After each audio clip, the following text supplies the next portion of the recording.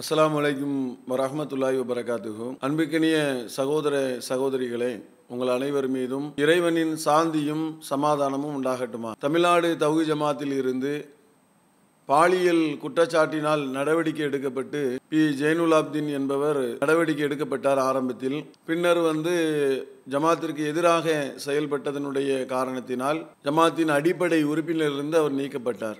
அடிப்படை உறுப்பினரிலிருந்து நீக்கப்பட்ட பின் ஜமாத்திற்கு எதிரான காரியங்களில் ஒரு மூன்று மாதம் கழித்து ஒரு ஏழரை மணி நேரம் லைவ் என்ற பெயரில் ஜமாத் எனக்கு அநியாயம் செய்து விட்டது நான் வந்து மிரட்டப்பட்டேன். என்ன சூழ்ச்சி செய்து விட்டார்கள் இப்படி ஏராளமான கருத்துக்களை மக்கள் மன்றத்தில் விதைத்து அதனுடைய விளைவால் தொடர்ச்சியாக வாரம் வாரம் மங்கி பாத் என்று சொல்லக்கூடிய ஒரு நிகழ்ச்சி லைவ் நிகழ்ச்சி போட்டு அதுல ஜமாத்திற்கு எதிராக நிறைய விஷயங்களை பேசிக்கொண்டு வருகிறார். ஜமாத்திலிருந்து சென்ற பிறகு அவர் எப்படி எப்படியெல்லாம் வந்து ஜமாத்திற்கு எதிராக பேசியிருக்கிறார் அதுல உள்ள முரண்பாடு அதுபோல மார்க்கத்தில என்னென்ன விஷயங்கள் எல்லாம் அவர் முரண்பட்டு பேசிக்கொண்டும் கொள்கையிலிருந்து தடுமாறக்கூடிய அளவிற்கு மோசமான கருத்துக்களை மக்கள் மன்றத்தில் விதைக்கக்கூடிய வேலையை தற்போது பிஜே அவர்கள் செய்து கொண்டு வருகிறார். நாம ஏராளமான விளக்கங்கள் பல பொதுக்கூட்டங்களில் பல இடங்களில் நம்ம சொல்லியிருந்தாலும் கூட அவர் என்ன சொன்னார் என்ற அந்த விஷயத்தை ஆதாரபூர்வமாக நீங்கள் அறிந்து கொண்டால் அவருடைய அந்த முரண்பாடுகள் இப்படி வந்து அவர் தப்பும் தவறுதலாக பொய் சொல்கிறார். பாலியல் குற்றம் செய்துவிட்டு பாலியல் குற்றம் செய்யாதவர் போன்ற ஒரு தோற்றத்தை உருவாக்கக்கூடிய வேலை ஆடியோவை மிமிக்ரி என்று சொல்லக்கூடிய வேலை. இது மாதிரி பல விஷயங்களை என்ன செய்கிறார்? அவர் சொல்லியிருக்கிறார். அதில் உள்ள முரண்பாடுகளையும் கருத்துகள் ரீதியாக என்னென்ன இடத்தில் அவர் சொல்லி வருகிறார் என்ற போன்ற விஷயங்களையும் உங்களுக்கு என்ன செய்கிறோம்? வீடியோ வழியாக நீங்கள் பார்க்கலாம். ஒரு பாகமாக ஒரு பயான் மாதிரி இல்லாமல் பாகமாக ஒவ்வொரு பாகமாக உங்களுக்கு என்ன செய்வோம்? நாம் அதை போட்டு காமிப்போம் நீங்கள் அதை பார்த்து நீங்களே நியாயமாக உள்ள விஷயங்களை விளங்கி கொள்ளக்கூடிய அளவிற்கு தான் அது இருக்கும். ஏன்னா அந்த கொள்கையில் இருந்து தடம் புரண்டு விட்டால் கொள்கைக்கு எதிராக செயல்படும் போது அல்லாஹ் அதில் தடுமாற்றத்தை தான் தருகிறான் என்பதற்கு இது ஒரு முக்கியமான அளவுகோலாக இருக்கிறது என்பதையும் நாம் உங்கள் மன்றத்திலே சொல்லிக்கொண்டு இப்போது அவர் குறித்த ஆடியோக்களினுடைய விஷயங்களை நம்ம ஒன்று ஒன்றாக பார்ப்போம்.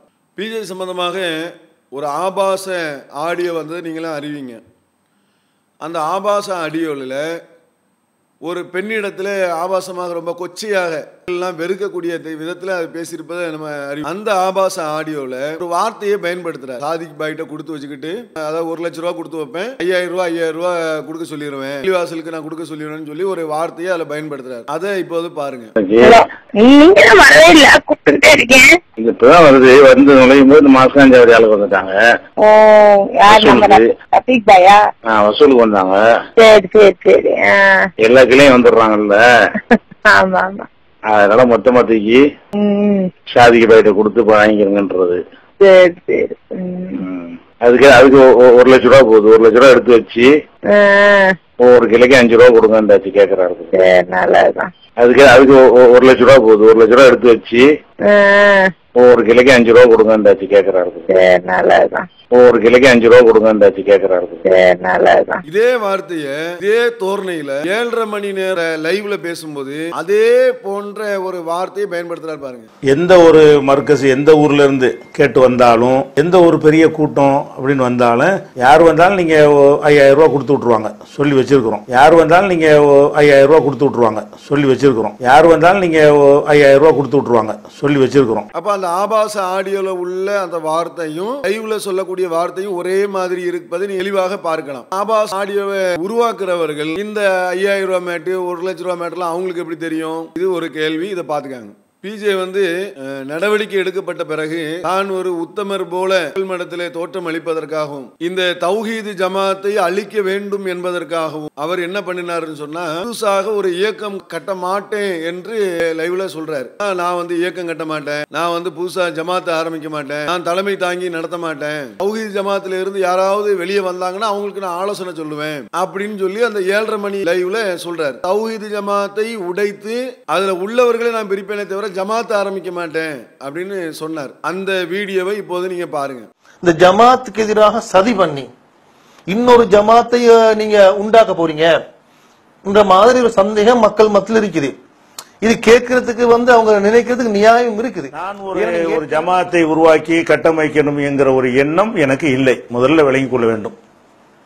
இந்த நடவடிக்கைக்கு முன்பாகவே மைசூர் தர்பியாவிலே நான் தெளிவாகவே சொல்லிவிட்டேன்.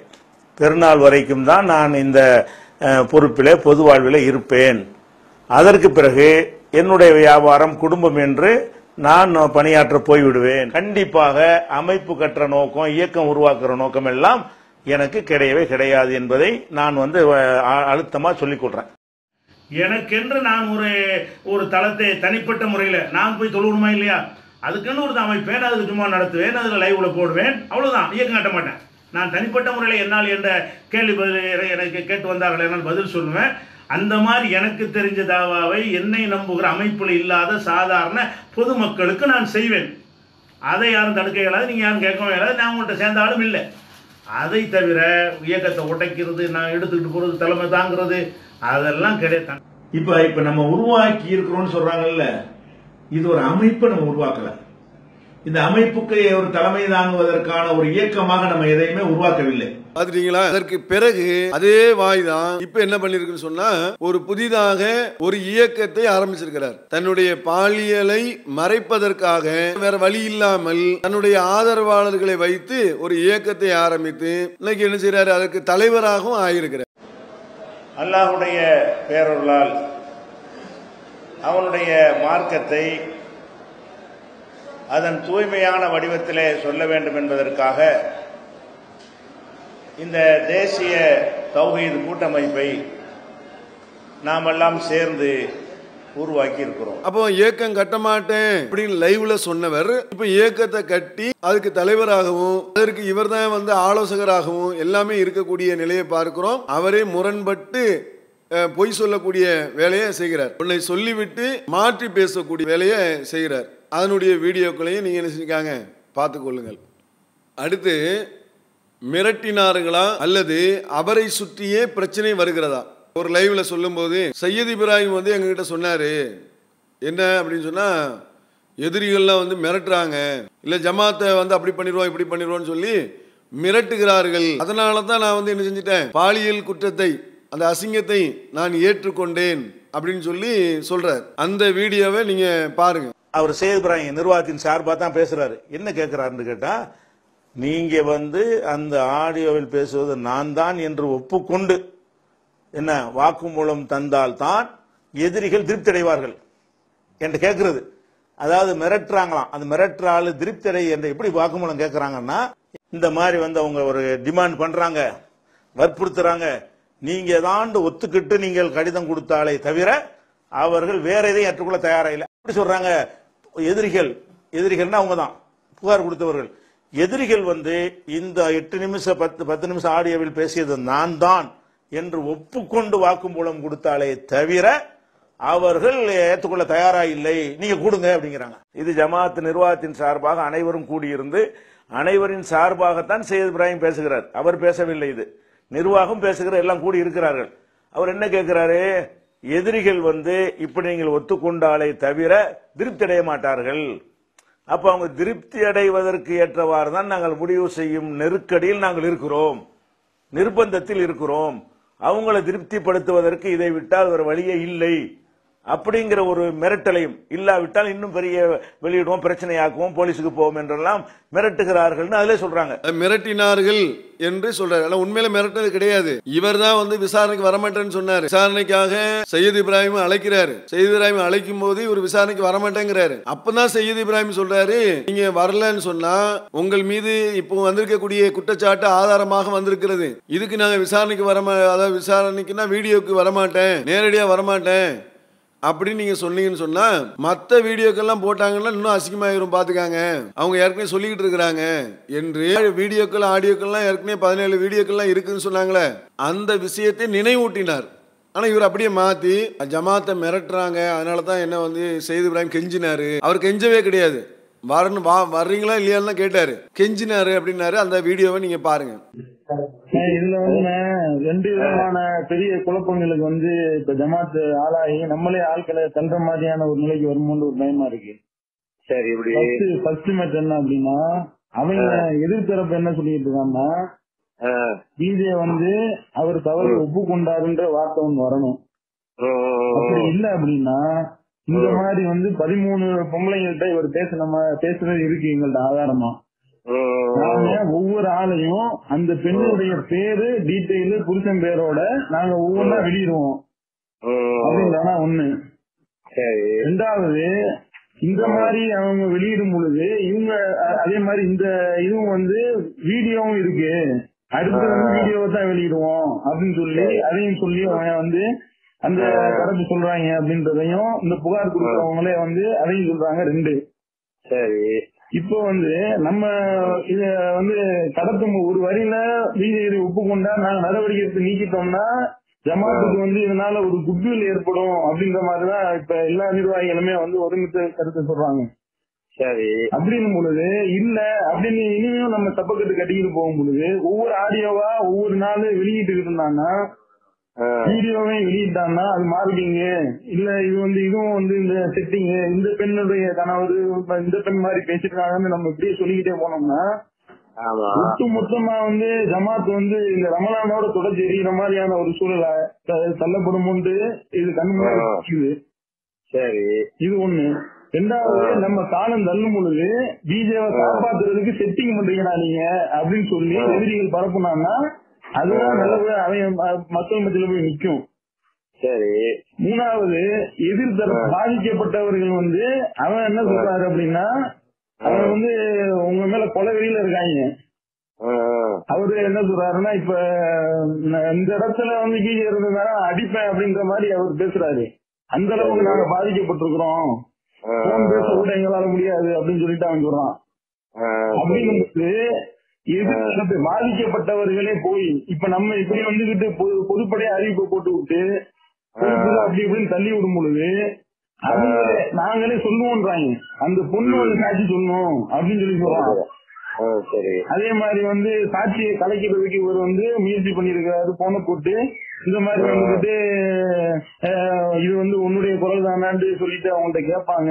நீ வந்து இல்லன்னு மறுத்துரு மறுத்துட்டீங்கன்னா நான் வந்து அதுக்கு தகுந்த மாதிரி மேனேஜ் பண்ணிக்கிடுவேன் நானே வந்து எனக்கு எனக்கே தகுதி இல்லைன்னு தானே நான் உணர்ந்துட்டேன்ட்டு பேசுற மாதிரியான ஆடியோவையும் அவங்க காட்டுறாங்க. ஆ, சரி. அதுக்கு உண்டான அந்த பெண்ணிடத்துல நீங்க தான் பேசுனீங்கன்றதுக்கு உண்டான கால் ஹிஸ்டரியோட அந்த பெண்ணையும் கொண்டு வந்து நிப்பாட்டுவோம் அப்படின்றாரு. இதெல்லாம் ரமலான்ல நடந்துச்சுன்னா ஜமாத் இன்னும் பெரிய ஒரு பின்னடைவை ஏற்படுத்தி மொத்த மொத்தமா நம்ம ஊ- த- தலைகுனிவை ஏற்படுத்துற மாதிரி தானே. இல்ல அது மாத்திரம் இல்ல இப்ப என்ன இப்படி என்ன செய்யணுமோ செய்யுங்க அது வந்து என்ன செஞ்சா சரியா இருந்துருங்க நான் அதுக்கு எதுக்கு நான் விட்டு கொடுக்கல? ம், ம். இப்ப அந்த மாதிரி அறிவிக்க சொல்றேன் அறிவிச்சிருங்களேன். இன்னும் நான் விசாரணைக்கு வரமாட்டேன்ட்டீங்க அப்படின்னு சொன்னாலே என்ன என்ன எதிர்விகளை நம்ம சந்திக்கணும்னா பிஜே மேல வந்து அபாண்டமா பலி சுமத்திட்டாங்க ஒட்டுமொத்த ஜமாத்து சேர்ந்துன்னு சொல்லி ஒரு குரூப் கிளம்பும். அது எப்படி வருங்க அது ஆ, கண்டிப்பா சொல்லுவாங்க. இந்த மாதிரி வந்துட்டு ஒரு எந்த விதமான ஆதாரமும் இல்லாம எவனோ ஒருத்தன் வந்து சொன்னான்னா உடனே பிஜேபி நடவடிக்கை எடுத்துருவீங்களா என்று சொல்லி இங்க அப்படிப்பட்ட ஒரு நிலை கேள்வி கேட்டா நம்மளால பதில் சொல்ல முடியாதுண்ணே கண்டிப்பா. அப்ப என்ன மாதிரி சொல்ல- சொல்லணும் சொல்லுங்க. என்ன மாதிரி செய்யலாம்? இது வந்து ஒரு குற்றச்சாட்டு புகார் வந்தது. அந்த புகாரை வந்து விசாரிச்சாங்க. அதை வந்து நான் ஒப்புக்கொண்டேன். அந்த தவறு என் மீதான குற்ற புகாரை வந்து நான் ஒப்புக்கொண்டேன். இது இது குறித்து ஜமாத் இருக்கக்கூடிய நடவடிக்கைக்கு நான் கட்டுப்படுறேன். அது பிஜேபி ஒப்புக்கொண்டாருன்றது ஒரு வார்த்தை. நான் தவறு செய்து விட்டேன் நான் ஒப்புக்கொண்டேன். இததான் அவங்களும் டிமாண்ட் வைக்கிறாங்க அப்ப நான் அப்ப நான் என்ன சொல்றேன்னா நீங்க வந்து ம, இந்த கட் பண்ணிட்டு ஒரு அது போன்ல கேளுங்க அப்படி சொல்லிடுறோம்னா போன் ரெக்கார்டு வச்சுக்கிறேங்க. அது நான் சொன்னது இருக்காரு ஆதாரம் ஆயிட முடியல நான் என்ன மறந்துட்டா இருக்க போறேன்? சரி ஓகே.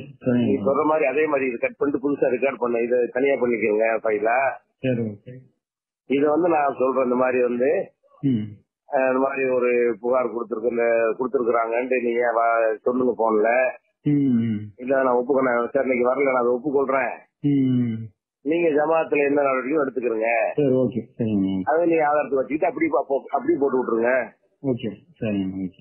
அப்ப சரியா வந்துருமா? வேற எதுவும் நான் செய்யணுமா அப்ப? வேற வேற எதுவும் சேஞ்ச் பண்றதா சொல்லுங்க. சரியா? இப்போ இந்த வீடியோவில் இவர் வந்து சொன்னாரா? சையத் இப்ராஹிம் வந்து கூப்பிடுறாரு. இவர் வர மறுக்கிறார். ஆனால் காரைக்காலில் பேசும்போது அப்படியே பல்ட்டி நேர் மாற்றம். என்ன மாற்றம்னு சொன்னால் உங்களை சுற்றியே வந்து பிரச்சனை வருது அதனால நீங்கள் வந்து ஒதுங்கிக்காங்க அப்படின்னு சொல்லி சொன்னதாக சைது இப்ராஹிம் சொன்னார். அதனால தான் நான் ஒதுங்கிக்கிட்டேன். என் மீது பிரச்சனை வந்த உடனே நீங்க மூடி விடுங்க அவங்க என்ன செய்கிறாங்க என்கிட்ட வந்து உங்களை சுற்றியே இப்படி பண்ணிட்டு இருக்கிறாங்க. எப்ப பார்த்தாலும் ஏதாவது அவதூறு பண்ணிக்கிட்டே இருக்கிறாங்க. இது மன உளைச்சலா இருக்குது. பதில் சொல்ல முடியல. அல்லாவுக்கா நீ ஒதுங்கிருக்கேன்ட்டாங்க எந்த விசாரணை நிரூபண ஆதாரம் புகார் செஞ்சது யார்? அதெல்லாம் ஒன்றுமே கிடையாது. எந்த ஒரு எண்கரையும் இல்லை. ஒதுங்கிருங்கிறாங்க அப்போ மிரட்டினார்கள் என்பது உண்மையா? பிரச்சனை வர்றதுங்கிறது உண்மையா? உங்களை சுற்றியே பிரச்சனை வருதுன்னு சொன்னால் அப்போ மிரட்டலை. மிரட்டலை வர்றதுக்கும் உங்களை சுற்றி பிரச்சனை வர்றதுக்கும் வித்தியாசம் இல்லையா? அப்போ அந்த வித்தியாசத்தை நீங்கள் பாருங்கள் அடுத்ததாக சத்தியம் செய்வது சம்பந்தமாக இவர் வந்து பல இடங்களில் முரண்பட்டு பேசுவதை நீங்கள் பார்க்கலாம். அதாவது சத்தியம் செய்கிறது யார்கிட்ட செய்யணும்? அப்படின்னு சொன்னால் சம்பந்தப்பட்ட பாட்டியிடம்தான் சத்தியம் செய்ய வேண்டும். மற்றவர்களிடம் சத்தியம் செய்யக்கூடாது அப்படின்னு ஒரு இடத்துல பேசுகிறார் என்ன சத்தியம்? இவர் சம்பந்தமான பாலியல் குற்றச்சாட்டு வந்திருக்கும் போது மக்கள் சத்தியம் நீங்கள் சத்தியம் பண்ண தயாரான்னு கேட்குறாங்க அப்போ இவர் என்ன சொல்கிறார் சத்தியம் பண்ணுறது யார்கிட்ட? எல்லாத்துட்டையும் நாங்கள் பண்ண மாட்டேன். சம்மந்தப்பட்ட பார்ட்டிகிட்ட தான் பண்ணுவேன்.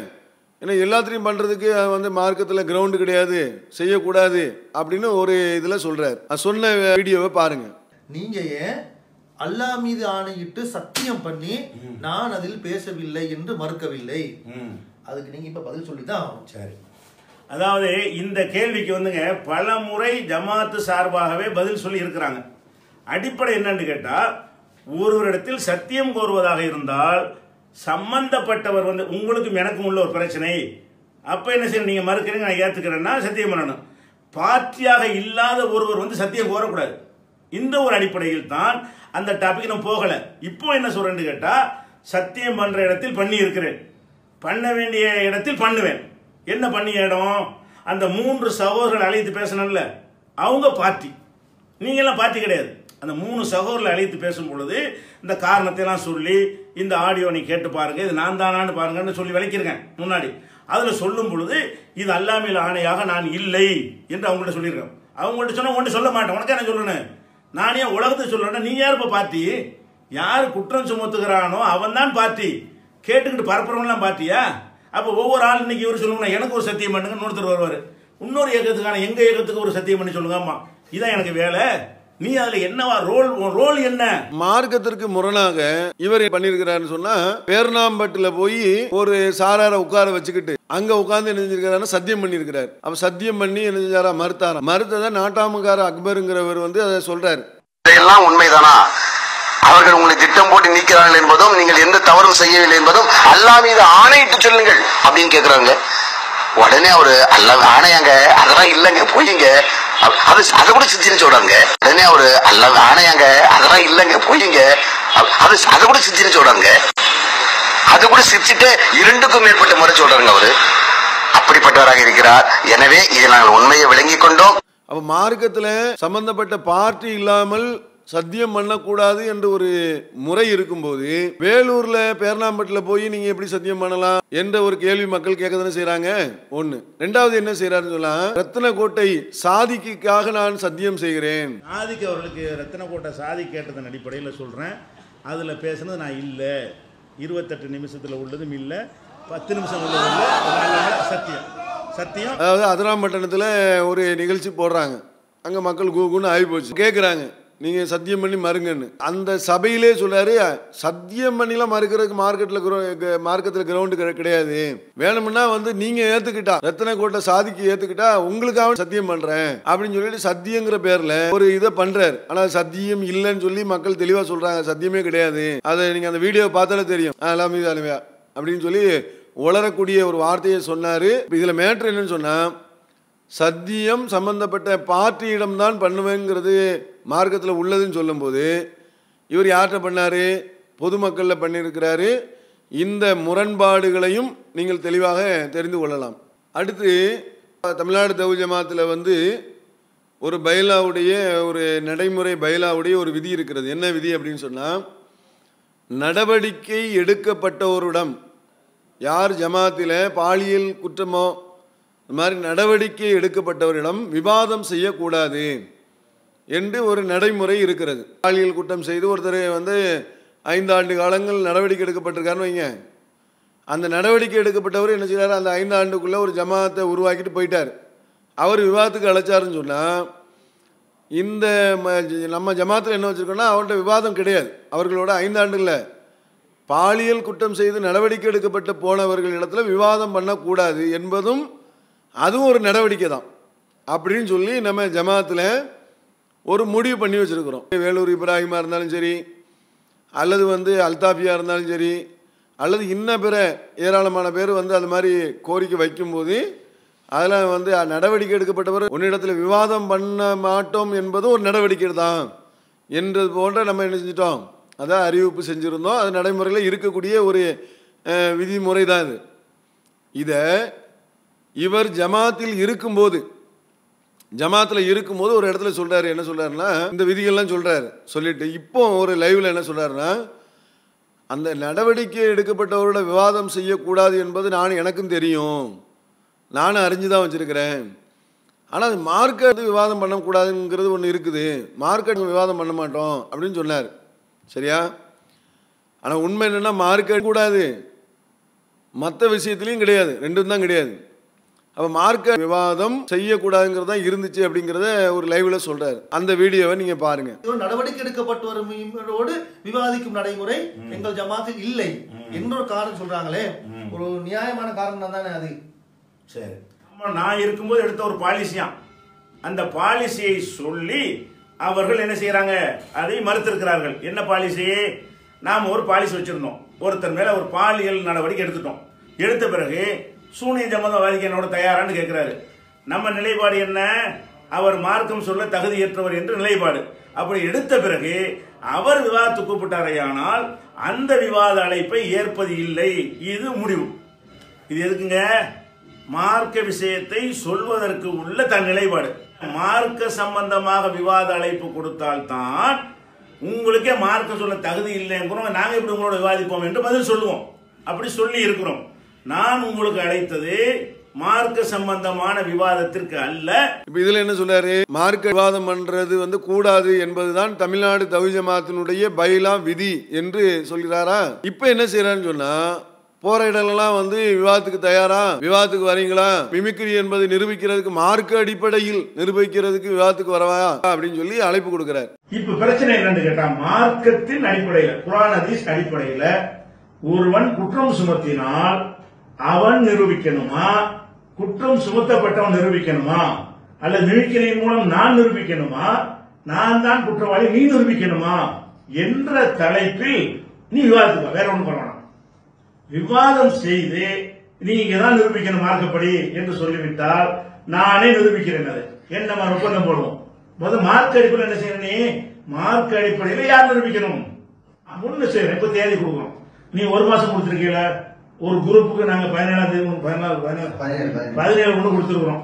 பதினெட்டு பத்தொன்பதாம் தேதி இது சம்பந்தம் ஒப்பந்தம் பண்ண நாங்க உட்கார்ந்துருப்போம். நானே இருக்கவா எது ஒப்பந்தம்? யார் நிரூபிக்க வேண்டும்? மிமிக்கிரி என்று நான் நிரூபிக்க வேண்டுமா? அல்லது நீ இந்த குற்றம் நீ நிரூபிக்க வேண்டுமா என்பதை குரான திசை அடிப்படையில் விவாதித்து முடிவு செய்வதற்கு ஒப்பந்தம் செய்வோம். ஒப்பந்தத்துக்கு வா. எங்களுடைய அலுவலகத்தை டயத்தை கொடுத்துட்டு மாசக்கணக்கில் இருப்பாங்க நீங்க இருப்ப நான் இருப்பேன். ஒன்றரை மாசத்துக்கு பதில் சொல்றாங்க. நம்ம இருப்போமா இப்பவே டேட்டா சொல்லியாச்சு. ப- பத்தொன்பதாம் எத்தனாவது? பத்தொன்பது. குறிச்சிங்க. பத்தொன்பதாம் தேதி காலையில பத்து மணிக்கு நாங்க எங்களுடைய என்டிஎஃப் அலுவலகத்தில் இருப்போம். நீங்க எத்தனை பேர் வரீங்கன்னு எங்கிட்ட சொல்லிட்டு அதுக்கு அதே அளவு நாங்கள் இருப்போம். ஒரு ஆண்டா ஒரு ஆள். ரெண்டு பேர் ரெண்டு ஆள். பத்து பேர் பத்து பேர் இருப்போம். எதுக்கு இருக்கிறோம்? ஒன்லி அக்ரிமெண்ட் என்ன அக்ரிமெண்ட் மார்க்கத்தின் அடிப்படையில் இது வந்து பிஜே மிமிக்கிரி என்று பிஜே நிரூபிக்க வேண்டுமா? குற்றம் சுமத்தியவர் நிரூபிக்க வேண்டுமா? அப்படிங்கிறத ஆதாரத்தின் அடிப்படையில் விவாதம் செய்வதற்கான ஒரு ஒப்பந்தம். அந்த ஒப்பந்தத்தை நிரூபித்து வந்துச்சுன்னு சொன்னா அதுக்குரிய சத்தெல்லாம் போட்டுக்கணும் நான் தான் நிரூபிக்கணும்ன்ற அது என்ன மாதிரி இருந்தா நிரூபிச்ச ஒத்துக்குருவேன். அதெல்லாம் கேட்போம்.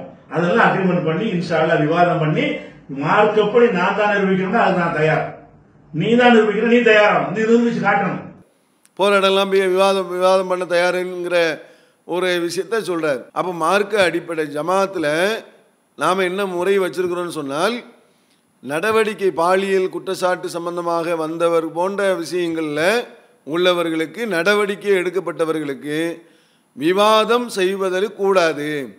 ஏன்னா அவர்களை வந்து விவாதம் செஞ்சு அந்த விவாதத்தின் மூலியமாக அவர்கள்ட்ட மக்கள்கிட்ட போய் நின்றுக்கிட்டு அது திரும்ப அந்த நடவடிக்கையே எதுக்குது? நீ மக்கள் முன்னாடி நிற்கக்கூடாதுங்கிறது தானே நடவடிக்கை. பயன் பண்ணக்கூடாதுங்கிறது என்ன நடவடிக்கை? மக்கள் முன்னாடி நிற்கக்கூடாதுங்கும் போது நீ இது ஒரு பயான் தானே விவாதம்ங்கிறது ஒரு பயான் தானே. மக்கள் முன்னாடி போய் நிற்கிறது தானே. மார்க்கத்தை சொல்வதற்கு நடவடிக்கை இருக்கும்போது விவாதம் பண்ணுறது அதே மாதிரியான விஷயம் தானே. அப்போ அந்த அடிப்படையில் உள்ள ஜமாத்தினுடைய விதிக்கு மாற்றமாக இவர் என்ன செய்கிறாரு முன்னாடி ஒன்று பேசுகிறாரு பின்னாடி ஒன்று பேசுகிறாரு அந்த வீடியோக்களை நீங்கள் தெளிவாக பார்த்து தெரிந்து கொள்ளுங்கள். அடுத்ததாக இவர் மீது பாலியல் குற்றச்சாட்டு வந்து ஜமாத்திலேருந்து நடவடிக்கை எடுக்கப்பட்டு நீக்கப்பட்டு அவர் வேற ஜமாத்து நம்ம வேற ஜமாத்துன்னு ஆகியாச்சு. அப்போ அந்த நிலையில் இப்போ என்ன பண்ணுறாருன்னு சொன்னால் அது வந்து மிமிக்கிரி இந்த ஆடியோ வந்து மிமிக்கிரி அப்படின்னு சொல்லி போகிற இடங்கள்லாம் சொல்லிகிட்டு இருக்கிறார். ஆதாரத்தின் அடிப்படையில் தான் நம்ம நடவடிக்கை எடுத்திருக்கிறோம். பெண் குடும்பத்தார் வந்து கம்ப்ளைண்ட்டு கடிதம் கொடுத்துருக்குறாங்க. அந்த கடிதத்தை நீங்கள் பாருங்கள்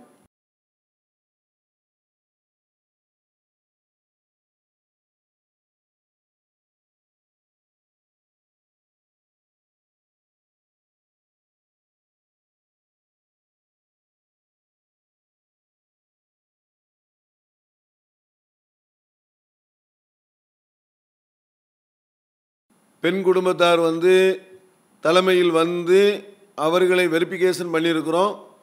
அந்த அவங்க வந்த சாட்சியம் இருக்குது அதை பாருங்கள்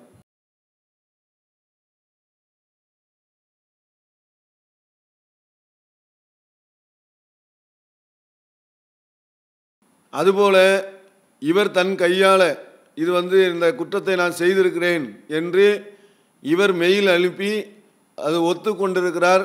அதனுடைய ஆதாரத்தை பாருங்கள்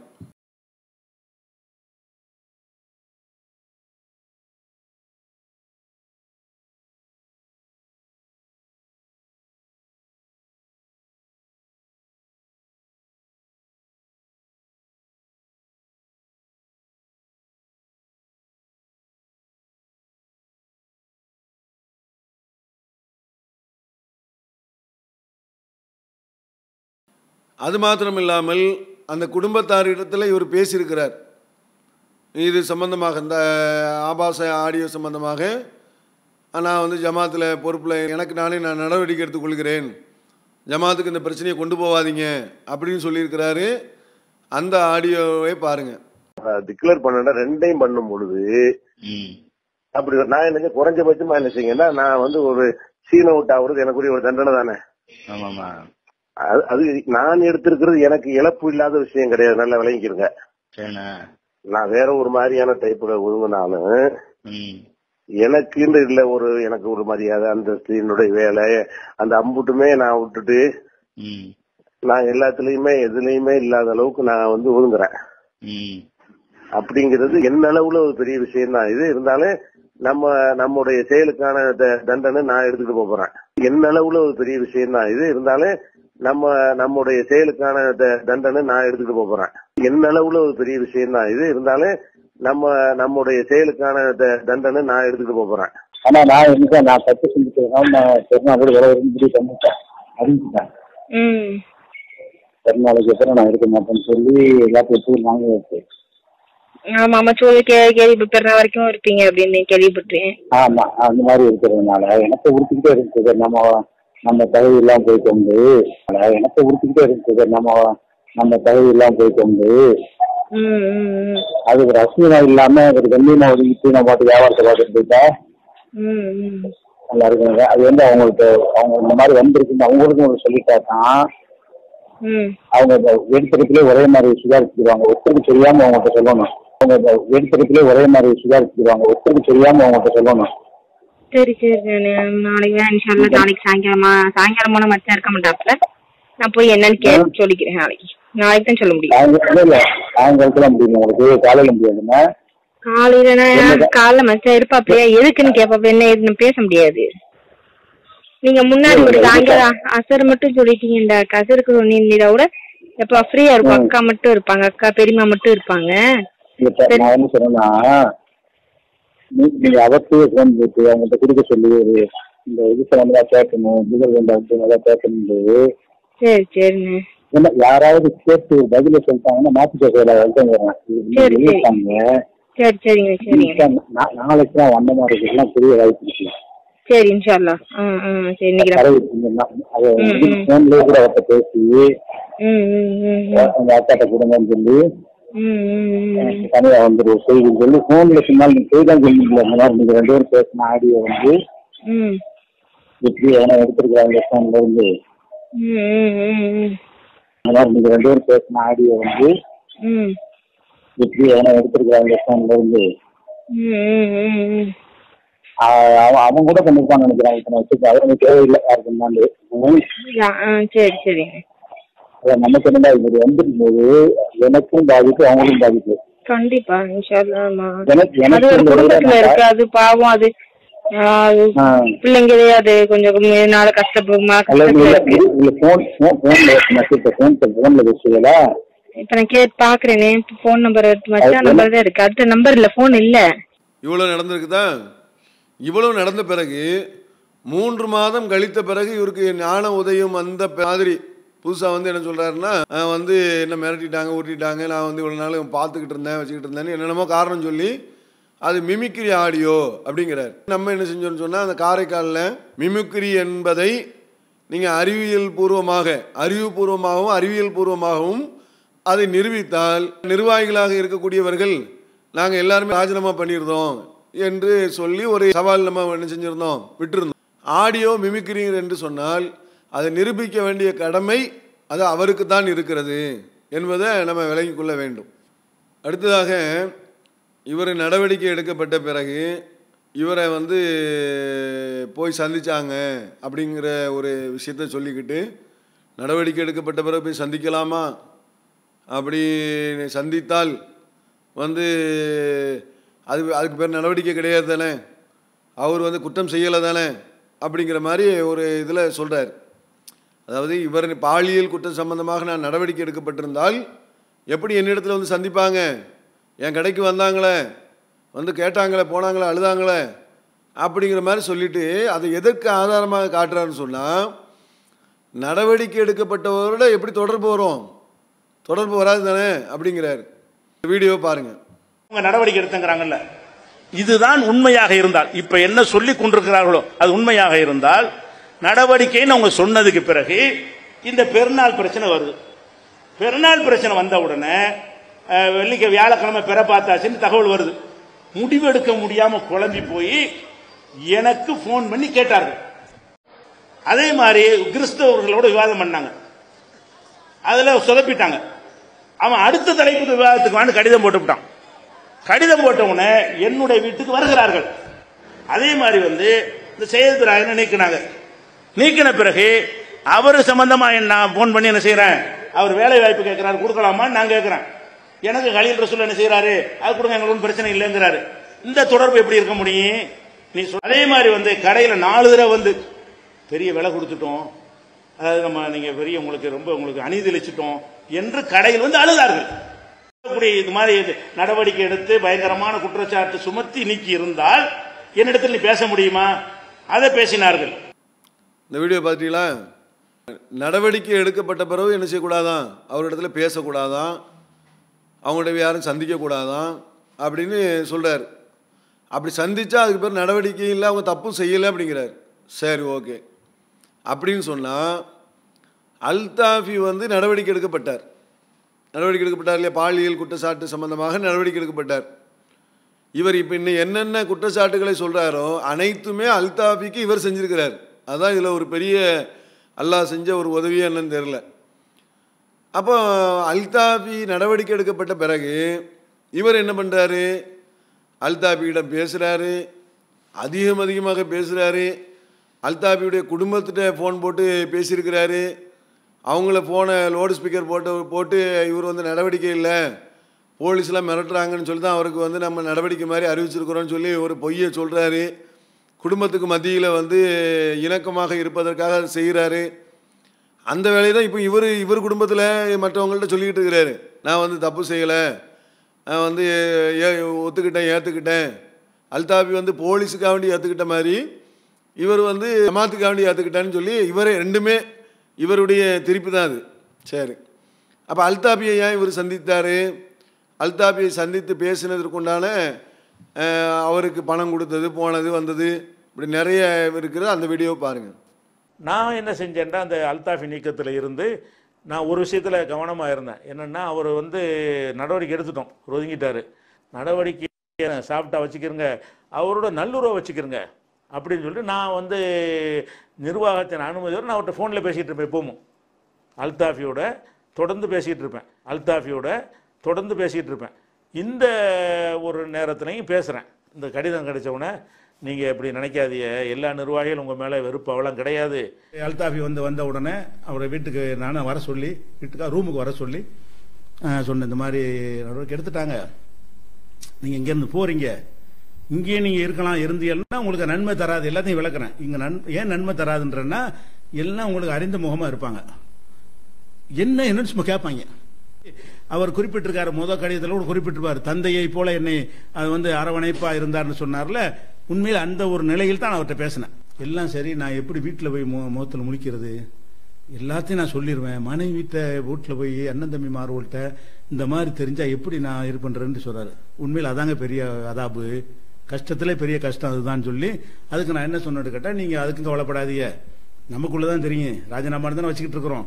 நீங்கள் உங்கள் உங்கள் வீட்டில் போய் உங்கள் நம்பர்லேருந்து எனக்கு மிஸ் கால் கொடுங்க. நான் மறுபடியும் கொடுக்க அடிக்கிறேன். நம்மளாம் அடிக்கிற மாதிரி இருந்தால் தான் நம்புவாங்க அதுக்காக வேண்டி. நீங்கள் எனக்கு மிஸ் கால் கொடுங்க. நான் உங்களுக்கு உடனே என்ன செய்கிறேன் உங்கள் நம்பருக்கு அடிக்கிறேன். பேசிகிட்டு இருக்கிறாப்புல இந்த ம- மனைவிட்ட கொடுங்கன்னு நீங்கள் நான் கொடுக்குறேன். நீங்கள் அவங்கள்ட்ட சொல்லுங்கன்றாரு. நான் அவங்கள்ட்ட என்ன மனைவிட்ட வந்து இந்த மாதிரி சில எதிரிகளுடைய அச்சுறுத்தல் வேற மாதிரி ஒரு பொய்யான ஒரு காரணத்தை சொல்லி அதனால கொஞ்சம் ஒதுங்கி இருக்கிறாரு. வேற ஒரு பஞ்சாயத்துலாம் இல்லை. இது அவர் நன்மையானதான் நாங்கள் செஞ்சிருக்கிறோம். அது அவருக்கு நன்மை உங்களுக்கு நன்மை எல்லாத்துக்கும் நன்மை. இதை போட்டு அழட்டிக்கிறாதீங்க கொஞ்ச நாள் எல்லாம் சரியா வந்துடுறேன் நீங்க கொஞ்ச நாளைக்கு ஒரு தூரமா இருந்துட்டு வந்தீங்கன்னா அவர் சேஃப்டிக்கு அவருடைய சேஃப்டியை கருத்தில் கொண்டு இந்த முடிவு எடுத்ததுக்கு முன்னாடி வரைக்கும் ஒரு நாள் ரெண்டு நாளைக்கு எதாவது பேசிட்டே இருப்பார். நம்மளும் ஆறுதல் வந்து சொல்லிட்டு இருப்போம். இது ஜம- நடவடிக்கை வேற ஒரு மனிதன்கிற முறையில் அது செய்யற உதவி வேறங்கிற வித்தியாசம் நான் விளங்கி வைத்திருந்தேன். இது கூடுதல் தகவலுக்காக என்ன அப்படின்னு சொன்னால் கலீல் ரசலும் கரீம் அவர்களும் கூடுதலாக சாதிக்கும். இந்த மூணு பேரையும் தான் அவரிடத்தில் பேசுவதற்காக மசூரா செய்து முடிவு செய்து அவர்களை போடப்பட்டார்கள். ஏன் போடப்பட்டார்கள்னு சொன்னால் இந்த கலில் ரசூலும் கரீமும் வந்து கடைக்கு போனார்னு சொல்கிறாங்களே அது எதுக்கு போனார் தெரியுமில மத்தியானம் நடவடிக்கை எடுக்கப்படுது. நடவடிக்கை எடுக்கப்பட்டதை போய் நடவடிக்கை எடுக்கப்பட்டவங்களுக்கு சொல்லணுமா இல்லையா? காலையில் என்ன முடிவு பண்ணியிருக்கிறோம்? என்ன இதில் மசூலா செய்யப்பட்டது? உங்கள் அறிவிப்பு எப்படி போடப்பட்டிருக்கிறது? எல்லா விவரங்களை? அவரிடத்துல போய் சொல்லுவதற்காக பணிக்கப்பட்டவர் தான் இவர். இவங்க இவங்க ரெண்டு பேரும். கூடுதலாக வந்து சாதிக் பாய் அவர்களை எதுக்குன்னு சொன்னால் புத்தகம். அது சம்மந்தமாக பேசி எல்லாம் நிறைய பைசெல்லாம் இருக்குல்ல பணம்லாம் வாங்க வேண்டியிருக்குல்ல. ஜமாத்துடைய பணம்லாம் கொடுத்து வச்சுருந்தோமே. அந்த பணத்தெல்லாம் வாங்குவதற்காக நிர்வாகிகள் இல்லாமல் எப்படி வாங்குவாங்க? அப்போ கலில் ரசூலும் சரி கரீமும் சரி சாதிக்கும் அவர் அவங்களாம் வந்து இந்த நிர்வாக ரீதியாக தொடர்புக்காக அந்த ஏற்கனவே கொடுத்த பொருட்களை வாங்குவதற்காக தகவலை தெ- தெரிவிப்பதற்காகத்தான் அது போய் பேசினாங்களே தவிர கொஞ்சம் குழாவதற்காக நட்பு பாராட்டுவதற்காக அவங்க செல்லவில்லை என்ற தகவலையும் நம்ம கூடுதலாக நம்ம சொல்லிக்கொள்கிறோம் அடுத்ததாக பாலியல் ரீதியான குற்றம் வந்து இவர் மீது நடவடிக்கை எடுக்கப்பட்டு நீக்கப்பட்டு விட்டார். நீக்கப்பட்ட பிறகு வந்து ஜமாத் எனக்கு துரோகம் பண்ணிவிட்டு அப்படி பண்ணிவிட்டு இப்படி பண்ணிவிட்டு மக்கள்கிட்ட போய் மண்டையை கழுவக்கூடிய வேலையை செய்து கொண்டிருக்கிறார். இப்போது மக்கள் என்ன கேட்குறாங்கன்னு சொன்னால் சிலர் அவங்கள்ட்ட நல்ல அறிவுபூர்வமாக கேள்வி கேட்குறாங்க அதான் வந்து ஜமாத்து உங்கள் மீது நடவடிக்கை எடுக்கப்பட்டுச்சுல நடவடிக்கை எடுத்துச்சுன்னு சொன்னால் நீங்கள் என்ன பண்ணியிருக்கணும் வந்து அரசாங்க ரீதியாக என்ன செய்யலாம்? நீங்கள் வந்து கேஸ் கொடுக்க வேண்டியதானே? உங்களை துரோகம் பண்ணி சூழ்ச்சி செய்து வெளியேற்றிட்டாங்கல்ல அப்போது ஜமாத்தில் உள்ள நிர்வாகிகள் மீது ஒரு கேஸ் கொடுத்து இவர்கள் எங்களுக்கு எனக்கு வந்து சூழ்ச்சி செஞ்சிட்டாங்க. அதனால் வந்து என்னை வெளியேற்றிட்டாங்க அப்படின்னு சொல்லி நீங்கள் கேஸ் கொடுக்கலாம். எல்லாம் அதிமுகவில் அந்த கேஸ் நடக்குது. பல சந்தர்ப்பங்களில் திமுகவில் நடந்திருக்குது. தமுமுகவில் நடந்திருக்குது. பல கட்சிகளில் நடக்குது. யாராவது அப்படி நீக்கப்பட்டார்கள் என்று சொன்னால் அவங்க நேராக நீதிமன்றத்தை அணுகிறார்கள் அப்போ இவர் வந்து அந்த நீதிமன்றத்தை அணுகி ஜமாத்தில் ஒரு கேஸ் கொடுக்கலாம்ல. கேஸ் கொடுத்தா என்ன ஆகும்? அப்படின்னு சொன்னால் அவன் வந்து விசாரித்து யார் குற்றவாளிங்கிறத நிரூபணமாயிரும்.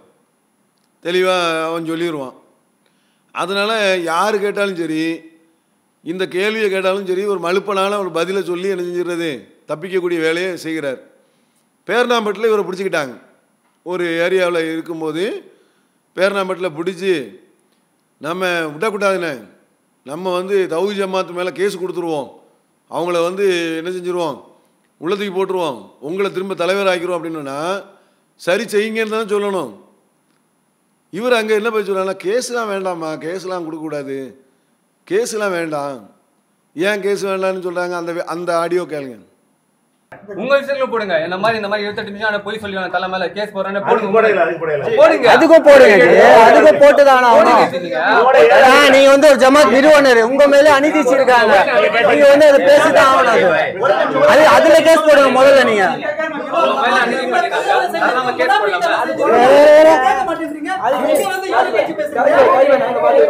ஏங்க என்ன ஆச்சு? கேட்டீங்களா? ஏன் கேஸ் வேண்டாங்கிறாரு? கேஸு கொடுத்தா போலீஸ் வரும் விசாரிக்கும். அந்த பெண் குடும்பத்தாரை நாங்கள் காட்டுவோம். பெண் குடும்பத்தாரை போய் விசாரிப்பாங்க. பெண் குடும்பத்தார் உண்மையான தகவலை சொல்லுவாங்க. அந்த பெண்ணிடத்தில் விசாரிப்பாங்க. அந்த பெண் அப்படி இல்லைன்னு சொன்னால் வேறு வேறு டெஸ்ட்டு எடுப்பாங்க. பல வீடியோக்களை பல ஆடியோக்களை ஆதாரமாக காட்டுவோம். அந்த ஆடியோக்களை வந்து வெரிஃபிகேஷன் பண்ணுவாங்க. பண்ணும்போது அவர் குற்றவாளி நிரூபணமாயிரும் நிறுவனமானால் நாங்கள் எடுத்த முடிவு ஜமாத்து எடுத்த முடிவு சரியானதுன்னு விளங்கிக்கிடும். அதுக்காக வேண்டி தான் காவல்துறைக்கு போக வேண்டாங்கிறார். அதை புரிஞ்சுக்காங்க. அடுத்ததாக இவர் வந்து பிஜே வந்து எப்படிப்பட்ட ஆளுங்கிறத அவரே ஒரு குற்றச்சாட்டு வரும்போது சொல்கிறார் எப்படின்னு சொன்னால் என் மேலெலாம் வந்து ஒரு குற்றச்சாட்டு வந்துச்சுன்னா நான் ஃபோன் எடுக்க மாட்டேன். யார்கிட்டையும் பேச மாட்டேன். ஏன்னா வந்து ஃபோன் எடுத்து பேசினா வந்து மக்கள்கிட்ட அவங்கள்ட்ட வந்து ஏதாச்சும் பேசிட்டோம் அப்படிங்கிற மாதிரி வந்துடும் சாட்சியை கலைச்ச மாதிரி வந்துடும் அப்படின்னு சொல்லி இந்த பாக்கருடைய விசாரணையில் பாக்கர் ஜமாத்தில் நடவடிக்கை கூடக்கூடிய அந்த நேரத்தில் ஒரு விசாரணை நடந்துச்சு. அந்த விசாரணையில் வந்து அவர் அப்படி சொல்கிறார் அப்போ இவர் அப்போ அந்த வீடியோவை பார்க்கக்கூடியவங்களுக்கு எப்பா பயங்கரமான ஆளுங்க. இவர் மேலே ஒரு விசாரணை வந்துச்சுன்னா ஃபோனே எடுக்க மாட்டாராம் யார்ட்டையும் பேச மாட்டாராம். அப்படிங்கிற மாதிரி அந்த வீடியோவை நீங்கள் பார்க்கும்போதே தெரியும்.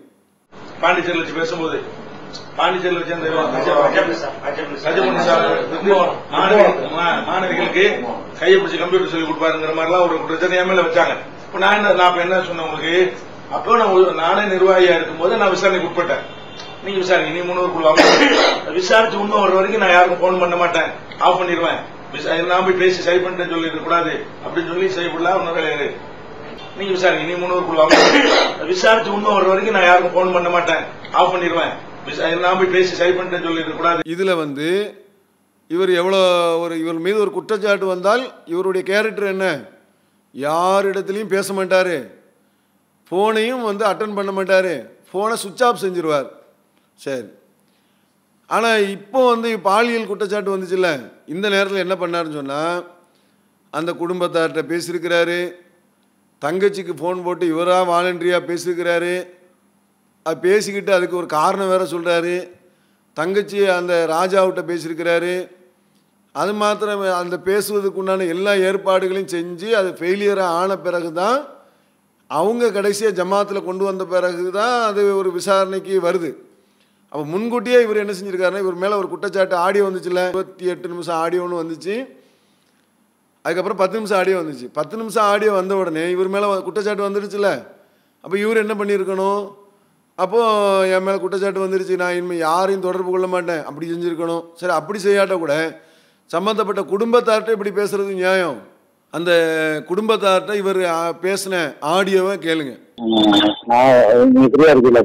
ஃப்ரீயா தானே இருக்கேன்? சொல்லுங்கண்ணே. சும்மா செய்தி சொல்லுங்கண்ணே. இந்த இளைஞருக்கு உங்களுக்கு தகவல் கொடுத்தா புரியுது. அஞ்சாரை காட்டியா? ஆ போகணும் நேத்து போனோம் அஞ்சாரை காட்டியா? ஆ போகணும் நேத்து போனோம் நேத்து போய் பாரு ரொம்ப நாள் அது போறதே இல்ல அது வெளியில அது- இந்த பிரெக்னெண்டா இருக்கிறதுனால வெளியில சுத்தமா வர்றது இல்லையே. அதனால வந்து நேத்து தான் போனேன் நானு. நான் அம்மா ரொம்ப நாள் ஆச்சு. இப்போ பார்த்து ரெண்டு மூணு மாசத்துக்கு மேல ஆச்சுன்னு தான் போய் நாத்தனார் மவுத்துக்கு போயிட்டு இருந்தது வீட்டுக்கு ஊருக்கு போலையே வீட்டுக்கு போயிட்டு இருந்தோம். இப்போ அடுத்து இப்போ போயிட்டு நேத்து தான் போனோம். பர்சனலா ஒரு நீங்க ஒரு ஹெல்ப் தான் உங்கள்கிட்ட கேட்க பண்றேன். சரி சரி. நீ யார்ட்டும் சொல்லிக்கிற கூடாது. சரி சொல்லுங்கண்ணே. முடிஞ்சு. உங்களுக்கு எனக்கு மட்டும்தான் எனக்கு சரியா? சரிங்க இன்ஷால்லா வீட்டுக்காரர் யார்ட்டுமே சொல்லாதீங்க நான் எதுவும் கேட்டு சொல்லணுமா அக்காட்ட? வீட்டுக்காரர் யார்ட்டுமே சொல்லாதீங்க நான் எதுவும் கேட்டு சொல்லணுமா அக்காட்ட? அந்த பெண்ணுடைய தங்கச்சிட்ட இவர் ஃபோன் போட்டு பேசியிருக்கிறார். அந்த குடும்பத்தாரில் உள்ள ராஜாவிட்ட ஃபோன் போட்டு பேசியிருக்கிறார். இந்த ஆடியோவை கேளுங்க. டிக்ளேர் பண்ண ரெண்டையும் பண்ணும் பொழுது ம். அப்படி நான் என்ன குறைஞ்சபட்சமா என்ன செய்யுங்கன்னா நான் வந்து ஒரு சீன விட்டு அவருக்கு எனக்குரிய ஒரு தண்டனை தானே. ஆமாமா அது- அது நான் எடுத்திருக்கிறது எனக்கு இழப்பு இல்லாத விஷயம் கிடையாது. நல்லா விளங்கிக்கிறங்க நான் வேற ஒரு மாதிரியான டைப்ல ஒழுங்கினாலும் ம்.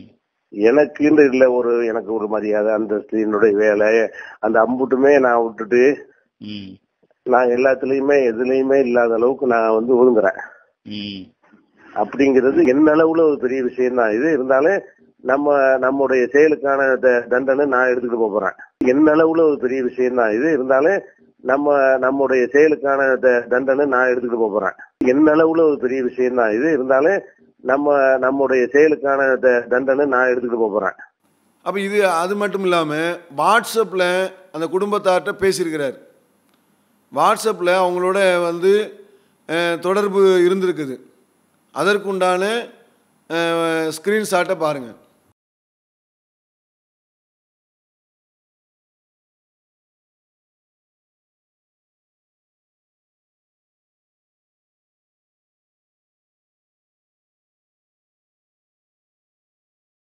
அப்போ இப்படிப்பட்டவர் தான் வந்து இன்றைய பிஜே அன்றைய பிஜேவுடைய வீடியோவையும் பார்த்துருங்க இன்றைய பிஜேவுடைய வீடியோயும் நீங்கள் பார்த்துட்டீங்க. அதுபோல் அந்த குடும்பத்தாருக்கு செல்போன் வழியாக மெசேஜும் என்ன செஞ்சுருக்கிறாரு மெசேஜ் மூலியமாகவும் தொடர்பு கொண்டிருக்கிறார்.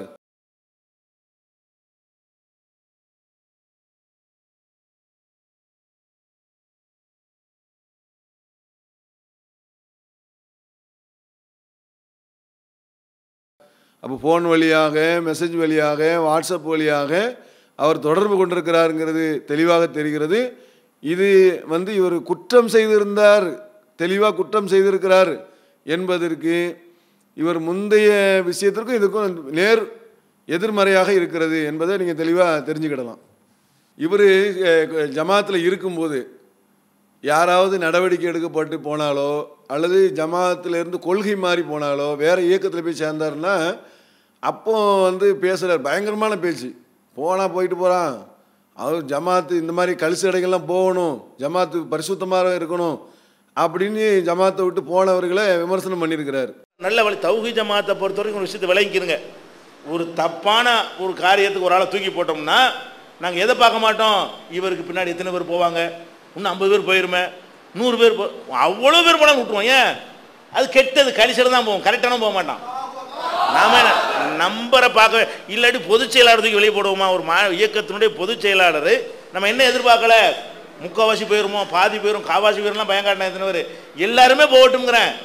நல்ல ஒரு தப்பு செஞ்சதுக்கு நடவடிக்கை எடுக்கும்போது எல்லாரும் போயிட்டாங்கன்னா அவங்க சரியான ஆட்களாக இல்லைன்னு அர்த்தம். சுத்தம் மட்டும் மிஞ்சிட்டு கரெக்டான ஆளுக்கு அரசியல் கட்சி நடத்த போகிறோம் ஓட்டா பொறுக்க போகிறோம் கரெக்டாக இருந்தால் இரி இல்லைன்னு போய்கிட்டே இரி. அந்த மாதிரி ஒரு நிலைப்பாட்டின் அடிப்படையில் தான் இது செஞ்சோம். இது தப்பு செய்யலைங்கிறாங்களே இதுக்கு மேலே என்ன தப்பு வேணும்? இப்போ எங்கே போய் சேர்ந்துருக்குறாங்க? அதான் முக்கியமானது. இவ்வளோ செஞ்சு விட்டு இப்போ போய் சேர்ந்த இடம் என்னது? இதே மாதிரி தப்பு செய்கிறது என்ன? தப்பு செய்வது தப்பா? இந்த கேட்கக்கூடியவர்கள்ட்ட போய் என்ன செய்கிறாங்க தப்பை சொல்லிவிட்டு இன்னொருத்தன் பொண்டாட்டியோட பஸ்ஸில் தனியாக போனால் தப்பா? டிவியில் பேசுகிறார் அலாவுதீன் என்பவர் நம்ம ஜமாத்தில் இருந்து ஜமாத்திலேருந்து போய் ஒரு அரசியல் கட்சியில் போய் சேர்ந்து அங்கே இப்போ இது பொன்னாடைகள்லாம் போர்த்தி இது மாதிரியான ஆளாக அவர் மாறிவிட்டார். அவரை இப்போ என்ன செஞ்சிருக்கிறாரு? தன்னுடைய ஜமாத்தில் கூட்டி இணைச்சிருக்கிறார். அந்த வீடியோவை பாருங்கள் வந்து எல்லாமே தெரியும். இந்த குற்றச்சாட்டு பாலியல் குற்றச்சாட்டுங்கிறது அது வேற. அது அதை தனியா வைங்க. குற்றச்சாட்டுங்கிறது இருக்கும். எனக்கும் பலவீனம் இருக்கு. இந்த அலாவுதீன் என்பவர் பிஜே சம்பந்தமாக அவர் பிஜே பற்றிய மதிப்பீடை ஒரு இடத்துல பெண் ஃபோனில் பேசுகிறார் அந்த ஆடியோவை பாருங்கள் வந்து எல்லாமே தெரியும். இந்த குற்றச்சாட்டு பாலியல் குற்றச்சாட்டுங்கிறது அது வேற. அது அதை தனியா வைங்க. குற்றச்சாட்டுங்கிறது இருக்கும். எனக்கும் பலவீனம் இருக்கு. நான் கேட்கிறேன் அவர் இப்பதான் உபச்சாரம் செஞ்சாரா? நான் கேட்கிறேன் அவர் இப்பதான் உபச்சாரம் செஞ்சாரா? நான் கேட்கிறேன் அவர் இப்பதான் உபச்சாரம் செஞ்சாரா? நான் கேட்கிறேன் அப்போ இவர் சேர்த்திருக்கக்கூடிய ஆளும் அவருடைய பார்வையில் கொள்கையற்றவர். இவருடைய பார்வையில் அவர் ஒரு குற்றவாளி. ஒரு குற்றவாளியும் கொள்கையற்றவர்களும் சேர்ந்து தான் இன்னைக்கு ஒரு ஜமாத் இயக்கப்பட்டிருக்குது என்பதுக்கு இது ஆதாரமாக இருக்கிறது. அடுத்ததாக தமிழன் டிவியில் இவரை வந்து கூப்பிட்டு ஒரு பேட்டி ஒன்று எடுக்கிறாங்க. அது பெரிய அளவில் விமர்சனமாகி அது நிறுத்தப்படுகிறது. ஏன்னா ஒரு பாலியல் குற்றம் செய்து அது அப்புறம் பொருளாதார குற்றம்லாம் போய் அங்கே போய் சொன்னதுனால அது விமர்சனமாகி நிற்கப்படுகிறது அந்த வீடியோவில் உள்ள ஒரு வீடியோ வெளியிடுகிறார். அதில் தமிழன் டிவியில் உள்ளவர் கேள்வி கேட்குறார். என்ன கேட்குறாருன்னு சொன்னால் எல்லாருமா சேர்ந்து உங்களை வந்து சூழ்ச்சி செய்து நடவடிக்கை எடுத்துட்டாங்களா? அப்படின்னு கேட்டபோது ஆமாம் எல்லாரும் சேர்ந்து தான் அனைத்து நிர்வாகிகளும் சேர்ந்து தான் என்ன செஞ்சாங்க? என் மேது நடவடிக்கை எடுத்துட்டாங்க? அப்படின்னு சொல்லி தமிழன் டிவியில் சொல்கிறார் அப்போ அவர் தெளிவாகவே கேட்குறாரு அவ்வளோ பெருமா உங்களுக்கு எதிராக போயிட்டாங்க? ஆமாம் எல்லாரும் தானே எல்லாரும் தான் போயிட்டாங்க. எல்லாரும் தான் சொல்லி செஞ்சாங்க அப்படிங்கிறாரு. அந்த ஆடியோவை கேளுங்க. நடந்த விஷயம் என்ன என்று கேட்டால் அவர்களுக்கு நான் எல்லாத்துக்கும் கரெக்டாக இருக்கிறேன் போகக்கூடாதுன்னா போகக்கூடாதுங்க சத்தியம் என்ன நிறைவேற்றணும்னு சொல்லுவேன். பொருளாதாரத்தை நெருப்பாயிருப்பேன் இதெல்லாம் வந்து பொதுவாக என்னோட பயணித்தவர்களுக்கு இயற்கையாகவே இது இருந்திருக்கிறது. எப்படி வந்து இப்போ அண்ணா திமுக சசிகலா காலில் விழுந்தாங்க அவங்களாம் எதிர்க்கிறாங்க இல்லையா? இப்போ நம்ம நம்மளுக்கு இவங்களா இருக்கிறோம்னு நினைக்கிறோம். அந்த மாதிரி வந்து நம்மளுக்கு அவ்வளவுக்கு ஒரு ஒரு அந்யோன்யமாகவும் என் மீது ஒரு அக்கறை உள்ள காட்டியிருக்காங்க. ஆனா எல்லாமே நிர்வாகம் என்னோட இருந்த நிர்வாகி ஏழரை மணி நேரம் ஒரு லைவ் போட்டார்ல ஏழரை லைவ் அந்த லைவ்ல சொல்கிறாரு வந்து கலீல் ரசூல் அஹ், சம்சுல்லுகா அது ராஜா முகமது. இந்த மூணு பேர் தான் எனக்கு எதிராக சூழ்ச்சி செஞ்சாங்க. வேற நிர்வாகிகளுக்கெல்லாம் அது ஒன்றும் தெரியாது. அவங்களே என்ன செய்வாங்க? அவங்களுக்கெல்லாம் ஒன்றும் தெரியாது. இந்த மூணு பேர் தான் எனக்கு எதிராக சூழ்ச்சி செஞ்சாங்கங்கிறாரு. எவ்வளோ பெரிய பொய்ன்னு பாருங்கள் அந்த வீடியோ பாருங்கள் இப்போ சம்சுல்லுகாவும் ஹலீலும் ராஜா முகமதும் ஒரு பேசிவிட்டார்கள் அதுக்கு ஒரு கிரவுண்ட் இருக்குன்னு சொல்லிட்டேன். அவங்களுக்கு ஒரு நோக்கம் இருக்கிறது. அடுத்து என்ன செய்கிறாங்கன்னா இது ஜமாத்துக்கு வரக்கூடிய ஒரு புகார். ஜமாத்துக்கு வருகிற புகாரை வந்து நிர்வாகிகள்கிட்ட போய் அனைவர்கிட்டையும் முதல்ல கொண்டு செல்ல வேண்டும்.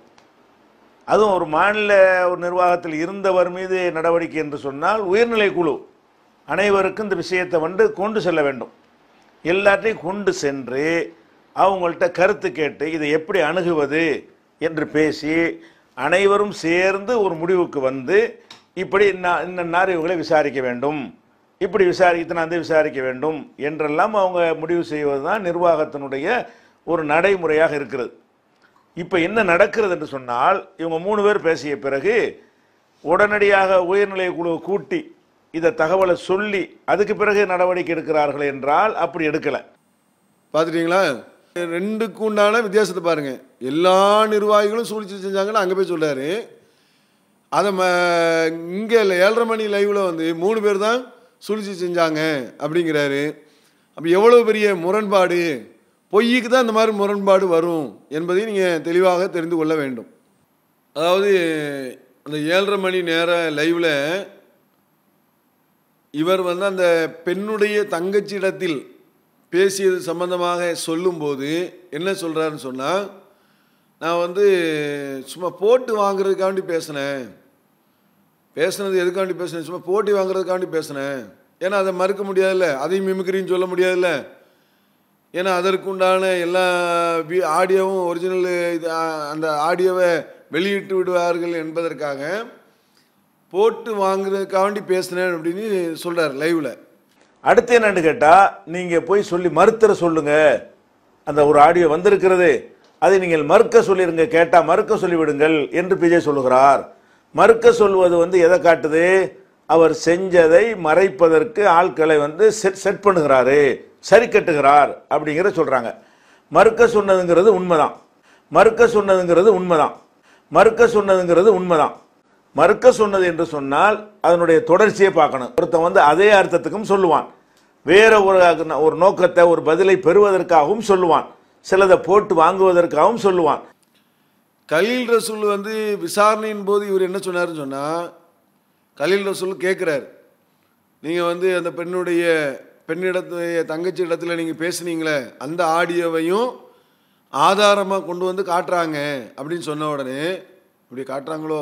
அதாவது என்னன்னா இப்ப ரெண்டு விஷயம். ஒண்ணு வந்து இந்த கால் ஹிஸ்டரிங்கிறாங்கல்ல அதாவது உங்க பேர்ல ஒரு ஆடியோ வந்திருக்குதுன்னா தகவல் தான் கொடுக்க சொன்னேன். சரி. அத மறுத்துருங்கன்ற மாதிரி சொல்லல. சரி. அந்த அந்த கால் ஹிஸ்டரியை தான் காட்டிருப்பாங்க உங்களுக்கு ஒண்ணு. ம், அதுல ஆடியோவே காட்டினாங்க. எந்த ஆடியோவை? நீங்க அத, நான் பேசுனது இல்லைன்னு சொல்லி மறுத்துருங்கன்னு சொன்ன ஆடியோவை. நான் பேசுன மாதிரி ஆடியோ காட்டினாங்களா? ஆமா. நீங்க அவங்க அக்காட்ட ஒரு ஆள்கிட்ட பேசுறீங்க. அப்பாஸ்டையா? அவங்க அக்காட்ட. அவங்க தங்கச்சிட்ட பேசுறீங்க. அக்காட்ட வந்து நீங்க மறுத்துருங்க அவங்க வந்து இப்ப நான் போய் சொல்ல முடியாது. நாளைக்கு நான் சொல்ல முடியணும் காலையிலயாவது போய் சொல்லிடுங்க அல்லது அவங்க போன்லயாவது அவங்க போட்டு பேசிடுங்க அப்படின்னா அவங்க போன் இல்லைன்னு நீங்க அவங்க சொல்லும் போது கூட அவங்க வீட்டுக்காரர்கிட்ட போன் இருக்கும்ல அவங்க வீட்டுக்காரருக்கு நீங்க ஏதாவது பேசுற மாதிரி பேசி நீங்க சொல்லுங்க சொன்ன செய்தி அந்த ஆடியோ அப்படி அப்படி கொட்- அப்படி ஆடியோ காட்டுறாங்களோ? ஆமா. அப்படி அப்படி கொட்- அப்படி ஆடியோ காட்டுறாங்களோ? ஆமா. அப்படி அப்படி கொட்- அப்படி ஆடியோ காட்டுறாங்களோ? ஆமா.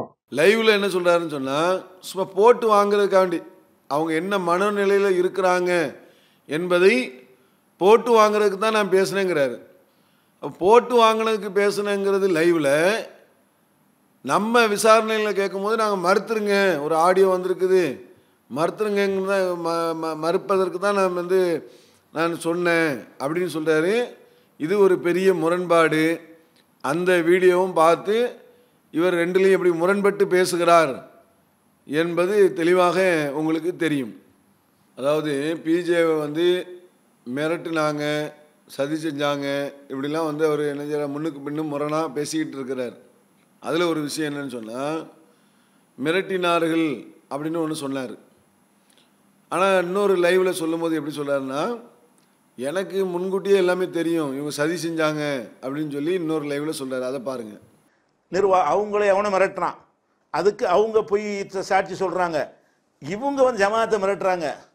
அதுக்கு இவங்க என்ன செய்கிறாங்கன்னா அதை சொல்லி என்னையும் மிரட்டுறாங்க. இது மாதிரி இருக்குது அப்போ என்ன அர்த்தம்? அவங்க திருப்தி படலைன்னு சொன்னால் போலீஸ் கமிஷனருக்கு போயிடும் அதான் அர்த்தம் அதுக்கு. அதுக்கு அர்த்தம் என்ன? இதை தவிர திருப்தடைய மாட்டார்கள்னு சொல்லி என்கிட்ட அவங்க சொல்வதாக இருந்தால் என்ன அர்த்தம்? வேறு மாதிரி அவங்க சொல்கிற மாதிரி நாங்கள் செஞ்சுருவோம். என்ன செஞ்சுருவோம்? இல்லை ஜமாத்தை கூட்டிகிட்டு போய் புகார் பண்ணி டிவியெல்லாம் வர சொல்லி இந்த அர்த்தம் அதுக்குள்ளே அடங்கியிருக்கு. இல்லை ஜமாத்தை கூட்டிகிட்டு போய் புகார் பண்ணி டிவியெல்லாம் வர சொல்லி இந்த அர்த்தம் அதுக்குள்ளே அடங்கியிருக்கு. இல்லை ஜமாத்தை கூட்டிகிட்டு போய் புகார் பண்ணி டிவியெல்லாம் வர சொல்லி இந்த அர்த்தம் அதுக்குள்ளே அடங்கியிருக்கு. என்னிடத்தில் கேட்கும்போது இவங்க அந் அவங்க மிரட்டின மிரட்டலை இவங்க மிரட்டுறாங்க இப்போ. நான் நினச்சது அவங்க எதை சொல்லி என்னை மிரட்டினார்களோ அதை எடுத்து என்கிட்ட சொன்னால் அதை மிரட்டுறான்னு அர்த்தம் அது. அப்போ நான் என்ன செஞ்சேன்? இது வேறு வழியே இல்லை. இவங்க இந்த ரேஞ்சுக்கு போயிட்டாங்க. அழிக்கிறதுங்கிறதுக்காக வேண்டி எந்த தார்மீக நெறியும் இல்லாமல் வேண்டப்பட்டவனுக்காக வேண்டி அப்போ நான் என்ன செஞ்சேன்? இது வேற வழியே இல்லை. இவங்க இந்த ரேஞ்சுக்கு போயிட்டாங்க. அழிக்கிறதுங்கிறதுக்காக வேண்டி எந்த தார்மீக நெறியும் இல்லாமல் வேண்டப்பட்டவனுக்காக வேண்டி அப்போ நான் என்ன செஞ்சேன்? இது வேற வழியே இல்லை. இவங்க இந்த ரேஞ்சுக்கு போயிட்டாங்க. அழிக்கிறதுங்கிறதுக்காக வேண்டி எந்த தார்மீக நெறியும் இல்லாமல் வேண்டப்பட்டவனுக்காக வேண்டி இவ்வளோ கட்டிக்காத ஒரு ஜமாத்துக்கு பேர் நாசமானாலும் சரி மக்கள் தப்ப எவ்வளோ ஏற்பட்டு போச்சு இன்னைக்கு? சதி செஞ்சார்கள் என்று சொன்னது உண்மையா? மிரட்டினார்கள் என்பது உண்மையா? சரியா? முன்கூட்டியே இவருக்கு தெரியும்னு சொன்னால் அதுக்கு என்ன சொல்லாரு அல்தாஃபிக்கு ஒரு நாலு பேர் இருந்து இரு- இருந்த மாதிரி எனக்கு ஒரு நாலு பேர் இருக்க மாட்டாங்களா? செய்திகளை கொண்டு வந்து சொல்கிறதுக்கு அப்படின்னு சொல்லி சொல்கிறார் நிர்வாகத்தில் உள்ளது எப்படி எனக்கு வந்துச்சுன்னு கேட்குறீங்கல்ல இந்த கேள்விக்கு முன்னாடி நீங்கள் ஒவ்வொரு நிர்வாகத்தில் பேசுகிறதும் அடுத்த வாரம் அல்தாஃபி லைவில் சொல்கிறாரு அப்போ கேட்டிங்களா? நீங்கள் நிர்வாகத்தில் பேசின பேசினார்கள்னு சொல்லி எத்தனை விஷயத்தை அவர் அல்தாஃபி சொன்னார். நீங்கள் அறிவுடையவர்களாக இருந்தால் நம்ம நிர்வாகத்தில் அடிச்சுக்கிட்டு இருக்கிறாங்கன்னு நீங்கள் புரிஞ்சிருக்கணும் அப்போவே. தகவல் போகுதுன்னு சொல்லி. அல்தாபிக்கு நாலு பேர் இருக்க மாதிரி எனக்கு நாலு பேர் இருக்க மாட்டாங்களா? அல்தாபிக்கு நாலு பேர் இருக்க மாதிரி எனக்கு நாலு பேர் இருக்க மாட்டாங்களா? அல்தாபிக்கு நாலு பேர் இருக்க மாதிரி எனக்கு நாலு பேர் இருக்க மாட்டாங்களா? அப்போ நாலு பேர் இருந்து செய்திகளை சொன்னார்கள்னு சொன்னால் அப்போ முன்கூட்டியே இவருக்கு என்ன தெரியும்? சதி செய்ய போகிறாங்கங்கிறது இவர் தெரிஞ்சு தெரிஞ்சிருக்கும் தானே? அவர் த- சதி செய்ய போகிறார்கள் என்று தெரிந்திருந்தால் அப்போ மிரட்டினார்கள் என்பது தப்பாக போச்சுல்ல சதி செஞ்சிரு சதி செஞ்சிருக்கு சதி செய்ய போகிறாங்க அப்படின்னு தெரிஞ்சிருந்தால் சதியிலேருந்து இவர் விலகி இருக்கலாமே. நாலு பேர் தான் இருக்காங்களே. அப்போ இவர் எப்படி முரண்பட்டு பேசுகிறார்கள் என்பதற்கு அது சதியும் கிடையாது மிரட்டலும் கிடையாது. இவர் மீது நடவடிக்கை தான் எடுக்கப்பட்டது என்பது நம்ம மூலியமாக நம்ம தெரிஞ்சுக்கிடலாம். பாலியல் சம்பந்தமாக இரண்டு கடிதங்கள் வந்தது. ஒன்று வந்து இந்த பத்து நிமிஷம் ஆடியோ சம்பந்தமாக.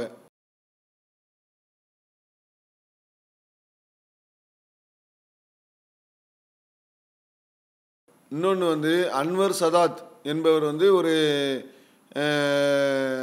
புகார் கொடுத்தார். அந்த புகாரில் இந்த மாதிரி பிஜே ஒரு பெண்ணோடு தனியாக இருந்தார். அதுக்கு நான் ஆதாரம் நான் பார்த்தேன் என்பது போன்று ஒரு புகார் கொடுத்துருக்கிறார்.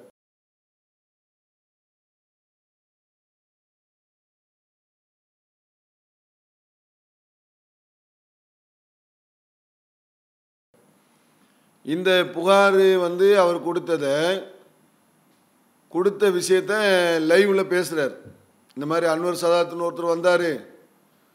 அவர் கொடுத்த அந்த ஆதார் அதை வந்து இவங்க விசாரிக்க கொண்டு இது பண்ணுறாங்க இரண்டு ஆண்டுகளுக்கு முன்னால் வந்து ஒரு பெண்ணிடத்தில் நான் தனியாக இருந்ததா என்கிட்ட அவர் புகார் கொடுத்ததாக சொன்னாங்க. அதெல்லாம் வந்து இவங்க எடுக்கிறாங்கன்னு சொல்லி அவர் அதை விமர்சனம் பண்ணுறார் என்ன மாதிரினா அதாவது இதுக்கு நடவடிக்கை எடுக்கலைன்னா இன்னொரு கவுண்டர் ஒன்று வச்சுக்கிடுவோம் இதுதான் பிரச்சனைன்னு ஓடிக்கிட்டு இருந்தா இதோட நிற்கணுமா இல்லையா? அன்வர் சாதத்தின் ஒரு ஆளை கூட்டிகிட்டு இருந்திருக்காங்க கூட புகார் கொடுக்கும்போது. அவர்கிட்ட ஒன்று வாங்குறாங்க. இரண்டு ஆண்டுகளுக்கு முன்னால் நான் பிஜேயுடைய ரூமுக்கு போயிருக்கும் பொழுது அந்த பெண் அந்த ரூமிலிருந்து வந்தாள். நான் பார்த்தேன். அல்ல மேல சத்தியம்னு சொல்லி யார்? அன்வர் சாதாத்துங்கிற ஒரு ஒரு கடிதத்தை கொண்டு போய் அதில் இணைக்கிறார். அப்போ அன்வர் சாதா இந்த கடிதம் எதுக்குன்னு கேட்டால் இதில் அந்த பெண் வரலைன்னா நடவடிக்கை எடுக்காட்டி நான் சொல்கிறேன்ல இப்போ எதுக்கெடுங்க அப்படிங்கிறது அதாவது நடவடிக்கை எடுக்கிறதுக்குன்னு இது ஒரு லூஸ் பயில் இது ஒரு ஆதாரமானு கேட்டு ரெண்டு வருஷம் என்ன இணைஞ்சிட்டு கேட்டாங்களா? அப்படிங்கிறது அதாவது நடவடிக்கை எடுக்கிறதுக்குன்னு இது ஒரு லூஸ் பயில் இது ஒரு ஆதாரமானு கேட்டு ரெண்டு வருஷம் என்ன இணைஞ்சிட்டு கேட்டாங்களா? அப்படிங்கிறது அதாவது நடவடிக்கை எடுக்கிறதுக்குன்னு இது ஒரு லூஸ் பயில் இது ஒரு ஆதாரமானு கேட்டு ரெண்டு வருஷம் என்ன இணைஞ்சிட்டு கேட்டாங்களா? ஆனால் உண்மையிலே அன்வர் சதாத் என்பவர் இரண்டு ஆண்டுகளுக்கு முன்னால் இவர் இந்த மாதிரி ஒரு பெண்ணோடு தனியாக இருந்தார் என்ற கடிதத்திலேயோ வாய்மொழியாகவோ எங்கேயுமே சொல்லலை. சொல்லாத ஒன்றை இவர் என்ன செய்கிறாரு உட்கார்ந்துக்கிட்டு இரண்டு ஆண்டுகளுக்கு முன்னால் உள்ளதெல்லாம் இவங்க வந்து என்ன செய்கிறாங்க எடுத்து கேட்குறாங்கங்கிறார இந்த இரண்டு ஆண்டுகள் என்பது யார் சொன்னால் கடிதத்தில் இருக்குதா? இல்லது வந்து எங்கள் எங்கே வந்து சொன்னாங்களா? அப்போ இரண்டு ஆண்டுகளுக்கு முன்னாடி சொன்னால் அப்போ செஞ்ச ஆளுக்கு தான் அது தெரியும். ரெண்டு ஆண்டுகளுக்கு முன்னாடி இது என்னமோ நடந்திருக்குது என்பது வந்து இவருடைய வாயாலேயே உண்மையை வெளிக்கொண்டு வரக்கூடிய அளவிற்கு அது இருக்குது. அப்போ ரெண்டு ச அன்னூர் சதாத்து கொண்டு வந்த விஷயத்த இவர் திருச்சி பேசுகிறார் மக்கள்கிட்ட மாற்றி பேசுகிறார். இல்லாத ஒன்றை சொல்கிறாரு அதுக்கு இந்த கடிதத்தை அவர் கொடுத்த கம்ப்ளைண்ட் கடிதத்தை பாருங்கள்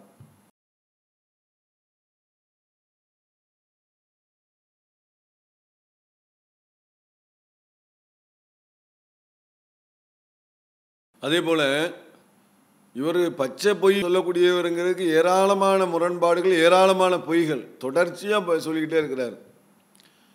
அதில் ஒரு விஷயம் என்னன்னு சொன்னால் அந்த குடும்பத்தார்கிட்ட பேசுகிறார் பேசும்போது உயர்நிலை குழு வந்து கூடுறாங்க. அவங்கள்ட்ட வந்து ராஜினாமா விஷயத்தை நான் வந்து அவங்க தெரியப்படுத்தி போட சொல்கிறேன் ஃபேஸ்புக்கில் அவங்க போடலைன்னு சொன்னால் என்னுடைய பேசு எனக்கு ஒரு ஐடி இருக்குது. ஏன் ஐடியில் வந்து நான் வந்து என்ன செய்கிறேன் மக்களுக்கு போடுறேன். அவங்க போட போடலைன்னு சொன்னால் நான் போடுறேன் அப்படின்னு சொல்கிறார் அப்போ அந்த நேரத்தில் முதல்ல அந்த குடும்பத்தார்கிட்ட பேசினார என்று சொன்ன அந்த வீடியோ இப்போ பாருங்க. அப்படி அது அது இல்லன்னு இல்லன்னா கூட அபிஷியலா உங்களுக்கு சொல்றதுக்கு சில சங்கடங்கள் வரும் வரும்னு சொன்னாங்கன்னா என்னுடைய பேஜ் இருக்கு. என்னுடைய பேஜ் இருக்கு. என்னுடைய பேஜ் இருக்கு. அதுல போட்டு அனுப்பி விட்டுறேன் உங்களுக்கு சொல்லிடுறேன். அது நான் முந்திக்கிட்டு போட வேணாமேன்னு பாக்குறேன். ஏன்னா நம்ம அபிஷியலா அதுல இனிமே நம்ம என்னுடைய இதுல வரவே கூடாது இனிமே முறைப்படி. முறைப்படி வந்து ஜமாத்துடைய இதுல வந்து என்னுடைய செய்தி வரவே கூடாது சட்டப்படி. அஹ், அப்படிங்கும்போது நிர்வாகிகளுடைய இந்த விஷயம் தானே வரணும். அதை சொல்லி அநேகமா மறுப்பாங்கன்னு நினைக்கிறேன். அதுதான் அதுதான் அது மாதிரி தெரிஞ்சிச்சு. அப்படி சொன்னாங்கன்னா எனக்குன்றே ஒண்ணு வச்சிருக்கிறேன். அதுல போட்டு விட்டு உங்களுக்கு அனுப்பி விட்டுறலைங்க அப்படி சொன்னாங்கன்னா எனக்குன்றே ஒண்ணு வச்சிருக்கிறேன். அதுல போட்டு விட்டு உங்களுக்கு அனுப்பி விட்டுறலைங்க அப்படி சொன்னாங்கன்னா எனக்குன்றே ஒண்ணு வச்சிருக்கிறேன். அதுல போட்டு விட்டு உங்களுக்கு அனுப்பி விட்டுறலைங்க இது எப்போ? நடவடிக்கை எடுக்கிறதுக்கு முன்னாடி அந்த குடும்பத்தார்கிட்ட அவர் பேசியிருக்கிறார். அப்போ குடும்பத்தார் இடத்துல அவர் பேசக்கூடிய நேரத்தில் அவர்கிட்ட ஒரு ஐடி இருக்குது. அப்படிதானே ஐடி இருக்குது. அந்த ஐடியில் தான் அவர் போ போடுறேன்னு சொல்லியிருக்கிறார். இதே பிஜே வந்து என்ன பண்ணுறாருன்னா ஏழரை மணி லைவில் வரும்போது நான் வந்து மக்கள் நான் எப்படி வந்து எனக்குன்னு என்ன ஐடி இருக்குது? நான் யாருக்கிட்ட சொல்ல முடியும்? எனக்குன்னு ஒரு மீடியா கிடையாது.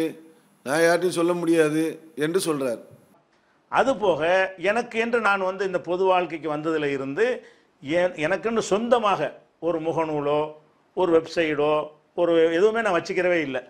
ஆன்லைன் பேஜை வச்சுருந்தேன் நிர்வாகத்திலேருந்து முந்தி காலியாகவும் நீங்கள் வச்சுக்கிறேன்னு வந்துட்டேன். என்னுடைய கருத்தை சொல்வதற்கு என்று ஒரு ஊடகம் இருக்குண்டா கூட அதில் போய் மக்களுக்கு என் கருத்தை சொல்ல முடியும்.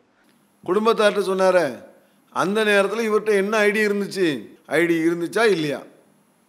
அதை அவர் சொல்லணும். அடுத்ததாக இவர் பாலியல் குற்றம் செய்த பிறகு ஒவ்வொருத்தரையாக ஆதாரம் காட்டி ரொம்ப கேவல கேவலமான ஒரு நிலைக்கு போய்கிட்டே இருக்கிறார். அதில் ஒன்று என்னென்னா நபிமார்களை வந்து ஆதாரம் காட்டுறார். வந்து பொய் சொல்லலாம். மார்க்கத்தில் பொய் சொல்கிறது இருக்கா இல்லையா? இப்ராஹிம் நபி பொய் சொல்லியிருக்காங்களா இல்லையா? அதே மாதிரி நானும் அதே மாதிரி பொய் சொல்லலாம். ஒரு ஒரு பாலியல் இது ஒரு விஷயம் வந்து இருந்துச்சுன்னு சொன்னால் அதை வந்து வெளியில் தெரியாத வரைக்கும் பொய் சொல்லி அதை நம்ம என்ன செஞ்சுக்கலாம்? தற்காத்து கொள்ளலாம். பொய் சொன்னால் குற்றம் இல்லை. அப்படி போன்ற ஒரு விஷயத்துக்கு இப்ராஹிம் அலைஹிஸ்ஸலாம் அவர்களை வந்து ஆதாரமாக காட்டுகிறார். அந்த வீடியோவை பாருங்கள் அப்படிங்கிற ஒரு அடிப்படையில் நமக்கு ஒரு நெருக்கடி சிக்கல் வரும் பொழுது இப்படியான ஒரு நிலைப்பாடுகளை கையாண்டு ஒருவன் தன்னை தற்காத்துக் கொள்ளலாம் என்பது மார்க்கத்தில் உள்ளது. பொய் சொல்லலாமா பொய் சொல்லலாமான்னு சில நேரத்தில் சொல்லலாம். தன்னை தற்காத்துக் கொள்வதற்கு சொல்லலாம். இப்ராஹிம் அலைஹிஸ்ஸலாம் அவர்கள் தன்னுடைய மனைவியை சகோதரி என்று சொன்னார்கள். ஏன்?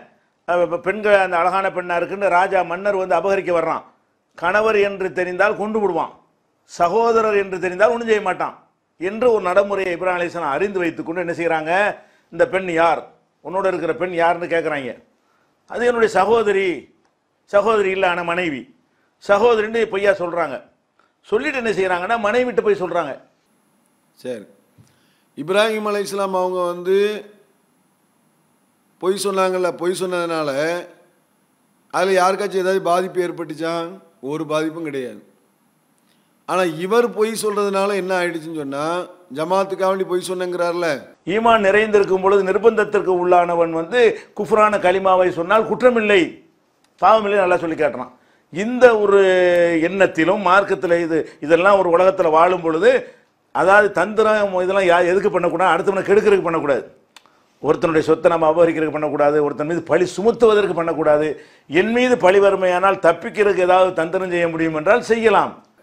ஜமாத்துக்காண்டி நான் பொய் சொன்னேன் நான் ஏற்றுக்கிட்டேன் நான் தான் வந்து குற்றவாளின்னு ஏற்றுக்கிட்டேன்னு சொன்னால் அதன் மூலியமாக என்ன ஆகுது? அந்த பெண் விபச்சாரியாக ஆகிறார். ஒரு பொய்யாக இருந்தால் ஒரு பேச்சுக்கு ஒரு பொய்யாக இருந்தால் என்ன இவர் வந்து நான் ஜமாத்துக்காக வேண்டி நான் வந்து விபச்சாரம் செஞ்சேன்னு சொல்லி ஏற்றுக்கிட்டாருன்னு வைங்க. இந்த ஆடியோவில் உள்ளது நான் தான். அப்படின்னு ஒரு பொய்யான பொய்யாக ஒரு பேச்சுக்கு ஏற்றுக்கிட்டாருன்னு சொன்னால் இப்ராஹிம் அலைசலாம் சொன்ன பொய்யும் இந்த பொய்யும் ஒன்றா இப்ராஹிம் அலைஹிஸ்ஸலாம் சொன்ன பொய் வந்து மன்னர் இடத்துல சொன்ன பொய் வந்து எந்த பாதிப்பையும் ஏற்படுத்தாது. அவங்க வந்து பா தற்காத்து கொள்வதற்காண்டி செஞ்சது. ஆனால் இவர் செஞ்ச பொய் என்பது இவர் இவர் அந்த பெண்ணை வந்து விபச்சாரி ஆக்கிட்டார. அந்த பெண்ணு விபச்சாரி இவர் வந்து தன்னை கா ஜமாத்தை காத்துக்கொள்வதற்காக நான் பொய் சொன்னேன்னு சொன்னேன் ரெண்டும் வந்து என்ன இல்லை சமம் கிடையாது. அதனால் அதை அந்த வீடியோவும் பாருங்கள் ஜமாத்தை காத்துக்கொள்வதற்காக பொய் சொன்னேன்னு சொன்னால் இவர் வந்து இப்போ சொல்கிறது தான் உண்மையான உண்மையிலேயே பொய் என்பதையும் நம்ம விலகி கொள்ள வேண்டும். மாற்றி மாற்றி பேசிக்கிட்டே இருக்கார். பொய் சொன்ன அதாவது ஜமாத்துக்காண்டி பொய் சொன்னேங்கிறாரு நான் ஏற்றுக்கிட்டேங்கிறாரு மிரட்டினாங்கங்கிறாரு இப்படி ஒன்று ஒன்றா சொல்லும்போது ஒரு நேரத்தில் பொய் சொன்னேன்னா நான் மட்டும்தான் விபச்சாரம் செஞ்சேன். யாருக்கிட்ட விபச்சாரம் நான் நான் எனக்கே நான் விபச்சாரம் செய்து கொண்டேன் பெண்ணுக்கெல்லாம் கிடையாது அப்படின்னு சொன்னால் அதை நம்பக்கூடிய ஆட்களும் அந்த குரூப்பில் இருப்பாங்க பொழுது யாங்க யாருங்க? எங்கள் அண்ணன் சொல்லிட்டாருங்க. எங்கள் அண்ணன் என்ன சொல்லிட்டாரு? அவர் மட்டும்தான் விபச்சாரம் செஞ்சார். அந்த பெண்ணு விபச்சாரம் செய்யலை. அப்படின்னு சொல்லி சொ- நாளைக்கு பதில் சொல்லுவார். ஏங்க அந்த பெண்ணை ஏங்க விபச்சாரியாக ஆக்குனீங்க? பொய் சொன்னதுனால அந்த பெண்ணு விபச்சாரியாக ஆன ஆக்கின மாதிரி இருக்குது அப்படின்னு சொன்னால் அதுக்கு இவர் என்ன பதில் சொல்லுவார்? நான் தான் விபச்சாரம் செஞ்சேன்.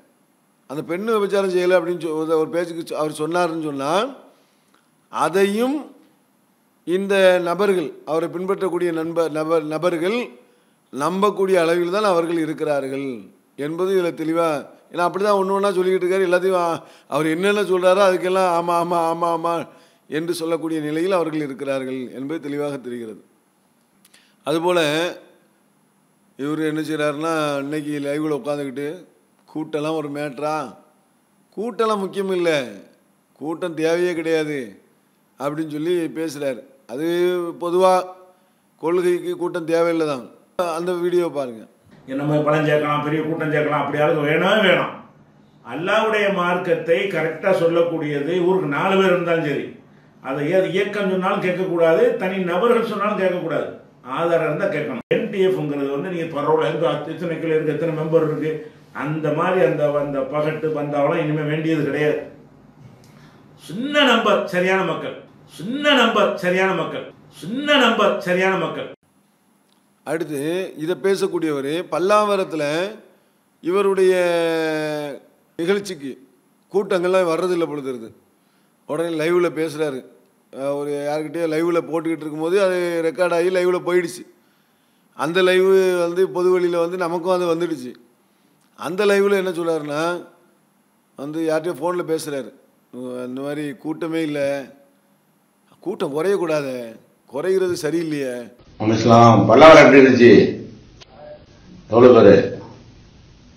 போன வாரத்தோட கூட கம்மியாமா ஏன் இப்ப கம்மியாக கூடாத ஏன் இப்ப கம்மியாக கூடாத ஏன் இப்ப கம்மியாக கூடாத என்னத்தினாலயா?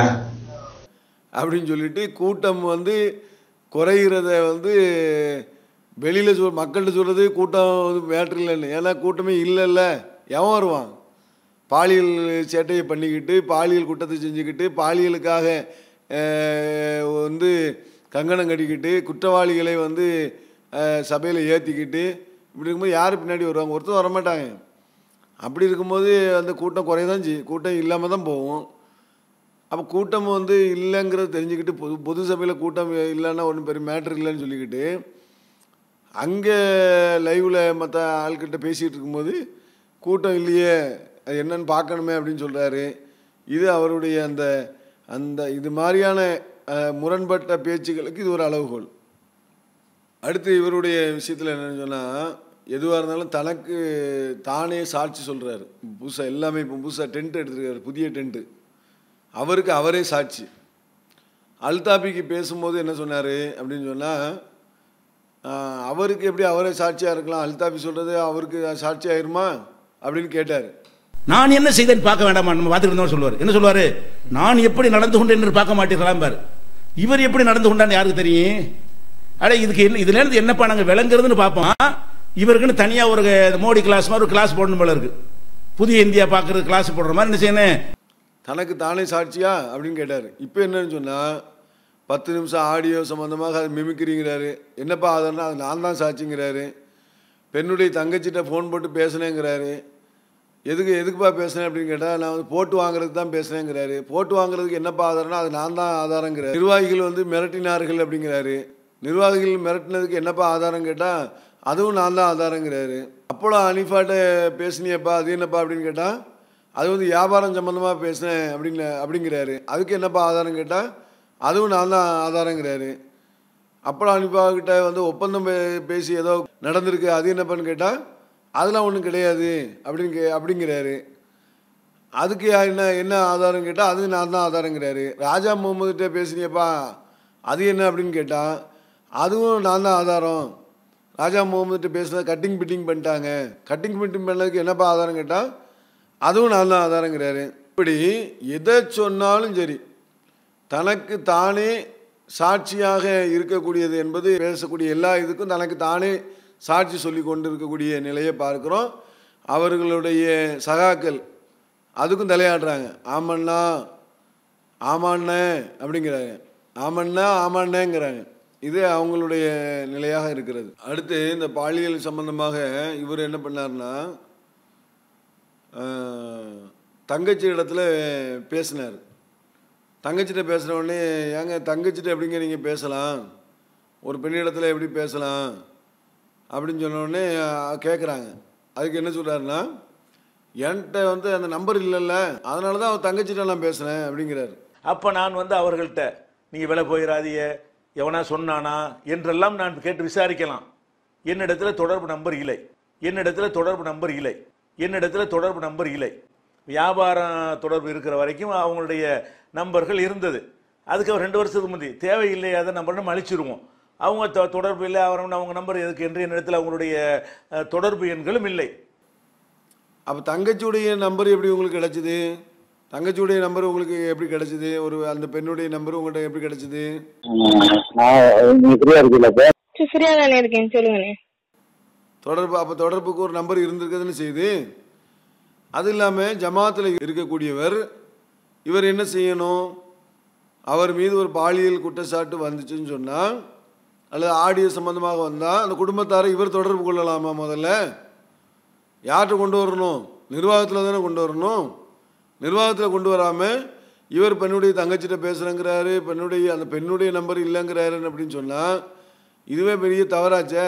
அது செய்யக்கூடாதே. சரி பெண்ணுடைய சகோதரர்கள்லாம் இருந்தாங்களே மாஸ்காஞ்சாவடியில் தானே இருக்கிறாங்க. அவங்கள்ட்ட அந்த செய்தியை கொண்டு போக வேண்டியதானே?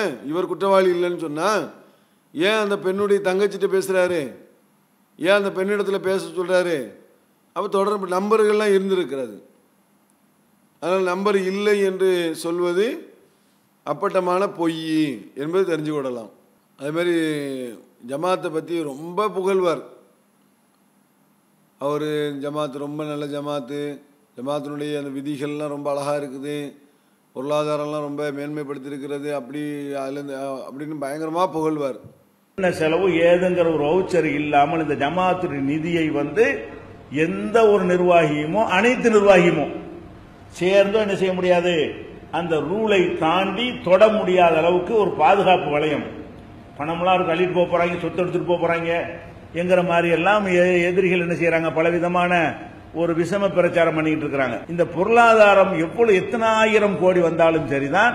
அது அந்த முறைப்படி தான் அதனுடைய செலவுகள் இருக்குமே தவிர இந்த பொருளாதாரம் எவ்வளவு எத்தனை ஆயிரம் கோடி வந்தாலும் சரிதான். அது அந்த முறைப்படி தான் அதனுடைய செலவுகள் இருக்குமே தவிர இந்த பொருளாதாரம் எவ்வளவு எத்தனை ஆயிரம் கோடி வந்தாலும் சரிதான். அது அந்த முறைப்படி தான் அதனுடைய செலவுகள் இருக்குமே தவிர இப்ப நான் ஒரு நான் ஒரு கடை வச்சிருக்கேன். எனக்கு ஒரு அஞ்சு லட்ச ரூபா திரும்பி தேவைப்படுது. ஜமாத்தில் வாங்க முடியுமா? தருவாங்களா? நான் கேட்பேனா முடியாது. அந்த விளையாட்டுக்கே இடம் கிடையாது. யாருமே வாங்க முடியாது. சிறுவர் இல்லம் காசை எடுத்து கா எம்ஐசி காலேஜ் கட்டிட்டாங்க. கட்டிடம் கட்டிட்டாங்க. இது வந்து அநீதி அப்படின்னு அவர் சொன்னதாக சொல்றார். அதை பாருங்க. மார்க்கப்படி எப்ப அனுமதிக்கப்பட்டதாகவும் ஒரு ஒருத்தருடைய சொத்தை அபகரிக்கிறதும் ஒரு நிறுவனத்தை சொத்தை அபகரிக்கிறதும் சமமானதுதான். அப்போ சிறுவர் இல்லம்னு அந்த தந்த பணத்தை வந்து மதரசா கட்டணுங்கிற ஒரு முடிவு எடுத்ததே ஒரு மடமை ஒரு அநீதி ஒரு பாவம் ஒரு தப்பு என்று ஒரு அநீதி ஒரு பாவம் ஒரு தப்பு என்று ஒரு அநீதி ஒரு பாவம் ஒரு தப்பு என்று நான் கண்டிச்சவனே தவிர நானா ஒதுக்குனேன் ஆனால் இவர் சொன்னதை வந்து தலைவராக இருந்தவர் அவர் அதை என்ன செய்றாரு? மறுக்கிறார். இதெல்லாம் பிஜேபிக்கு எல்லாம் தெரியுங்க. சிறுவரில் காசை எடுத்து தான் வந்து அவருடைய எல்லா அனுமதியோட சேர்ந்து தான் இதை நாங்கள் செய்கிறோம் வாடகை மாதிரி தான் அந்த அடிப்படையில் தான் செய்கிறாங்கன்னு சொல்லி முடிவின் அடிப்படையில் உள்ளதுன்னு சொல்லி அவரும் அதை சொல்லுகிறார். நான் வந்து சத்தம் போட்ட எல்லாரும் வந்து நீங்க அப்படி எப்படி விட்டீங்க அப்படின்னு சொல்லி கேட்டு எல்லாரும் அமைதியா இருந்தாங்க. நான் தான் சொன்னேன் சிறுவர் இல்லத்தினுடைய ப்ராப்பர்ட்டியா பதிவு செஞ்சுட்டு நீங்க வாடகை எடுக்குன்னு சொல்லிட்டு நான் வந்ததுக்கு அப்புறம் சொன்னேன். அது தொண்ணூறு சதவீதம் பில்டிங் முடிஞ்ச பின்னாடி வந்து கடைசி பத்து சதவீதம் வரும்போது தான் நான் சொன்னேன் அப்படிங்கிறாரு. அதான் கேக்குறேன். அப்பம்லாம் நம்ம முதல்ல தீர்மானமே இப்படித்தானே ஆ. அதுல இருந்து வரக்கூடிய வருமானத்தை இதுக்கு பயன்படுத்திக்கணும். சரி சரி அதுல இருந்து வாடகை எடுத்து அதுக்கு பயன்படுத்தி இன்னும் ஒரு பிளான்ல தான் அது கட்டப்படுது. சரி சரி. இப்போ இதே இதே பிளான்ல தானே அவர் முதல்ல முடிவு பண்ணிட்டு போனது. முதல்ல அந்த முதியோர் இல்லத்துக்கு ஆபீஸ்க்கு பக்கத்துல ஒரு பிளான் ஒரு பில்டிங் வாங்கினோம்ல ஆ. முதல்ல அந்த முதியோர் இல்லத்துக்கு ஆபீஸ்க்கு பக்கத்துல ஒரு பிளான் ஒரு பில்டிங் வாங்கினோம்ல ஆ. முதல்ல அந்த முதியோர் இல்லத்துக்கு ஆபீஸ்க்கு பக்கத்துல ஒரு பிளான் ஒரு பில்டிங் வாங்கினோம்ல ஆ. அது அது அந்த- அதே சேம் சிஸ்டத்துல இதையும் வாங்குறோம். அது அது அந்த- அதே சேம் சிஸ்டத்துல இதையும் வாங்குறோம். அது அது அந்த- அதே சேம் சிஸ்டத்துல இதையும் வாங்குறோம். இந்த கட்டணம் கட்டினதெல்லாம் எனக்கு தெரியாது அப்படி இப்படிலாம் சொல்கிறாரு அதெல்லாம் முழுக்க முழுக்க பொய். இவர் ஜமாத்தில் மசூராவில் பல கட்டமாக சிறுவர் இல்லம் வந்து அந்த நம்ம திருச்சியில் கட்டப்படக்கூடிய அந்த கட்டிடத்தை சம்பந்தமாக மசூரா செய்யும்போது அதில் கையெழுத்திட்டிருக்கிறார். திருச்சியில் கட்டப்படக்கூடிய எம்ஐசி அந்த கட்டிடத்தில் அந்த கட்டிடத்தை இவர் பார்வையும் விட்டிருக்கிறார் அந்த ஃபோட்டோவை பாருங்கள்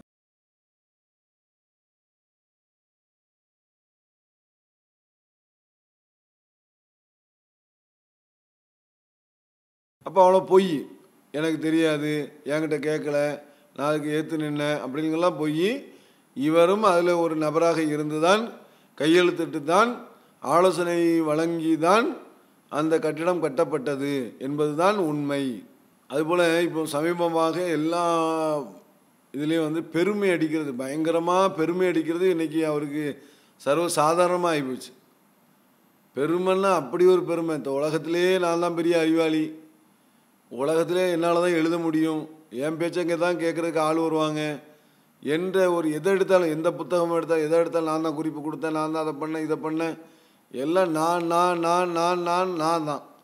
பெருமை அந்த அளவுக்கு பெருமை அடிக்கக்கூடிய அளவுக்கு இன்னைக்கு மாறி இருக்கிறார். அவர் வந்து என்ன செய்கிறாருன்னா ஒரு கேசட்டு சம்மந்தமாக போடும்போது என் பையனை கேட்குறது தான் மக்கள் வராங்க அப்படின்னு பய பெருமை அடிக்கிறார். அதை பாருங்கள் இல்லாத காலத்தில் நடத்தணுமே. அப்போ நான் யார் நடத்தினேன் அப்போ இப்போ பார்க்குற அப்போ நான் எடுக்கலையே. அது ஒரு ரமணால் நடத்தினா அது எனக்கு பத்து லட்ச ரூபா கிடைக்குமே. நான் என்ன செஞ்சேன்? ஜமாத்தில் நீங்கள் நடத்திக்கிறங்க. பேசுகிறது நான் தான் பேசுகிறேன் ஏன் நான் பேசுகிறேன்னு தான் அதை பார்க்கவும் செய்கிறாங்க அதில் வந்துட்டு நான் என் ஜமாத்தில் செய்யணும் நண்பர்களை பிடிச்சி டிவியில் ப்ரோக்ராம் வருது பாருங்கள் விளம்பரம் தாங்கன்னு கேட்டால் தரமாட்டாங்க? அது மாதிரி புத்தகங்கள் எல்லா புத்தகங்களும் அது நான் தான். நான் தான் எழுதினேன் நான் தான் வெளியிட்டேன். இது மாதிரியாக பெருமை அடிக்கிறார். ஆனால் மற்ற அறிஞர்களும் ஏராளமான புத்தகங்கள் எழுதியிருக்கிறார்கள். அந்த புத்தகங்களாம் அறிமுகம் தெரியாத ம மக்களுக்கு போய் சென்றடையாதனால பல இடங்களில் வந்து அறிமுகம் எல்லாம் இவருடைய புத்தகம் தான் அறிமுகப்படுத்தப்படும். அதனால் இவர் புத்தகம் எழுதின மாதிரி இருக்கிறது எல்லா அறிஞர்களும் எழுதியிருக்கிறாங்க. ஆனால் இவருக்கு அந்த பெருமை வந்து இன்றைக்கு தலைக்கு ஏறி இருக்கிறதையும் நம்ம பார்க்க முடிகிறது. அடுத்து இந்த இவருடைய பாலியல் சம்பந்தமாக வந்திருக்கும் போது அந்த குற்றச்சாட்டு வந்திருக்கும் போது கலீல் ரசூல்கிட்ட தான் அந்த வழக்கை கொண்டு போனாங்க. முதல்ல போகும்போது கல் கலீல் ரசூல்கிட்ட போய் கம்ப்ளைண்ட் கொண்டு போனாங்க. இதை இவர் லைவில் வந்துக்கிட்டு இந்த கலீல் ரசூலை டேமேஜ் பண்ணுற மாதிரி கலீல் ரசூல் எப்படி வந்து இந்த வழக்கை விசாரிக்கலாம் அவர் எப்படி அவர் வந்து உயர்நிலை குழு உறுப்பினரா நிர்வாகியா அப்படின்னு கேட்குறாரு அந்த வீடியோவை பாருங்கள் கொண்டாந்து வச்சு ஆதாரமாக வைத்து கலீல் ரசூல்கிட்ட என்ன செய்கிறாங்க ஒப்படைக்கிறாங்க. எங்கே வந்து ஒப்படைக்கிறாங்கன்னா தலைமையில் வந்து புகார் சொல்லணும். இந்த ராஜா முகமது இது பெரிய ஆதாரம் இருக்குது பெரிய ஆதாரம் சிக்கிருச்சிங்கன்னு என்ன செய்கிறாரு இந்த ஆதாரத்தை கொண்டு வந்து தலைமையில் புகார் கொடுக்க வர்றாரு. தலைமையில் புகார் கொடுக்குறாருந்தா நான் தலைவர் ராஜினாமா. தலைவருக்கு அடுத்தவர் யார்? துணைத் தலைவர். அவர்கிட்ட கொடுக்கணும். இல்லைன்னா பொதுச்செயலாளர் அப்து சேது பிராயன்ட்ட கொடுக்கணும். இல்லை அது அந்த யார் அலுவலகத்தில் நிர்வாகிகள் இருக்காங்களோ அவங்கள்ட்ட கொடுக்கணும். கலீல் ரசூல் நிர்வாகி கிடையாது. எந்த ஒரு நிர்வாக பொறுப்பும் அவர் கிடையாது. மேலாண்மைகள் இந்த பஞ்சாயத்து வரும்போது கூடுவாங்கள்ல அந்த உயர்நிலை குழுவில் வேண்டாம் அவர் ஒரு ஆளை வந்து உட்கார முடியுமே தவிர நிர்வாக முடிவுகள் எடுக்கிறதுக்கோ ஒரு புகாரை பெற்றுக்கொண்டு நடவடிக்கை எடுப்பதற்கோ அவர் அதிகாரம் படைத்தவர் கிடையாது. இவர் என்ன செய்கிறாருன்னா தலைமைக்கு புகார் கொண்டு வராமல் நேர கலீல் ரசூல் என்பவருடைய பள்ளிக்கூடத்திற்கு என்ன செய்கிறாரு? அந்த சந்திச்சு ஆனால் உண்மையிலேயே வந்து கலீல் ரசூல் யார் அப்படின்னு சொன்னால் அன்றைக்கு உயர்நிலைக்குழு உறுப்பினர் தான் அவர். கலீல் ரசூல் வந்து யார்? க உயர்நிலை குழு உறுப்பினர். மேலாண்மை குழு தலைவர் வந்து வெளிநாட்டில் இருக்கிறாரு. இங்கே ஏதாச்சும் ஒரு பஞ்சாயத்து சொன்னால் அது யாருக்கிட்ட தான் வரணும் அந்த கடிதம்? அது உயர்நிலை குழு உறுப்பினர் தான் வரணும். அந்த அடிப்படையில் அது அவர்கிட்ட தான் வந்திருக்கு. கலீல் ரசூலில் வந்திருக்குது கரெக்டாக தான் வந்திருக்குது. ஆனால் இவர் கேட்குறாரு ஒரு நிர்வாகியை பார்த்து கேட்குறாரு அவர் நிர்வாகியா? அவர் நிர்வாகத்திலே கிடையாதுன்னு மக்களை ஏமாத்துறாரு. மக்களுடைய மக்கள் இதை பார்த்துட்டு மக்கள் கேள்வியும் கேட்குறாங்க கலில் ரசூல் எப்படிங்க விசாரிக்கலாம்? அவர் என்ன நிர்வாகின்னு கேட்குறாங்க அவர் நிர்வாகி தான். அவர் நிர்வாகியாக தான் இருந்தார். சரியா? அப்போ நிர்வாகி இடத்துல கொண்டு போய் அவர் பெட்டிஷன் கொடுக்காம வேறு எங்கே கொண்டு கொடுப்பாங்க? கம்ப்ளைண்ட் வந்துச்சுன்னா? ஆனால் இவ்வளோ பேசுகிறாருல இவர் அல்தாபி சம்பந்தமான ஒரு கம்ப்ளைண்ட் வரும்போது அல்தாஃபியுடைய அந்த கம்ப்ளைண்ட் வந்து யார்கிட்ட போச்சு? யார் விசாரித்தா பிஜே விசாரிச்சார்ல? அவர் கடையில் வச்சு விசாரிச்சார்ல? கொண்டாந்து வச்சு ஆதாரமாக வைத்து ஹலீல் ரசூல்கிட்ட என்ன செய்கிறாங்க ஒப்படைக்கிறாங்க.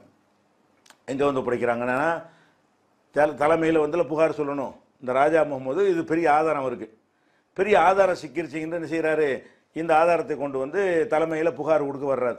தலைமையில் புகார் கொடுக்குறாருந்தா நான் தலைவர் ராஜினாமா. தலைவருக்கு அடுத்தவர் யார்? துணைத் தலைவர்.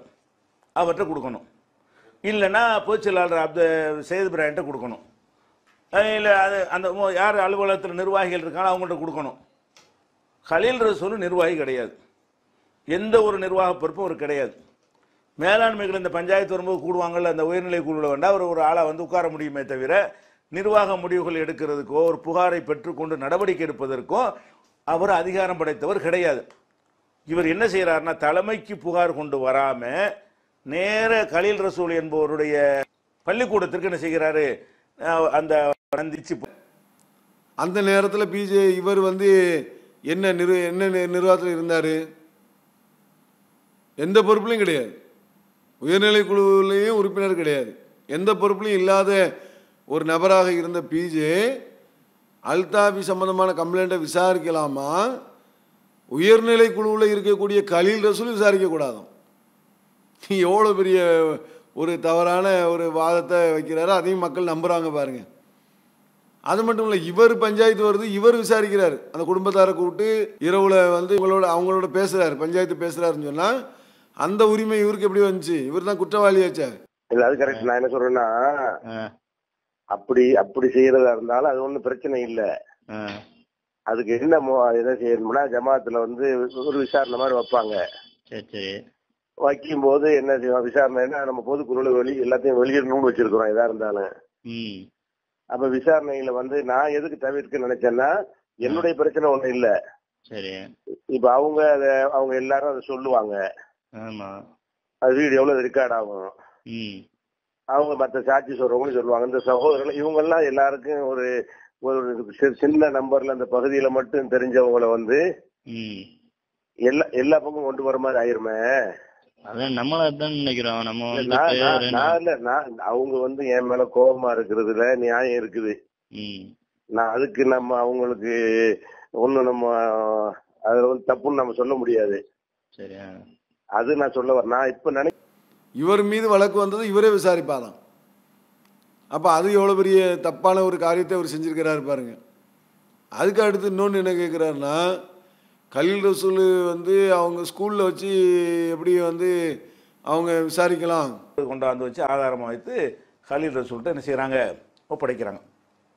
எங்கே வந்து ஒப்படைக்கிறாங்கன்னா தல தலைமையில் வந்து புகார் சொல்லணும். இந்த ராஜா முகமது இது பெரிய ஆதாரம் இருக்குது பெரிய ஆதாரம் சிக்கிருச்சிங்கன்னு என்ன செய்கிறாரு இந்த ஆதாரத்தை கொண்டு வந்து தலைமையில் புகார் கொடுக்க வர்றாரு.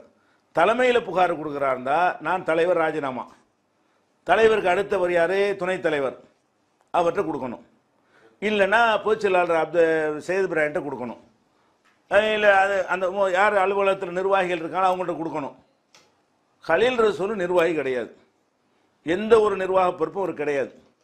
மேலாண்மைகள் இந்த பஞ்சாயத்து வரும்போது கூடுவாங்கல்ல அந்த உயர்நிலை குழுவில் வேண்டாம் அவர் ஒரு ஆளாக வந்து உட்கார முடியுமே தவிர நிர்வாக முடிவுகள் எடுக்கிறதுக்கோ ஒரு புகாரை பெற்றுக்கொண்டு நடவடிக்கை எடுப்பதற்கோ அவர் அதிகாரம் படைத்தவர் கிடையாது. இவர் என்ன செய்கிறாருன்னா தலைமைக்கு புகார் கொண்டு வராமல் நேர கலீல் ரசூல் என்பவருடைய பள்ளிக்கூடத்திற்கு என்ன செய்கிறாரு? அந்த சந்திச்சு ஒரு வழக்கு கொண்டு வராங்க. நேரம் இங்கே வந்து நின்னா வந்து தலைவருக்கு செய்தி பெறும்னு சொல்லி தலைவர் மீது வந்து குற்றச்சாட்டு வரும்போது தலைவர் இருக்கக்கூடிய இடத்துல எப்படி கொண்டு வந்து கொடுப்பாங்க? அப்போ கலீல் ரசூலுடைய ஸ்கூலில் அவரை பார்த்து கம்ப்ளைண்ட் கொடுக்க போகிறாங்க அதை வாங்குறதுல என்ன தப்பு? ஆனால் இவர் என்ன செய்யறாரு கலீல் ரசூலுக்கு ஸ்கூலுக்கு எப்படி போகலான்னு கேட்குறாரு அப்போ இவருடைய கடையில் உட்கா உட்கா வச்சு அல்தாபி சம்மந்தமாக விசாரித்தாங்களே அந்த பெண்ணை? அது எப்படி அந்த கடையில் வச்சு எப்படி விசாரிக்கலாம்? மணிக்கு நாங்கள் காத்து கொண்டிருக்கிறோம். சொன்ன நேரத்துக்கு முன்னாடியே வந்து உட்கார்ந்து இருக்கிறோம் சந்திப்பதற்கு. ஆளு வந்துட்டாலும் தகவல் கிடைச்சதும் நாங்கள் சந்திக்கிறோம். அந்த சந்திப்பு சற்றேறக்குறைய இரண்டு மணி நேரங்கள் நடைபெறுது. அவளை நாங்கள் சந்தித்து நானும் சகோதரர் பிஜி அவர்களும் அவளிடத்துல நாங்கள் விசாரிக்கிறோம். இரண்டு மணி நேரம் நடந்தது என்று சொன்னால் அவ நடந்த சம்பவத்தை ரொம்ப சுருக்கமா சொல்லிட்டான். என்ன நடந்துச்சு என்ன போச்சு எப்படி எங்களுக்கு தொடர்பு அப்படின்னு அவன் வந்து சுருக்கமா சொல்லிட்டா அது தப்பு தானே? அப்போ இவர் வந்து என்னென்னா தனக்கு வரும்போது கடைய கடையில் இருந்து விசாரிக்கலாம் அல்லது வந்து ரூமில் உட்காந்து விசாரிக்கலாம். ஜமாத்தில் இல்லாமல் ஒரு இடத்துல உட்காந்து விசாரிக்கலாம். பொறுப்பில் இல்லாமல் விசாரிக்கலாம். இவருக்குன்னு வரும்போது பொறுப்பில் உள்ள ஒரு ஆள் கூட என்ன செய்யக்கூடாதான் அந்த கம்ப்ளைண்ட்டை வாங்கக்கூடாதான் எவ்வளோ பெரிய முரண்பாடு பாருங்கள் அடுத்ததாக அதாவது பாவங்களை வந்து பகிரங்கப்படுத்தக்கூடாது. ஒரு தப்பை செஞ்சுட்டேன்னு சொன்னால் அதை வந்து பகிரங்கப்படுத்தக்கூடாது. அப்படிங்கிற மாதிரி ஒரு இதில் பேசுகிறாரு அடுத்து என்னன்னு கேட்டால் இன்னொரு ஹரிசை பாருங்க. குல்லு உம்மத்தி மாஃபாத்தும் என் உம்மத்தில் உள்ள எல்லாருக்கும் மன்னிப்பு உண்டு. இல்லல் முஜாஹிரீன். பகிரங்கப்படுத்துவனை தவிர அப்படிங்கிறாங்க ரசூல் சொல்லாசனால கவனிக்கணும். என் உம்மத்தில் எல்லாத்துக்கும் மன்னிப்பு இருக்குது. யாருக்கு மன்னிப்பு இல்லை? பகிரங்கப்படுத்துவோன என்ன? அப்ப ரசூல்லா சொல்றாங்க பகிரங்கப்படுத்துறது என்று சொன்னால் ஒ இன்ன மினல் இஜிஹாரி. பகிரங்கப்படுத்துறது என்னவென்று சொன்னால் ஐ அமலல் அபுது பிள்ளை அமலன். இரவில் ஒரு அடியான் ஒரு கெட்ட செயலை செய்கிறான். சும்மா யுசுபிகி விடுகிறது. ஓ கது சத்தரகு ரப்பு. இறைவன் அதை யாருக்கும் தெரியாமல் மறைத்து விட்டான்.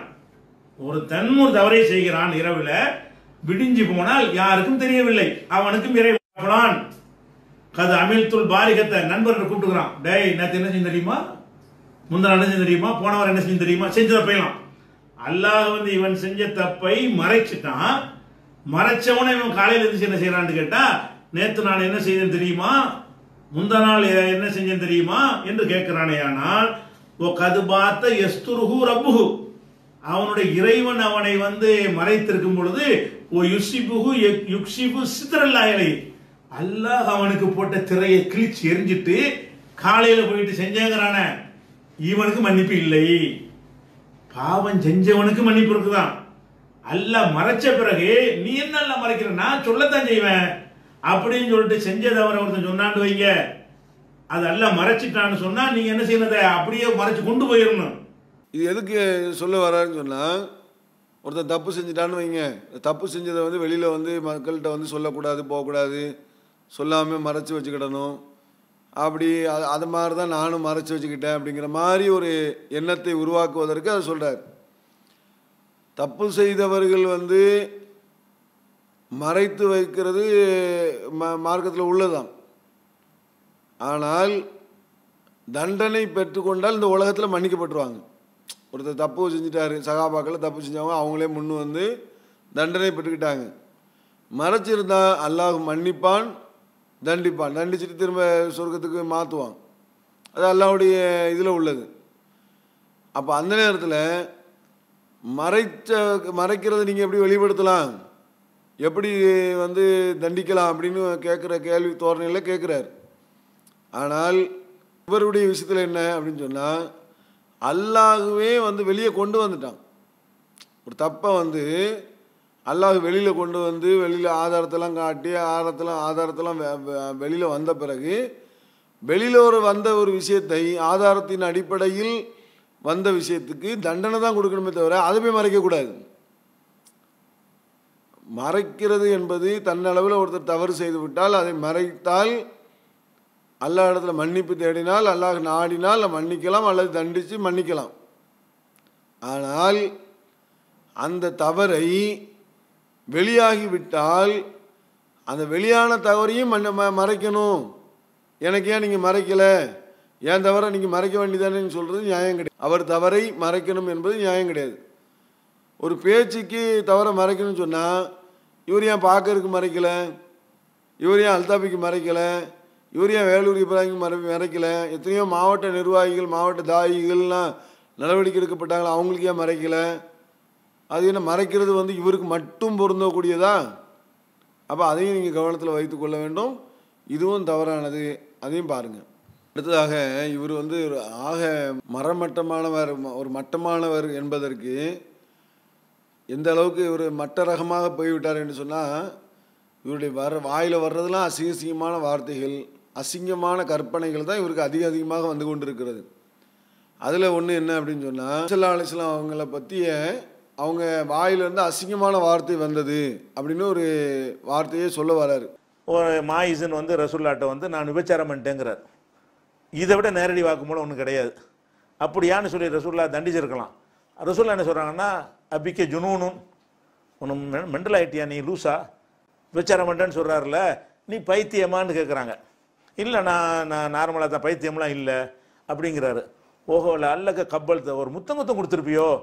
அதாவது அவருக்கு அந்த வாய்ப்பு வந்து அதாவது செஞ்சேன்னு சொல்கிறாரு சொல்லும்போது கூட அதை அவர் மறுப்பதற்குரிய வாய்ப்பை ரசூலா எடுத்து கொடுக்குறாங்க. எப்படி எடுத்துருக்காங்க ஓ கட்டி பிடிச்சியோ முத்தம் கொடுத்தியோன்னு சொல்லி அப்படி கேட்குறாங்க அப்படின்னோடனே அவர் அதெல்லாம் இல்லைங்கிறாரு. அப்போ கடைசி ரசூலா என்ன கேட்குறாங்கன்னு கேட்டால் ஒரு வார்த்தையை சொல்லி கேட்குறாங்க பச்சையான வார்த்தையை சொல்லி. இணைந்தீர்களோ சேர்ந்தீர்களோன்னெலாம் சொன்னால் சரியாக வராதுன்னு சொல்லி ஸ்லேடையாக வராமல் நேரடி அர்த்தம் வரும்ல இந்த மாதிரி விஷயத்தை பேசுவோம்ல பச்சை வார்த்தை. அதை சொல்லி அப்படி செஞ்சோன்னு கேட்குறாங்க அது நம்ம கூட தமிழில் சொல்ல மாட்டோம். அது மாதிரியான வார்த்தையை சொல்லி அப்போ அதை செஞ்சியான்னு கேட்குறாங்க ஆமாங்கிறார். அப்புறம் அவருக்கு தண்டனை கொடுக்குறாங்கன்னு வருது. அப்போ என்னன்னு ஒருத்தர் சொன்னால் கூட நீ சொன்னியா? ஏன் சொன்ன? சொல்லிட்டு ரசூல்லா இப்படி பேசுனாங்க. நம்ம கூட இப்படிலாம் பேச மாட்டோம். ஆனால் ரசூல்லா அவ்வளோ அசிங்கமாக பேசுனாங்க அப்படின்னு சொல்கிறாரு இவர் இவர். இவர் அசிங்கமாக பேச மாட்டாராம். பத்து நிமிஷம் ஆடியோவையும் இருபத்தெட்டு நிமிஷம் ஆடியோவும் கேட்டிங்கன்னா செத்தே போயிடுவான் ஒருத்தன்.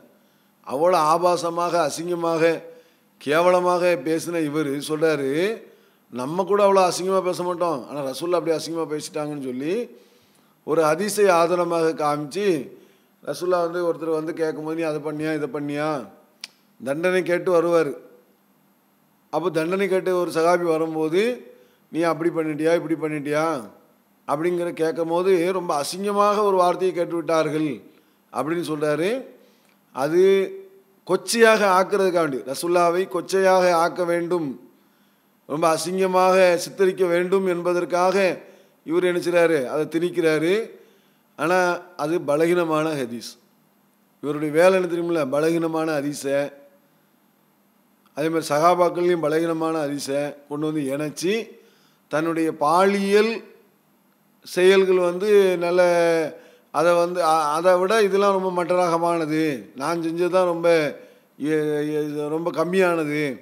என்பது போன்ற ஒரு சித்திரத்தை உருவாக்குவதற்காக இவர் இதை செய்கிறார் என்பது தெளிவாக தெரிகிறது. அதையும் பாருங்கள் அதே நான் என்ற ஆணவ பேச்சு இன்றைக்கி அதிகமாக அவரிடத்தில் ஏற்பட்டிருக்கிறது. ஒரு தாய் இடத்துல ஒரு முஸ்லீம் இடத்துல வரக்கூடாத ஒரு ஆணவம் இன்னைக்கு அவரிடத்துல வந்திருக்கிறது. என்ன அப்படின்னு சொன்னால் நான் தான் வந்து இயக்கத்தை உருவாக்கினேன். நான் இந்த இயக்கத்தை வந்து என் கையில் வைத்திருக்க முடியும். நான் தான் இந்த விதிகள்லாம் உண்டாக்குனேன். நான் தான் இந்த கடுமையெல்லாம் உண்டாக்குனேன். நான் தான் ரெண்டு தடவைக்கு வரக்கூடாத விதியை உண்டாக்குனேன். நான் ம- இல்லைன்னு சொன்னால் மக்களே மக்கள் மறுத்தும் கூட நான் தான் அதை உண்டாக்குனேன். இருக்கிற இயக்கம் என்னை விட்டு போகாமல் இருப்பதற்கு எனக்கு செய்ய முடியும். என்னை அப்போது மக்கள் நம்பினார்கள். அது செஞ்சனா? தூக்கி போட்டு தூக்கி போட்டு தான் வந்தேன். ஒவ்வொரு தடவையும். அடுத்தடுத்த நிர்வாகிகள்லாம் வந்தாங்களே எதனால் வந்தாங்க? அவர் மட்டுமா உருவாக்குனாரு? எத்தனை எத்தனை மக்கள் உருவாக்கி இருக்கிறாங்க ஒவ்வொரு ஊர்கள்லையும் ஒவ்வொரு மாவட்டங்கள்லையும் ஒவ்வொரு கிளைகள்லையும் எவ்வளோ மக்கள் வந்திருக்காங்க. அந்த உருவாக்கங்கிற அந்த பேரை இவர் எடுத்துக்கொண்டார் என்பதுதான் உண்மை. இவர் உருவாக்கலை. இவர் உருவாக்க எல்லாரும் சேர்ந்து தான் உழைச்சாங்க. எவ்வளோ கஷ்டப்பட்டவங்களாம் இருக்குது எவ்வளோ ஜமாத்துக்கு கொஞ்சம் கொள்கைக்காக கஷ்டப்பட்டவங்களும் எல்லாம் இருக்கிறாங்க. பேரை இவர் எடுத்துக்கிட்டார். நான் உருவாக்கினேங்கிற மாதிரி பேரை உருவாக்கிக்கிட்டார். ரெண்டாவது என்ன அப்படின்னு சொன்னால் இவர் தான் பைலாவை உருவாக்கினாராம். ஒவ்வொரு இயக்கத்திலையும் ஒருத்தர் தலைவராக வந்தாருன்னு ஒரு மாற்ற முடியுமா கேமரா நாள் வரைக்கும்? நீங்கள் என்னை தூக்கி போட்டிய நான் நான் உண்டாக்கின விதி. அதன் பிறகு தான் அந்த மாற்றங்களை உங்களுக்கு செய்ய முடிஞ்சுச்சு அப்போ நாங்கள் இதை உண்டாக்க போகிறோமா இனிமே? இவர் வகி வந்து வானத்துலேருந்து வகி வந்து இவர் வந்து பைலாவை உருவாக்குனாரா? எல்லாரும் மசூராவில் எல்லாரும் சொன்னாங்களா?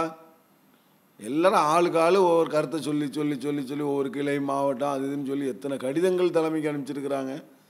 எவ்வளவோ பேர் ஆலோசனை சொல்லி அப்படி தான் பைலா உருவாக்கப்பட்டுச்சு. ஆனால் பைலாவை நான் தான் உருவாக்கினேன் ஜமாத்தை நான் தான் உருவாக்கினேன். அதை ஒன்று சொல்கிறாரு இந்த ஜமாத்தை நான் அழிப்பேன். ஜமாத்தை வந்து நான் நினச்சுவேன் கிளைகளெல்லாம் உடைப்பேன். கிளைகள்லாம் என்கிட்ட வந்துருங்க என்கிட்ட ஆலோசனை கொடுங்க. அதுக்கு என்னிடத்தில் ஆலோசனை கேட்டால் ஆலோசனை தருவேன். தனித்து இயங்குவதற்கு ஆலோசனை கேட்டால் தனித்து தருவேன் இதெல்லாம் என்ன பேச்சு இது? எவ்வளோ கடுமையான பேச்சு பாருங்க. ஒவ்வொரு கிளைகளையும் அவர் தனித்தனியாக அனுப்பிச்சுவாங்களாம் அவங்கள்ட்ட போய் ஆலோசனை கேட்கணுமா?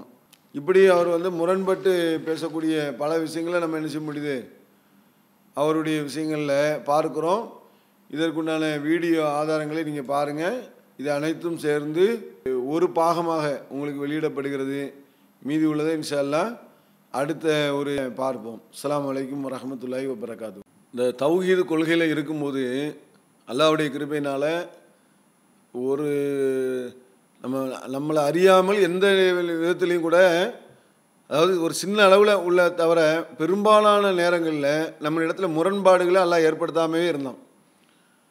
அப்படி ஒன்று ரெண்டு தெரிஞ்சால் கூட அது ஒரு முரண்பாடுன்னு தெரியும் போது நம்ம திருத்திக்கிடுவோம்.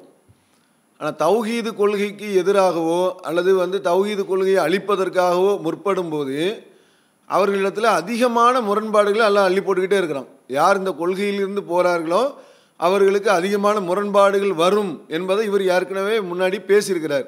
இப்போ இவர் என்ன செய்கிறாருன்னு சொன்னால் இவர் மீது பாலியல் குற்றச்சா குற்றம் நடவடிக்கை எடுத்த பிறகு அந்த குற்றத்தை வந்து தண்டனை பெற்றுக்கொண்டிருக்கக்கூடிய நேரத்தில் பொய்யான பொருளாதார குற்றத்தை சொன்னார். அப்போ பொருளாதார குற்றச்சாட்டு சொன்ன அது மக்களே தெரிஞ்சுக்கிட்டாங்க இது ஒன்றா நம்பர் டுபாக்கூர் வேலையை இவர் செய்கிறாரு அப்படிங்கிறதுக்கு அவர் சொன்ன வார்த்தைகளே அதுக்கு போதுமானது. அதில் ஒன்று ஒன்றா சொல்கிறேன் பாருங்க. முதல்ல அவர் என்ன சொன்னார்? பதிமூணு கோடியில் பத்து கோடியை காணுன்னாரு ஒரு மங்கி பாத்தில் ஒரு லைவில் என்ன செய்கிறாரு பத்து கோடியை காணும் அப்படிங்கிறாரு. அது போக இந்த ரூபாய் அல்லாமல் அந்த ஆறு கோடி ப்ளஸ் ஒன்று முப்பத்தி நாலு இது ஒரு ஆறு. மொத்தம் பதிமூணு முப்பத்தி நாலு பதிமூணு கோடி முப்பத்தி நாலு லட்சம் ரூபாய்க்கு இப்போ என்ன செய்கிறாங்கன்னா இருப்பு எவ்வளோ காட்டினாங்க? பொதுக்குழு கணக்கை நீங்கள் ஆடியோ இருக்குது. பொதுக்குழுல வாய்ச்ச கணக்கு. மூணு கோடி தான் இருப்புன்னு காட்டியிருக்கிறாங்க. மீதி பத்து கோடியை காணும். இது கொஞ்ச நாள் போகுது. சரி பத்து கோடியை காணணுன்னே அடுத்து கொஞ்ச நாள் கழித்து போகிறாரு இருபது கோடியை காணும் அப்படிங்கிறாரு. அந்த வீடியோ பாருங்கள் அப்போ இருபது கோடி களவாடி இருக்கிறார்கள் சந்தேகமே இல்லை. பகிரங்க குற்றச்சாட்டு நான் சொல்கிறேன் அடுத்து கொஞ்ச நாள் போனவுடனே இருபத்தி மூணு கோடியை போ காணும். அப்படி நான் சொல்லுவேன் அப்படிங்கிறாரு. இருபத்தி மூணு கோடி ரூபா. சின்ன விஷயமா? இருபத்தி மூணு கோடிக்கு உள்ள விளையாட்டு ஊழல் பண்ணியிருக்கிறீங்கன்னு சொல்றேன். அதுக்கு பதில் இருக்கு ஆயிரத்தி ஒரு குற்றச்சாட்டு சொல்லக்கூடியவர்கள் கரெக்டான ஒரு பொருளாதாரம் பொருளாதாரங்கிறது கரெக்டான ஒரு விஷயம். மற்ற எதையாச்சும் மாற்றி ஏதாச்சும் சொல்லிடலாம். ரூபாவில் ஏதாச்சும் மாறுமா? ஒரு குற்றச்சாட்டு ஒரு அமௌண்ட்டுன்னு சொன்னால் ஒரே அமௌண்ட் தான். ஐநூறுரூவா வந்து ரூபாய் நோட்டுகள் செல்லாதுன்னு சொன்னால் ஐநூறுரூபா தான். ஒரு வாட்டி ஐநூறுரூவா ஆயிரம் இப்படி வராது. அப்போ என்ன செய்கிறாருன்னா பத்து கோடிங்கிறாரு அப்புறம் இருபது கோடிங்கிறாரு அப்புறம் இருபத்தி மூணு கோடிங்கிறாரு அது ஒரு இதில் ஏழு கோடிங்கிறாரு அப்புறம் ஏழரை கோடிங்கிறாரு அப்புறம் எட்டு கோடிங்கிறாரு. எவ்வளவு கஷ்டப்பட்டு இந்த எட்டு கோடி ரூபாய் திரட்டுற நம்பிக்கையை உண்டாக்கணும்? ஒரு அஹ், நாங்க போய் மூணு மாசம் ஆகல அதுக்குள்ள எட்டு கோடி ரூபாய் காணாம? எல்லாமே உங்களுக்கு வீடியோவை பாருங்கள் அப்போ எவ்வளவு பெரிய முரண்பாடு இந்த பொருளாதாரம் சம்பந்தமாக இவர் சொல்லியிருக்கிறாரு. இதுவே இவர் சொல்வது பொய் என்பது நிரூபணமாகுது அதாவது இவர் பொருளாதார குற்றச்சாட்டு சொல்வதில் இவர் நேர்மையற்றவர். இவர் ஒரு மோசடி பேர்வழி என்பதற்கு அல்லாஹ் இவருடைய வாயிலிருந்து தெளிவாக வந்து இந்த கஜா புயலில் ஒரு கணக்கை வாசிக்கிறங்கிற பேரில் செஞ்சார். அது தெளிவாக அந்த உணர்வில் வெளியிட்ட ஒரு விஷயத்த தப்பு தப்பாக வாசித்தார் தப்பு தப்பாக வாசிக்கலை. மக்களிடத்தில் தவறாக கொண்டு போகணும் என்பதற்காக வாசித்தார் என்ன அப்படின்னு சொன்னால் கஜா புயலில் நம்ம ஜமாத்து வசூல் பண்ணி அதை வந்து உணர்வில் கணக்கு வெளியிடுறோம். அதில் சேலம் மாவட்டம் அதில் வந்து காசா ஐம்பத்தி ரெண்டாயிரரூபா வசூல் பண்ணியிருக்கிறாங்க. பொருளாக ஒரு லட்சத்தி அறுபத்தி ரெண்டாயிரரூபா வந்து என்ன செஞ்சுருக்கிறாங்க கணக்கு காமிச்சிருக்கிறாங்க. இதை அவர் வாசிக்கும்போது அது வந்து சேலம் மாவட்டத்தில் பதினாறு லட்சத்துக்கு பொருளாக வந்திருக்குது. சேலம் மாவட்டத்தில் பதினாறு லட்சத்துக்கு யார் கொடுத்தா? அப்படிங்கிறாரு. சேலத்துக்கு போனீங்கன்னா ஐம்பத்தி ரெண்டாயிரம் ரூபாய் வந்திருக்குது. பதினாறு லட்சத்து ரூபாய்க்கு வந்து என்ன இருக்குது? இது அஹ், பொருளா வந்திருக்குன்னு போடுறாங்க. அதே மாதிரி பார்த்தீங்கன்னு சொன்னால் சிவகங்கை மாவட்டத்தில் மூணு லட்சத்தி பதினேழாயிரம் ரூபாய்க்கு பொருளாக கொடுத்துருக்குறாங்க சிவகங்கை மாவட்டத்தில். அதை இவர் வாசிக்கும் போது முப்பத்தோரு லட்சம் ரூபாய்க்கு சிவகங்கை மாவட்டத்தில் நினைஞ்சிருக்காங்க பொருளாக கொடுக்கப்பட்டிருக்குது அப்படின்னு வாசிக்கிறார். முப்பத்தோரு லட்சத்துக்கு பொருள் சிவகங்கையில இப்படி அந்த வெளியிட்டிருக்காங்க ஆச்சரியமா இருக்குது. உணர்வில் போட்டிருக்கிறது வந்து மூணு லட்சத்தி பதினேழாயிரம் ரூபா. மூணு லட்சத்தி பதினேழாயிரம் ரூபாய இவர் வாசிக்கும் போது எப்படி வாசிக்கிறாரு? முப்பத்தி ஓரு லட்சம் ரூபாய்க்கு பொருளாதாரம் வந்து சிவகங்கை மாவட்டத்தில் யார் கொடுத்தா? அவ்வளோ பெரிய பணக்காரர் யார் இருக்கிறா எங்கே வசூல் பண்ணாங்க? அப்படிங்கிறாரு. இப்போ பக்கத்தில் உள்ள ஆள் வந்து எடுத்து கொடுக்குறாரு. ஏங்க தப்பாக வாசிக்கிறீங்க. நீ சும்மா இருப்பா. நம் அப்படின்னு சொல்லிட்டு அவரை மண்டையில் தட்டிட்டு ரெண்டு வாட்டி அவர் சொல்கிறாரு மண்டையில் தட்டிட்டு நான் ஐம்பதாயிரம் ரூபாய் தான் காசை கொடுத்துருக்காங்க கோயம்புத்தூரில். பொருளாக வந்தது எவ்வளோன்னா இருபத்தெட்டு லட்சம். அது அட இருபத்தெட்டு லட்சத்துக்கு பொருள் என்ன பொருள் வந்துச்சு? என்னென்ன பொருள் யார் விலை போட்டா? அப்போ இருபத்தி ஐம்பதாயிரம் ரூபா கொடுத்த ஊருக்கு வந்து இருபத்தெட்டு லட்சம் ஆயிடுது. அப்போ பார்க்கும் என்ன செய்யும்? தொகை. அப்படின்னு வரும். இந்த பொருள்னா என்ன பொருள்? இருபத்தெட்டு? லட்சம் அஹ்? இருபத்தெட்டு? லட்சம் அப்ப இருபத்தெட்டு லட்சம் ரூபாய். இருபத்தெட்டு லட்சம் ரூபாய்க்கு என்னப்பா வந்துச்சு பொருள்? இதே மாதிரி தான் கரூருக்கு வாசிக்கிறாரு. இதே மாதிரி தான் கோயம்புத்தூருக்கு வாசிக்கிறாரு. எல்லாமே வந்து ஒரு டிஜிட்டு சீரியோ சீரோவை அதிகப்படுத்தி பல கோடி ரூபாய்க்கு வந்த மாதிரியான ஒரு கா ம சித்திரத்தை உருவாக்கி மக்கள்கிட்ட என்ன செஞ்சார்? அதை போட்டு விட்டார். அப்போ இவ்வளோ எவ்வளோ பெரிய பொருளாதாரத்தில் வந்து குற்றச்சாட்டு சொல்லக்கூடியவராக இருந்தால் கரெக்டாக சொல்லணுமா இல்லையா? பார்த்து படிக்கிறீங்களே இவ்வளோ தப்பு சொல்கிறாருன்னு சொன்னால் தவு ஜமாத்தினுடைய இவ்வளோ சொன்ன பொருளாதார விஷயத்தில் எவ்வளவுக்குள்ளே இவர் தப்பு தப்பாக மக்களிடத்தில் கொண்டு போகிறார் என்பதற்கு இது ஒரு முக்கிய ஆதாரமாக இருக்குது. இதையும் பார்த்துக்கொள்ளுங்கள் அடுத்ததாக ஆரம்பத்தில் இவர் வந்து ஜமாத்தில் எட்டு கோடி ரூபாயை காணும் எட்டு கோடி ரூபாயை காணும் அப்படின்னு சொல்லி ஒரு ஒரு பில்டப் கொடுத்து மக்களை ஏமாற்றக்கூடிய ஒரு வேலையை செஞ்சார். அந்த வீடியோவை பாருங்கள் எவ்வளவு கஷ்டப்பட்டு இந்த எட்டு கோடி ரூபாய் திரட்டுற நம்பிக்கையை உண்டாக்கணும்? ஒரு நாங்கள் போய் மூணு மாதம் ஆகல அதுக்குள்ள எட்டு கோடி ரூபாய் காணாம? அது என்ன அப்படின்னு சொன்னால் சாதிக்கு வந்து ஒம்பது லட்சம் ரூபாய் இருக்கக்கூடிய ஒரு கணக்கை வாசிக்கும்போது தவறுதலாக தவறுதலாக ஒம்பது கோடி என்று வாசித்து விடுகிறார். இதை ஒரு இன்னொரு லைவில் சொல்கிறார் ஒம்பது லட்சத்தை போய் ஒம்பது கோடின்னு வாசிக்கிறாரு. அதெல்லாம் நான் பிடிப்பேனா? அப்படிங்கிட்டு இங்கே ஒம்பது லட்சத்தை ஒம்பது கோடிங்கிறாரு. இதை போய் நான் பிடிப்பேனா? தவறுதலாக வந்துருச்சு அப்படிங்கிறத ஒரு லைவில் சொல்கிறார் அதை பாருங்கள் அதுக்கு இன்னும் சொல்கிறேன் சில கணக்குகளில் மிஸ்டேக்லாம் பண்ணுவாங்க. அதெல்லாம் பிடிச்சோம்னா அது நம்ம கீழ்த்தனமாக போயிடும். அதெல்லாம் பிடிச்சோம்னா அது நம்ம கீழ்த்தனமாக போயிடும். அதெல்லாம் பிடிச்சோம்னா அது நம்ம கீழ்த்தனமாக போயிடும். ஒன்பது கோடி ரூபா ஜக்காத்து இருப்புன்னு காட்டுறாரு அவர் வாசிக்கிறாரு. ஒன்பது கோடி இல்ல அவர் ஒன்பது லட்சத்து ஒன்பது கோடிங்கிறாரு. ஒன்பது கோடி இல்ல அவர் ஒன்பது லட்சத்து ஒன்பது கோடிங்கிறாரு. ஒன்பது கோடி இல்ல அவர் ஒன்பது லட்சத்து ஒன்பது கோடிங்கிறாரு. அதெல்லாம் நான் பிடிச்சேன். இதை இன்னொரு இடத்துல சொல்லும்போது என்னென்னா பாருங்கள் ஒம்பது கோடி ரூபாய் வந்து இருப்பு இருக்கிறது. ஆனால் அது ஒம்பது லட்சம் தான் ஒம்பது கோடி ரூபாய் வந்து தவறுதலாக வாசிட்டார் அந்த தவறுதலாக வாசித்ததை ஒம்பது கோடி ரூபாய் வந்து இருப்பு இருக்கிறது. அந்த ஒம்பது கோடியில் வந்து ஒரு கோடி ரூபாய் செலவாயிடுச்சுன்னா மீதி எட்டு கோடி என்னாச்சு? காணாமல் போயிடுச்சு அப்படிங்கிறார். ஆனால் உண்மையில் வந்து இருந்த ஒம்பது லட்சம் ரூபாயை ஒம்பது கோடி என்று ஆக்கி மக்களை ஏமாத்துறதுக்காண்டி இந்த வேலையை செஞ்சுருக்கிறாரு என்பதற்கு அவர் முரண்பட்டு பேசக்கூடிய இந்த வீடியோவை பாருங்கள் எப்படி வாய்ச்சாங்கன்னு கேட்டா ஜக்காத்து முன் இருப்பு ஒன்பது கோடி ஐம்பத்தி நாலு ஒன்பதரை கோடி ஒன்பதரை கோடி ரூபாய் வந்து ஜக்காத்து முன் இருப்பு இந்த ஆண்டு ஜக்காத்து வரவு ஒரு கோடியே இருபத்தோ இருபத்தோரு லட்சம் இருபத்தோரு லட்சத்தி எண்பத்தஞ்சாயிரம் இருபத்தி ரெண்டு லட்சம் வச்சுக்கிறங்க ஆக மொத்தம் பத்து கோடியே எழுபத்தேழு லட்சம் ரூபா. அந்த சாதிக்கு வாய்ச்ச கணக்கில் விநியோகம் எவ்வளோ பண்ணியிருக்கிறாங்க ரெண்டு கோடியே பதினஞ்சு லட்சம் பண்ணியிருக்கிறாங்க. மீதி எவ்வளோ இருக்குன்னு? எட்டு கோடி இருக்கணும். மீதி ஒரு கோடி தொண்ணூத்தெட்டு லட்சம் காய்ச்சிருக்கிறீங்க மீதி ஒரு கோடி தொண்ணூத்தெட்டு லட்சம் காய்ச்சிருக்கிறீங்க மீதி ஒரு கோடி தொண்ணூத்தெட்டு லட்சம் காய்ச்சி இருக்கிறீங்க எட்டு கோடிகளை காட்டியிருக்கேன்னு. அப்பனா இன்னொரு ஆறு கோடியை காணவில்லை. அப்பனா இன்னொரு ஆறு கோடியை காணவில்லை. அப்பனா இன்னொரு ஆறு கோடியை காணவில்லை. ஏற்கனவே நான் பதிமூணு சொன்னேன் இப்போ கூட்டிட்டு இருக்க கூடாது இப்பதான் கண்டுபிடிச்சிருக்கு. ஏற்கனவே நான் பதிமூணு சொன்னேன் இப்போ கூட்டிட்டு இருக்க கூடாது இப்பதான் கண்டுபிடிச்சிருக்கு. ஏற்கனவே நான் பதிமூணு சொன்னேன் இப்போ கூட்டிட்டு இருக்க கூடாது இப்பதான் கண்டுபிடிச்சிருக்கு. அது ஒரு ஆறு. அப்படின்னு சொல்லிட்டு எல்லாத்தையும் சேர்த்தா என்ன ஆகுது? பதிமூணா பத்தொம்போது முப்பத்தி நாலு இருபது கோடி ஏறக்குறைய. அவர் முரண்பட்டு பேசக்கூடிய இந்த வீடியோவை பாருங்க. அடுத்து குர்பானியில் ஒரு பெரிய டென்ட் அடித்தார் அதாவது குர்பானியில் வந்து ஆயிரத்தி முந்நூறுரூவாய்க்கு ஒரு எட்டு ஆண்டுகளுக்கு முன்னாடி ஆயிரத்தி முந்நூறுரூவாய்க்கு குர்பானியினுடைய பங்கு இருந்திருக்குது.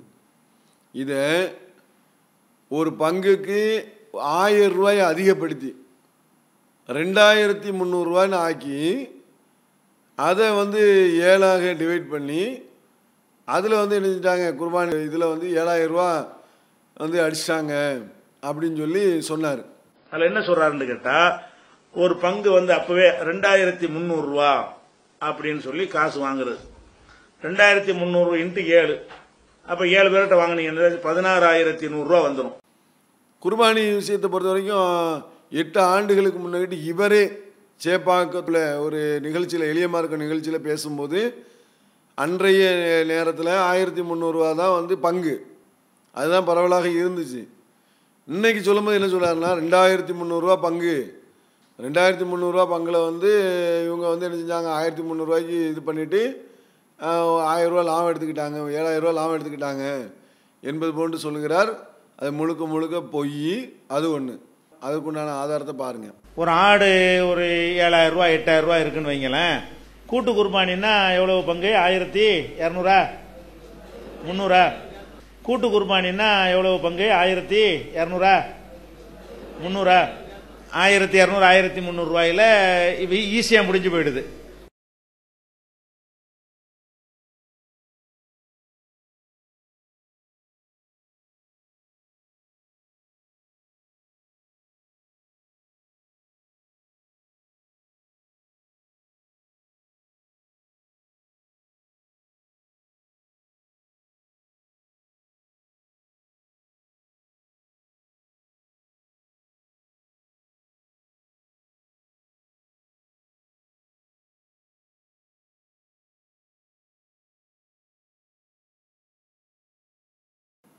ரெண்டாவது என்ன அப்படின்னு சொன்னால் அந்த நேரத்தில் இவர் எங்கே இருந்தார்? ஜமாத்தில் தான் இருந்தார். ஜமாத்தில் இருக்கும்போது என்ன அதை வந்து ஜமாத்தில் இருக்கும்போது இதெல்லாம் கவனிக்கணும்ல? ஒரு தலைவராக இருந்தால் எதை கவனிக்கணும்? ஜமாத்தில் இருக்கும்போது ஜமாத்தினுடைய நிர்வாக விஷயங்களை கவனிக்க வேண்டும். அதை கவனிக்காத ஒரு மனிதராக அவர் என்ன செஞ்சுருக்கிறாரு? இருந்துக்கிட்டு வெக்கமே இல்லாமல் அன்னைக்கு வந்து என்கிட்ட சொன்னாங்க போனாங்கன்னு சொல்கிறது மிகப்பெரிய ஒரு தவறான ஒரு விஷயமாக இருக்கிறது அதையும் பாருங்கள் இந்த விஷயத்தை நான் வந்து அப்போது பொதுச் செயலராக இருந்த கோவை ரஹமத்துல்லாவிடத்தில் நான் சொன்னேன். இவர் சொல்றாரு. சொன்னாரா இல்லைன்னு அவங்களும் பேசிக்க வேண்டியதான் இவர் சொல்றார். கோவை ரஹமத்துல்லாவிடத்தில் நான் சொன்னேன். அவர் என்ன சொன்னாருன்னு கேட்டா உங்களுக்கு இந்த மாடு அறுக்கிறதுக்கு வாய்ப்பு தரலைங்கிறதுனால தான் இப்படி நீங்கள் குற்றம் சுமத்துறீங்கன்னு உங்க மேல பழிய போட்டு விட்டுருவாங்க. இது அப்படி கடந்துருங்க. பேசாம விட்டுருங்க. என்று சொல்லி அதை பிரச்சனையாக்காமல் விட்டுட்டாங்கிறார் ஆனா என்கிட்ட இவர் சொல்லியிருக்கலாம். நான் தான் தலைவர் அப்ப. என்னிடத்துல சொல்லாம ராமத்துல்லாட சொன்னோன்னு அவர் அமைக்க விட்டாருன்னு சொல்லி இவரை அந்த மென்ஷன் பண்றாரு. இப்பதான் எனக்கு இந்த செய்தி தெரிகிறது. அடுத்து முபாகலா. முபாகலா பற்றி இவர் ஒரு ஒரு லைவில் சொல்கிறாரு முபாகலாவுக்கெலாம் நிறைய விதிமுறை இருக்குது. ரெண்டு பேரும் வரணும் உட்காந்து பேசணும் அது பண்ணணும் இது பண்ணணும். இது போல விதிமுறைகளின் அடிப்படையில் தான் செய்ய முடியும். சும்மாலாம் செய்ய முடியாதுன்னு ஒரு லைவில் சொல்கிறாரு அதை பாருங்கள் என்ன ஆறு விஷயம் பண்ற முபாலான எவ்வளவு அப்படியும் பேசணும் முபாலான முதல் அக்ரிமெண்ட். நீங்கள் எங்கள் விஷயத்தில் என்னென்ன சொல்கிறீர்கள் என்கிட்ட கேட்கணும். நாங்க உங்கள்கிட்ட கேட்கணும் லிஸ்ட்டை வைக்கணும். ரெண்டு பேர் லிஸ்ட்டுக்கு எல்லாரும் வர்றது ஒண்ணு என்னங்கிறது ரெண்டு பேரும் முடிவு செய்யணும். உன் லிஸ்ட்டை சொல்லு. அதுக்கு நீ பண்ணு. நான் சத்தியம் பண்றேன். நான் உன் என்னென்ன சொல்கிறேன்? அப்படி நான் என் தரப்பு லிஸ்ட் நான் போடணும். உன் தரப்பு லிஸ்ட் நீ போடணும். ரெண்டு பேரும் உட்கார்ந்து பேசி இன்னொரு லைவில் என்ன சொல்றாருன்னா முபாகலை நான் செய்கிறேன் அப்படின்னு சொல்லிட்டு அவராக லைவில் உட்காந்துக்கிட்டு எதிரில் ஆளும் கிடையாது ஒன்றும் கிடையாது யாரும் சாட்சியும் கிடையாது எதுவுமே இல்லாமல் ஒரு ஒப்பந்தமே இல்லாமல் அவர் பாட்டுக்கு முபாகலா செய்கிறாரு அதை பாருங்க. அப்படி நாங்கள் சாப்பிட்டு இருந்தோமையானா எங்கள் மீது அல்லாவுடைய சாபம் உண்டாகட்டும் சாபம் கேட்டாங்க. சரியா? இது மார்க்கத்தில் உள்ளது இல்ல. சரியா? இது மார்க்கத்தில் உள்ளது இல்ல. சரியா?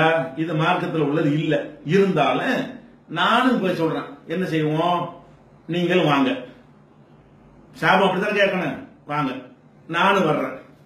இப்ப நான் என்னென்ன சொன்னேனோ அது எல்லாத்துக்கும் நானும் சா- சாபம் கேட்கிறேன் நீங்களும் கேளுங்க. நான் என்னென்ன சொன்னேன்? இவர்கள் ஆறு கோடிக்கு சிறுவர் இல்லத்துக்கு சொத்து வாங்கினதாக பொதுக்குழுவில் சொன்னார்கள். இதில் நான் பொய் சொல்லி இருந்தால் என் மீது என் குடும்பத்தார் மீது அல்லாவுடைய சாபம் உண்டாகட்டும் நான் சொல்றேன். நீங்க என்ன செய்யணும்? அப்படி நாங்கள் சொல்லவில்லைன்னு சொல்லணும். சரிதானே இப்போ நான் சொல்லிட்டேன். இப்பவும் சொல்லிட்டேன். சரிதானே இப்போ நான் சொல்லிட்டேன். இப்பவும் சொல்லிட்டேன். சரிதானே இப்போ நான் சொல்லிட்டேன். இப்பவும் சொல்லிட்டேன். ஊரறிய உலகையே உட்கார வச்சு டிவி முன்னாடி வச்சுன்னு சொல்ல நான் தயாரா இருக்கிறேன். ஒரு தேதி நீங்களே போடலாம். சரி அந்த முபாகலாவது முபாகலா அடிப்படையில் என்ன இவர் சொல்லிக்கிட்டு அலைஞ்சாரோ அந்த விஷயத்தில் முபாகலா பண்ணுறாருன்னா அப்படி கிடையாது. இந்த மாதிரி எட்டு கோடியை திருடிட்டாங்க. அப்படின்னுலாம் முபாகலா பண்ணணும். அப்படி பண்ணாமல் இவர்கள் வந்து கணக்கு வந்து இப்படி காட்டினார்கள் பொதுக்குழுவில் என்று முபாகலா பண்ணுறாங்க இது முபாகலாவா இது? இவர்கள் ஆறு கோடிக்கு சிறுவர் இல்லத்துக்கு சொத்து வாங்கினதாக பொதுக்குழுவில் சொன்னார்கள். இதில் நான் பொய் சொல்லி இருந்தால் என் மீது என் குடும்பத்தார் மீது அல்லாவுடைய சாபம் உண்டாகட்டும் நான் சொல்றேன். பொதுக்குழுவில் காட்டப்பட்ட ஒரு செய்தியை அப்படியே சொல்கிறது முபாகலாவா? இது வந்து கேலி கூத்தாக்கக்கூடிய ஒரு முபாகலா தான் என்பதையும் விளக்கிக்கலாம். முபாகலாவுடைய விதிமுறையும் சொல்லிக்கிட்டு அதுக்கு மாற்றமாகவும் இவர் நடக்கிறார் என்பதை இதை பார்த்துக்கொள்ளுங்க அடுத்ததாக பாலியல் குற்றம் செய்து அதனால் த- தண்டிக்கப்பட்ட இவர் என்ன பண்ணுறாருன்னு சொன்னால் சகாபாக்களுடைய செயல்களை கொச்சைப்படுத்தி பேசியிருக்கிறார். அது பெரிய அளவில் விமர்சனமாகி இரவில் வந்து அவர் லைவ் போட்டு இரவோடு இரவாக அந்த வீடியோவை டெலீட் பண்ணி விட்டு அடுத்த நாள் வேற விளக்கெல்லாம் கொடுத்தாரு. அதில் என்ன அப்படி சொல்றாருன்னு சொன்னால் சகாபாக்களில் அதிகமான பேர் விபச்சாரம் செய்தவர்கள் தான் அப்படின்னு சொல்லிவிட்டார். அதிகமானவர்கள் விபச்சாரம் செய்தார்கள்னு சொன்னார்ல இது மக்கள்கிட்ட கடுமையான விமர்சனம் வருது. அப்போ அந்த வீடியோவை பாருங்க. மார்க்கப்படி சஹாபாக்கள்ல முக்காவாசி பேர் இந்த மாதிரி செஞ்சவங்க தான் அவங்க அவங்க பிறகு இஸ்லாத்துக்கு வந்தவங்க அதை செய்யவே இல்லையா அழிஞ்சு போச்சுக்கிறதுலாம் பிரச்சனை பண்ணாங்க? அவங்க அவங்க பிறகு இஸ்லாத்துக்கு வந்தவங்க அதை இப்ப செய்யவே இல்லையா. அழிஞ்சு போச்சு அதெல்லாம் பிரச்சனை தானே பண்ணாங்க இதை வச்சுக்கிட்டு அவர் என்ன சொல்றாருன்னு சொன்னால் சகாபாக்கள்லாம் வந்து தவறு செஞ்சவங்க தாங்க. அவங்களும் தவறு செஞ்சுக்கிட்டு பிரச்சாரம் பண்ணலையா? சகாபாக்கள்லாம் விபச்சாரம் பண்ணவங்க தான். அவங்களாம் பிரச்சாரம் பண்ணாங்களா இல்லையா? அப்படின்னு சொல்லி இவர் இவர் செய்த தப்புக்கு சகாபாக்களை வந்து என்ன செஞ்சார்? துணைக்கு அழைச்சார். ஆனால் உண்மை என்ன அப்படின்னு சொன்னால் சகாபாக்கள் இஸ்லாத்திற்கு வருவதற்கு முன்னால் செய்த ஒரு தவறை. இஸ்லாத்துக்கு வந்த பிறகு இவர் என்ன செய்கிறார் இஸ்லாத்துக்கு வந்த பிறகு விபச்சாரம் செஞ்ச மாதிரி சொல்கிறார் நல்லா விளங்கிக்கிடணும். விபச்சாரம் செய்தது சகாபாக்கள் விபச்சாரமோ தவறுகளோ? ஒன்று ரெண்டு பேர் செஞ்சுருப்பாங்க. எல்லாரும் செய்யலை. ஒன்று ரெண்டு பேர் செஞ்சுருந்தா கூட அவங்க ஐயாமுல் ஜாகிலியாவுடைய காலத்தில் செஞ்சது. இணை வைக்கக்கூடிய காரியம் கூட தான் செ- செஞ்சாங்க. சிறுக்கு கூட செ- சில கூட சிலை வணங்கிகளாக கூட இருந்தாங்க. அப்போ சிலைகளை வணங்கி கொண்டிருந்த நிலையில் தான் அவங்க இஸ்லாத்தை தழுவினாங்க. தவறுகளை செய்து கொண்டிருந்த நிலையில் தான் அவர்கள் இஸ்லாத்தை தழுவினாங்க. அப்போ சிலையை வணங்கிக்கிட்டு இருந்த நிலையில் அவங்க பிரச்சாரம் பண்ணாங்க. அதனால் நான் சிலையை வணங்கினேன்னு சொன்னால் சார் நியாயமாக இருக்கா? இஸ்லாத்துக்கு வந்த பிற வருவதற்கு முன்னால் சிலை வணங்கினாலோ இஸ்லாத்துக்கு வருவதற்கு முன்னால் தவறு செய்திருந்தால் இஸ்லாத்துக்கு வந்த பிறகு உள்ள விஷயத்தை தான் எடுக்கப்படும். அப்போது இஸ்லாத்துக்கு வந்த பிறகு உள்ள சகாபாக்கள் தப்பு செஞ்சால் அவங்க என்ன பண்ணாங்க? அவர்களாக முன் வந்து ரசூல்லாட்ட வந்து அல்லாவுடைய தூதரை நாங்கள் தப்பு செஞ்சிட்டோம் எங்களை மன்னிச்சிருங்க எங்களுக்கு தண்டனையை நிறைவேற்றுங்கன்னு சொல்லி வாங்கின சகாபாக்கள் தான் இருந்தாங்க. அப்போ இஸ்லாத்துக்கு வந்த பிறகு ஒருத்தர் தவறு செஞ்சதை இவருடைய இவர் இஸ்லாத்தில் இருந்து கொண்டு பிரச்சாரகராக இருந்துக்கிட்டு தாயியாக இருந்து கொண்டு தவறு செய்துவிட்டு இவருடைய பாலியல் குற்றத்தை மறைப்பதற்காக இஸ்லாத்திற்கு வருவதற்கு முன்னால் இருந்து தவறுகள் செய்த சகாபாக்களை கொண்டு வந்து என்ன செய்கிறாரு ரொம்ப கொச்சையாக அசிங்கமாக பேசுகிறார். இதுக்கு நம்ம மறுப்பு சொன்ன உடனே இன்னொரு லைவில் வந்துக்கிட்டு சகாபாக்களை இவர்கள் பின்பற்றுகிறார்கள்ங்கிறாங்க. சகாபாக்கள் இஸ்லாத்தை ஏற்ற பிறகு தவறு செய்யல என்று சொன்னா மார்க்கம் என்று அவங்க என்னவெல்லாம் சொன்னார்களோ அது தவறு இல்லை. தவறு இல்லை என்று சொன்னால் அதையும் நம்ம ஃபாலோ பண்ணணும். அதான் அர்த்தம். தவறு இல்லை என்று சொன்னால் அதையும் நம்ம பின்பற்ற வேண்டும்னு அர்த்தம் வந்துருது. அப்ப சகாபாக்களா இருந்தாலும் யாரா இருந்தாலும் தவறுக்கு உட்பட்டவர் நம்புனா தான் வகி மட்டும் நான் நிக்க முடியும். வகியை மட்டும் நான் ஏன் பின்பற்றுறோம்? அல்லா தவறு செய்ய மாட்டான்ங்கிற காரணத்தினாலதான். ரசூல்லா கூட தவறா சொல்லிடுவாங்க எல்லாம் கண்டிச்சிருவான். வகி தவறு வராது. அல்லாஹ் ஒருத்தன் தான் தவறாக சொல்ல மாட்டான் என்ற ஒரு கொள்கையின்பால் மக்களை உருவாக்கி விட்டு இப்ப என்ன சொல்ல சொல்லித்தரப்படுகிறது எப்படி உருவாக்கப்படுகிறார்கள் என்று சொன்னால் சஹாபாக்கள் தவறுக்கு அப்பாற்பட்டவர்கள். இது நம்ம கொள்கையா? இந்த கொள்கையை எதிர்த்தானே நம்ம ஒரு ஜ- ஒரு ஜமாத்துக்கு வந்தோம். இந்த கொள்கையிலான முன்னாடி நம்ம அப்பம் பாட்டன் சொல்லி தந்தார்கள். அப்ப அதிலிருந்து வந்த பிறகு என்ன செய்யறாங்கன்னு கேட்டா இதை பகிரங்கமாக இது கொள்கை மாற்றத்தை சொல்றாங்க.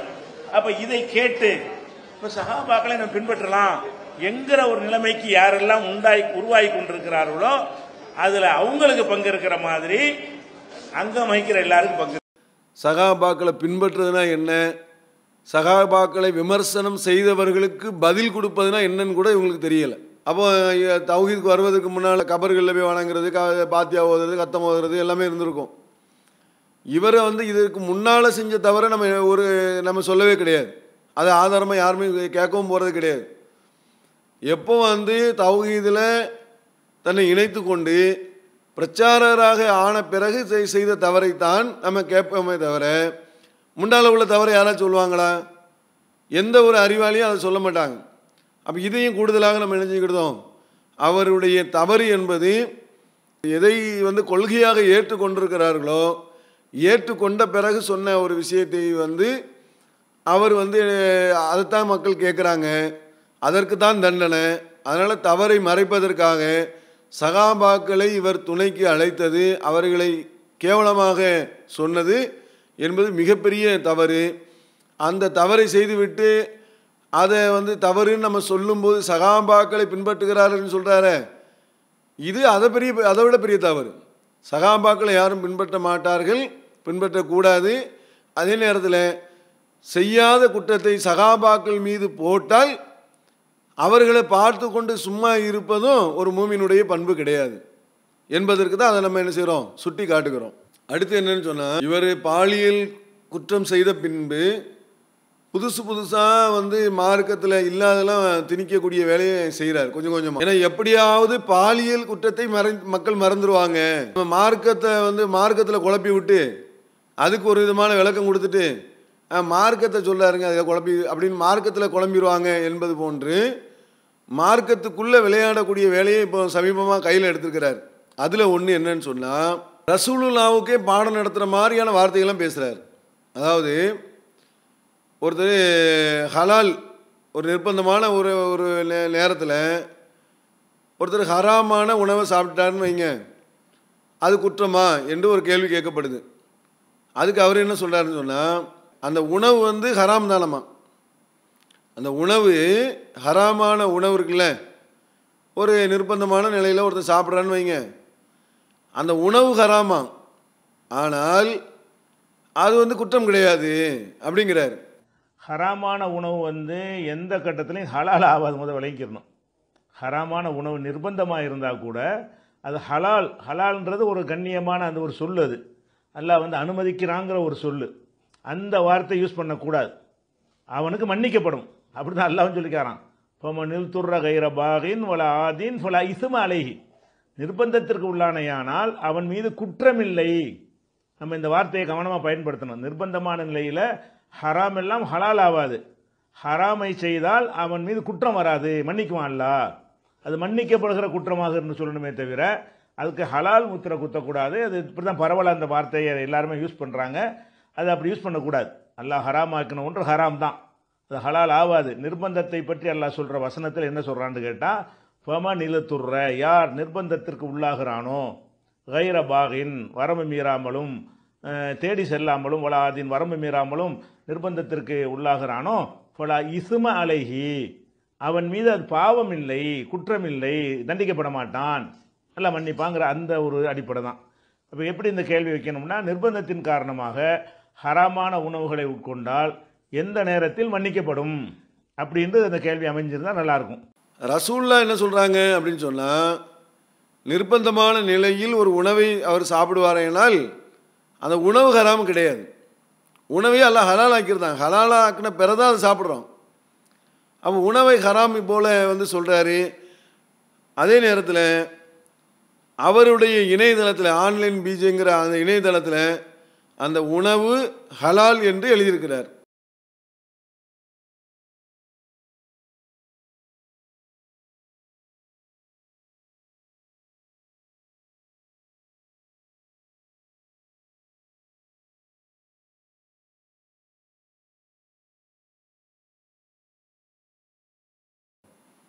அப்போ உணவு ஹலாலுங்கிற போது ஹராமான உணவு நிர்பந்தமான நேரத்தில் உணவு என்ன செஞ்சிருது?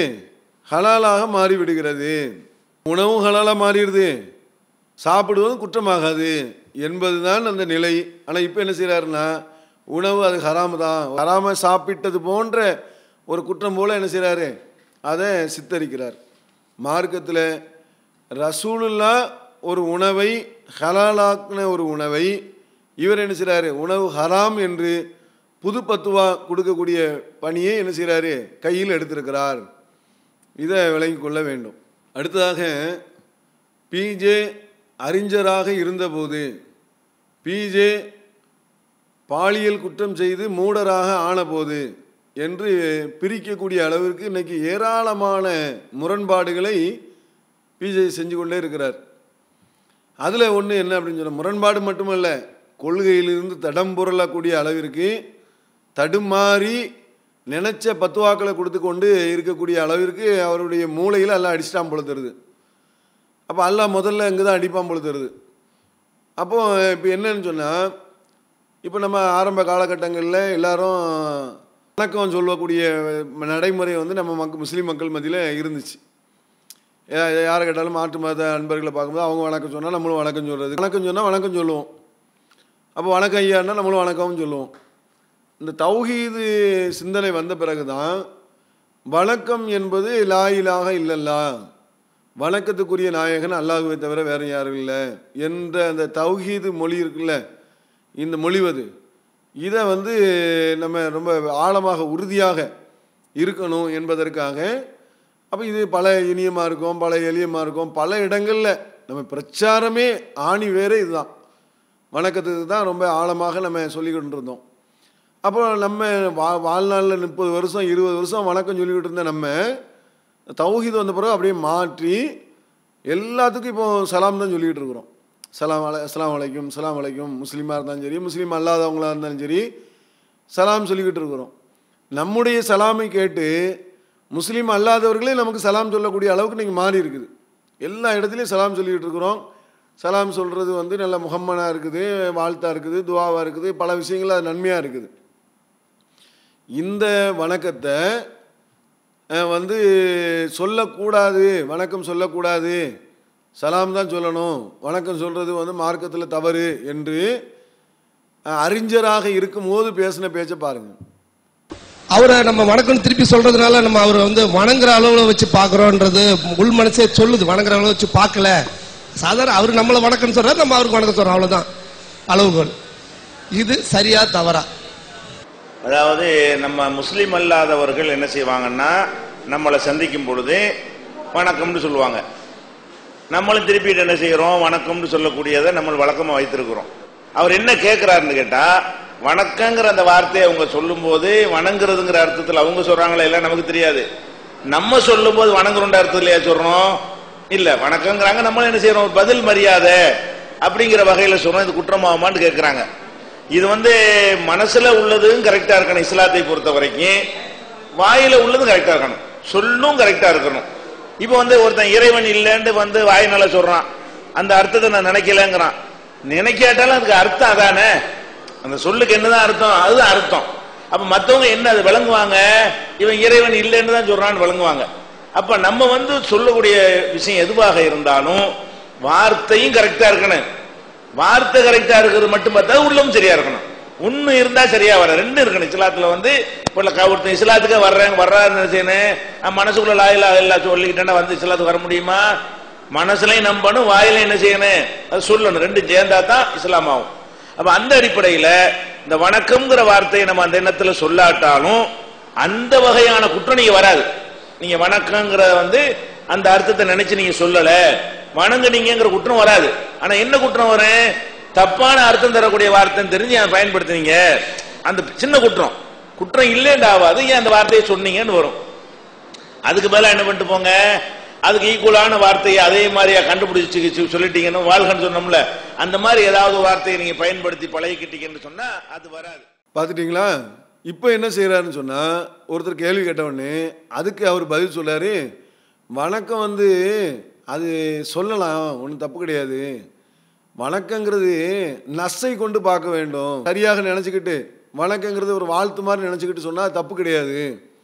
என்பது போன்று எந்த தௌஹீது கொள்கையை தமிழகத்திலே ஆழமாக சொல்ல வேண்டும் என்பதற்காக தௌஹீது பிரச்சாரம் தமிழகத்திலே வேரூண்டி நடந்து கொண்டிருந்ததோ அதில் மூல வார்த்தையாக இந்த வணக்கம் போன்ற ஒரு கொள்கை உறுதியான வார்த்தைகள்லாம் இருந்ததோ அந்த பிரச்சாரத்தில் வந்த நபர்கள் நபர் ஒரு பாலியல் குற்றம் செய்த பிறகு நேர் மாற்றமாக சொல்கிறாரு நசை கொண்டு பார்க்கணும்.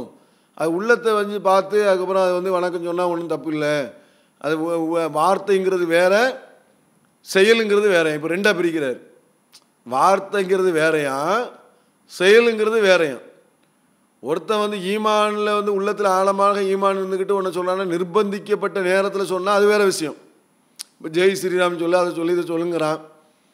அல்லா சொல்கிறான் நிர்பந்திக்க நேரத்தில் நீ வந்து சொல்ல மனசுக்குள்ளே ஈமானை வச்சுக்கிட்டு மாற்றி சொல்லி திட்டுற மாதிரி சொல்லி கடவுளை திட்டிக்கிட்டு சொன்னாலும் மனசுக்குள்ளே திட்டிக்கிட்டு வெளியில் சொன்னால் வந்து அதை எல்லாம் புரிஞ்சுக்கிடுவாங்க. அதுவும் இதுவும் ஒன்றா இது என்பது என்னன்னு சொன்னால் இது பொதுவாக சொல்கிறது இதனால நிர்பந்தம் கிடையாது ஒன்றும் கிடையாது கொலையும் சாவும் போகிறதும் கிடையாது ஒன்றும் கிடையாது. அப்போ இந்த இடத்துல வந்து இப்போ வந்து என்ன செய்கிறாருன்னா உள்ளம் வேறு இது வேறுன்னு சொல்லி ரெண்டாக பிரிக்கிறார்.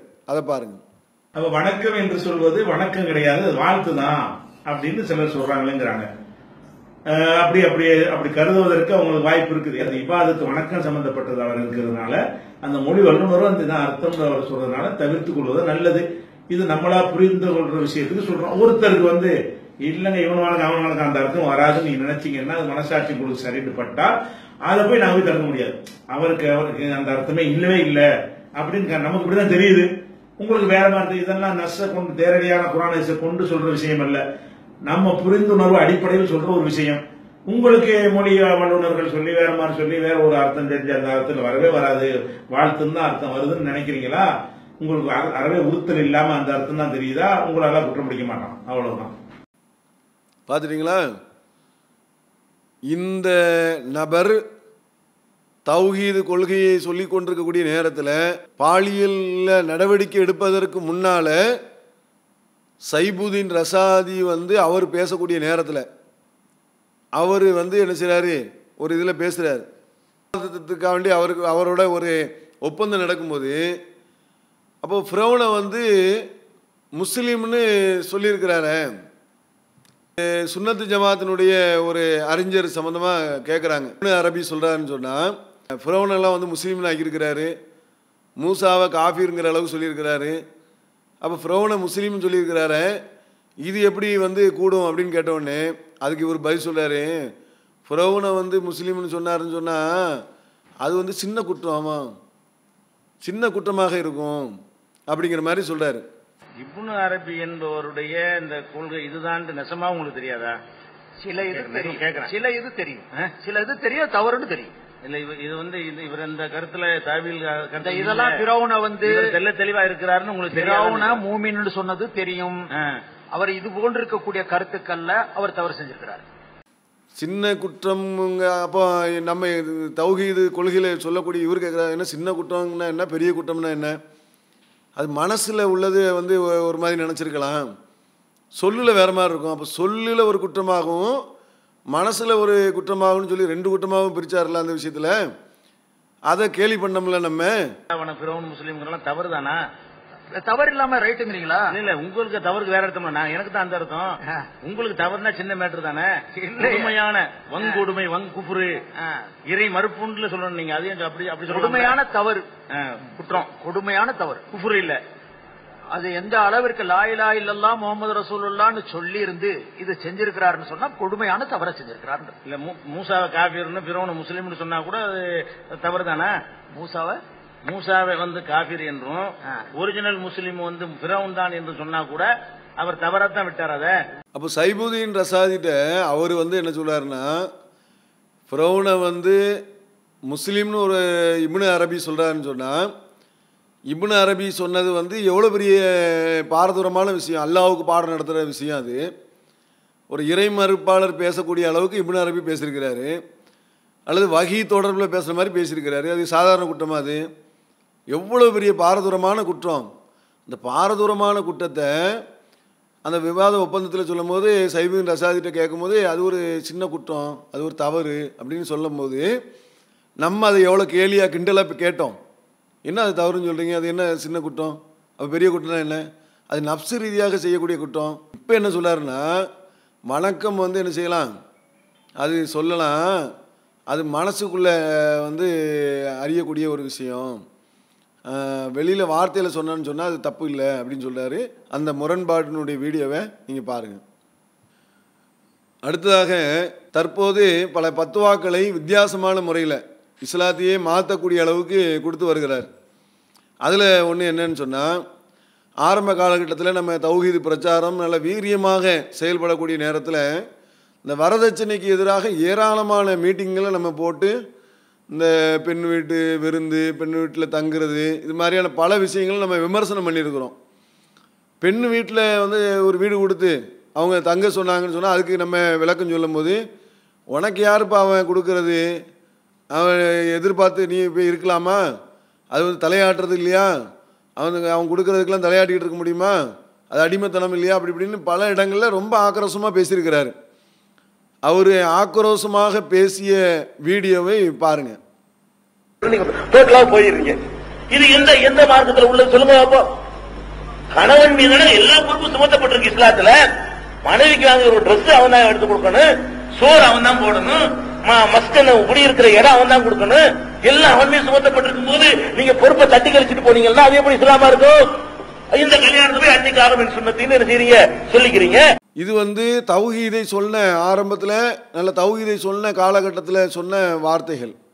இப்போ என்ன அப்படின்னு சொன்னால் இவர் பாலியல் குற்றம் செய்த பிறகு யாருமே இவரை கண்டுகொள்ளக்கூடிய நிலையில் இல்லாத நேரத்தில் ஒரு சில பேர் இந்த பெண் வீட்டில் வந்து தங்கி கொண்டு அவர்களுக்கு கொடுக்கக்கூடிய அந்த வீட்டில் வாடகை இல்லாமல் தங்கி கொள்ளக்கூடிய அந்த வீட்டில் உள்ளவங்க மாதிரியான அந்த மாதிரியான ஆட்கள் இவருக்கு ஆதரவான ஒரு சூழல் இருப்பதனால அவர்களை தக்க வைத்து கொள்ள வேண்டும் என்பதற்காக ஒரு ஆள் கேட்குறாரு. இந்த மாதிரி மாமனார் மாமியார் கொடுக்கக்கூடிய வீட்டில் அந்த வீட்டில் நம்ம தங்கி கொள்ளலாமா வாடகை கொடுக்காம அப்படின்னு சொன்னால் அது ஒன்றும் தப்பு இல்லை. அது தங்கிக்கிட்டா என்ன? அதை எடுத்துக்கிட்டா என்ன? அது ஒன்றும் பிரச்சனை இல்லை என்று மார்க்கத்தை தனக்கு தகுந்தது போல வளைக்கக்கூடிய வேலையை என்ன செய்யறாரு செய்கிறார் அவனுக்கு வந்து வீடே இல்ல. கல்யாணம் பண்ணியாச்சு. வீடே இல்ல. அவன் அதுக்காக எல்லா முயற்சியும் பண்ணுகிறான். வீடு இல்ல. வீடு இல்லைங்கும் போது மனைவி வீட்டுல நீங்க நாங்க ஒன்றும் உறுத்தல எடுத்துக்கல இருந்துக்கிறங்க. அப்படின்னு சங்கடம் இல்லாமல் அது மா- மா- நிர்பந்தப்படுத்தி வீடு தந்துதான் ஆகணும். பொண்ணு வீட்டுக்கு தான் விருந்து அப்படிங்கிற மாதிரி சட்டம் இல்லாம ஒருவனுடைய சூழ்நிலையில் அவன்கிட்ட வீடு இல்லை. அவன் வீடு சின்ன வீடு கல்யாணம் பண்ணியாச்சு. ரெண்டு அண்ணனுக்கு பண்ணியாச்சு தம்பிக்கு பண்ணியாச்சு ஒரு ஆள் தான் இருக்க முடியும். மனைவி வீடு விசாலமா இருக்கு. மனைவி வீட்டுக்காரங்க சங்கடம் இல்லைங்கிறாங்க. கல்யாணம்லாம் பண்ணி முடிச்ச பிறகு அங்கே ஒரு- இப்ப நீங்க பேணுதலா இருந்தா நீங்க வாடகை வேணா கொடுத்துட்டு போங்க. வாடகை இல்லாமல் மனப்பூர்வமா விட்டு தந்தாங்கன்னா இப்படி கொடுத்த மாதிரி நினைச்சிட்டு வாங்கிட்டு போங்க. அதுல என்ன இருக்கு? அவங்களாம் மனப்பூர்வமா விட்டு தந்தார்களே. ஆனால் வாடகை இல்லாம இருக்கிறதெல்லாம் வரதட்சணை வர முதல்ல என்ன செஞ்சார்? சகாபாக்கள்லாம் உதாரணம் காட்டி ஒரு வசூலுக்கு போன ஒரு சகாபியை ஆதாரம் காட்டி அவர் வந்து அவர் தன்னுடைய தாய் வீட்டில் இருந்தால் இது கிடச்சிருக்குமா? தகப்பன் வீட்டில் இருந்தால் கிடச்சிருக்குமா? அப்படின்னு சகாபி சொன்னாங்கல்ல. அந்த மாதிரி இதெல்லாம் ஆதாரம் காட்டி இதெல்லாம் வந்து நம்ம கேட்கக்கூடாது அது எதிர்பார்த்து இருக்கக்கூடாது அப்படின்னு சொன்னவர். இது வந்து நபிகள் நாயகம் சல்லா அலிசல்லம் அவர்கள் இதை ரொம்ப அற்புதமாக ஒரு சந்தர்ப்பத்தில் விளக்குறாங்க. எப்படி வளர்க்குறாங்க ஒருவரை வந்து ஜக்காத் வசூலிப்பதற்காக அனுப்புகிறார்கள். ஜக்காத்னா வசூலித்து தான் விநியோகம் பண்ணணும். ஜக்காத்தை வசூலிப்பதற்காக ஒருவர் என்ன செய்யறாங்க அனுப்பி வைக்கிறாங்க. அவர் போய் ஜக்காத் எல்லாம் நிறைய வசூல் பண்ணி கொண்டு வந்து ரசூல் சல்லாசலம் முன்னாடி வைக்கிறார். வைக்கும்போது என்ன செய்யறாருன்னு கேட்டா அந்த வைக்கிறத ரெண்டா பிரிக்கிறார். ஒரு பெரிய பகுதியை வைத்து இது ஜக்காத்துக்கு உள்ளது இது எனக்கு தந்ததுன்னு கொஞ்சத்தை பிரிக்கிறார். ஒரு ஒரு பத்தாயிரம் ரூபாய் வருதுன்னு வைங்களேன் ஒரு ஒன்பதாயிரம் ரூபாய் அப்படி வச்சு என்ன செய்யறாரு இது ஜக்காத்துக்கு தந்த- உதாரணத்துக்கு நான் பத்தாயிரம் அதிசயில வரல. புரிஞ்சுக்கிறதுக்காக சொல்றேன்.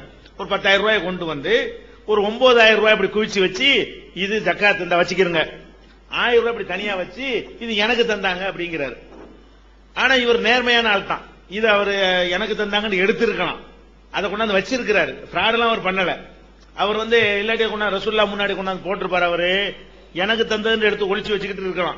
அவர் அப்படி நினைக்காம இது ஏதாவது மார்க்கத்தில் தப்பாகப்பா போயிருமோன்னு பயந்துகிட்டு இது வந்து ஜக்காத்து பணம் இது எனக்கு தந்தாங்கன்னு ஒரு அங்கீகாரம் பண்றதுக்கு ரசூல்லாட்ட வைக்கிறார். ரசூல் சல்லா அலிஸ்லாம் அவர்கள் அது அங்கனுக்குள்ளே கண்டிச்சிருக்கலாம். அவங்க என்ன செய்யறாங்கன்னு இதை சொன்ன உடனே அப்படி முகமெல்லாம் சிவந்து போயிருது. கட்டுமையான கோபம் வருகிறது. கோபம் வந்து அவருக்கு எந்த அறிவுரையுமே சொல்லல. எல்லா மக்களை கூப்பிடுங்கிறாங்க. இந்த சம்பவம் நடந்த உடனே எல்லாத்தையும் கூப்பிடுங்கிறாங்க. கூப்பிட்டோன்னு மெம்பர்ல ஏறி நின்று மக்களுக்கு உரை நிகழ்த்துகிறார்கள். எப்படி உரை நிகழ்த்துறாங்க? நான் ஒரு ஆளை ஜக்காத் வசூலிக்கிறதுக்கு அனுப்புறேன். அவர் வசூலிச்சுட்டு வர்றாரு. வந்து இது ஜக்காத்து இது எனக்கு உள்ளது என்று என்னிடத்திலேயே அவர் சொல்லுகிறார். அவர் அம்பலப்படுத்துறாங்க. அவர் ஜக்காத்து இது ஜக்காத்து பணம் இது எனக்கு தந்தது என்று என்னிடத்தில் அவர் சொல்லுகிறார். இவர் அவருடைய தகப்பனார் வீட்டில் போய் இருக்க வேண்டியதானே அப்ப கிடைக்குதான்னு இது பாப்போமே. அவங்க அம்மா வீட்டுல இருந்தா அந்த ஆயிரம் ரூபாய் கிடைச்சிருக்குமா? அப்ப நான் சொன்ன வேலையை ஒட்டி தானே அது கிடைச்சிருக்கிறது. இவருக்கு தருவதுன்னா இவருக்கு கொடுக்கறதுக்கு அவங்க எல்லாம் என்ன மாமா மச்சாங்க நீ வசூலிக்க போனதுனால தானே உனக்கு தந்தாங்க. உனக்குன்னு தர்றதா இருந்தா உனக்கு தெரிஞ்சவங்களா இருக்கணும் உன் ஃப்ரெண்டா இருக்கணும் உன் ரத்த சம்பந்தம் உள்ளவங்களா இருக்கணும். அப்ப நீ ஜக்காத்து வசூலிக்க போகும்போது உனக்குன்னு தந்தாங்கன்னு சொன்னா அவங்க என்ன நினைச்சு தந்திருப்பாங்க? இவர் கொஞ்சம் அப்படி ரூபாயை கொடுத்தோம்னா கொஞ்சம் கணக்குகள்ல கொஞ்சம் முன்ன பின்ன வாங்கிக்கிருவாரு.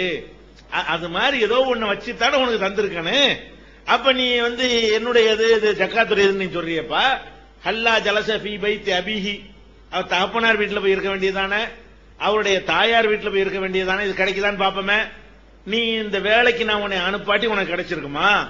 இந்த ஆயிரம் ரூபாயை கொண்டாந்து உனக்கு தந்தாங்கங்கிறிய நீ வந்து நான் உன்னை வேலைக்கு அனுப்பாம இருந்தா அவன் எல்லாம் புறப்பட்டுட்டு வந்து இந்தாங்கன்னு உங்க வீட்டுல வந்துட்டு போவானா? அப்ப நான் சொன்ன வேலையை ஒட்டி அது தரப்படுமையானால் உனக்கு தந்தாலும் அது மோசடி தான் நீ வாங்கக்கூடாது. அதான் வரதட்சணை விரும்பி தர்றதுங்கிறது. எதுக்கு விரும்பி தர்றிய பொண்ணு வேணான்ட்டா தெரிய கொடுத்தத விட்டுருவீங்களா பேசாம? சம்பந்தம் பேசுறிய ஆ, ஒரு லட்ச ரூபா நான் விரும்பி தர்றேன். அப்படிங்கிறாரு. எல்லாம் வாங்கின பிறகு அடுத்த நாள் பொண்ணு பிடிக்கலன்ட்டாரு. அது தாண்டு கேட்பீங்களா விட்டுருவீங்களா? அப்ப விரும்பி கொடுக்கல.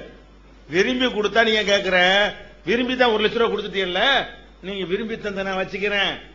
பொண்ணு விருப்பமா இல்ல நீங்களே வச்சுக்கிறீங்க. அப்படின்னு என்ன செய்வீங்க? ஒரு ரூபாய் தராமீங்க. அப்ப என்ன விரும்பி கொடுத்தீங்க? இந்த பொண்ணை வந்து கரை சேர்ப்பதற்கு விலை தான் நீங்க கொடுத்திருக்கிறீங்க. அது சும்மா சொல்லிக்கிறீங்க விரும்பி தர்றேன் இந்த கல்யாண சம்பந்தம் இல்லாட்டி கொடுத்திருப்பீங்களா? அப்ப இந்த விரும்பி நீங்கள் வீட்டை கொடுத்தாலும் விரும்பி நகையை கொடுத்தாலும் அது விரும்பி கொடுப்பது அல்ல. இதுக்காக கொடுத்ததுதான்.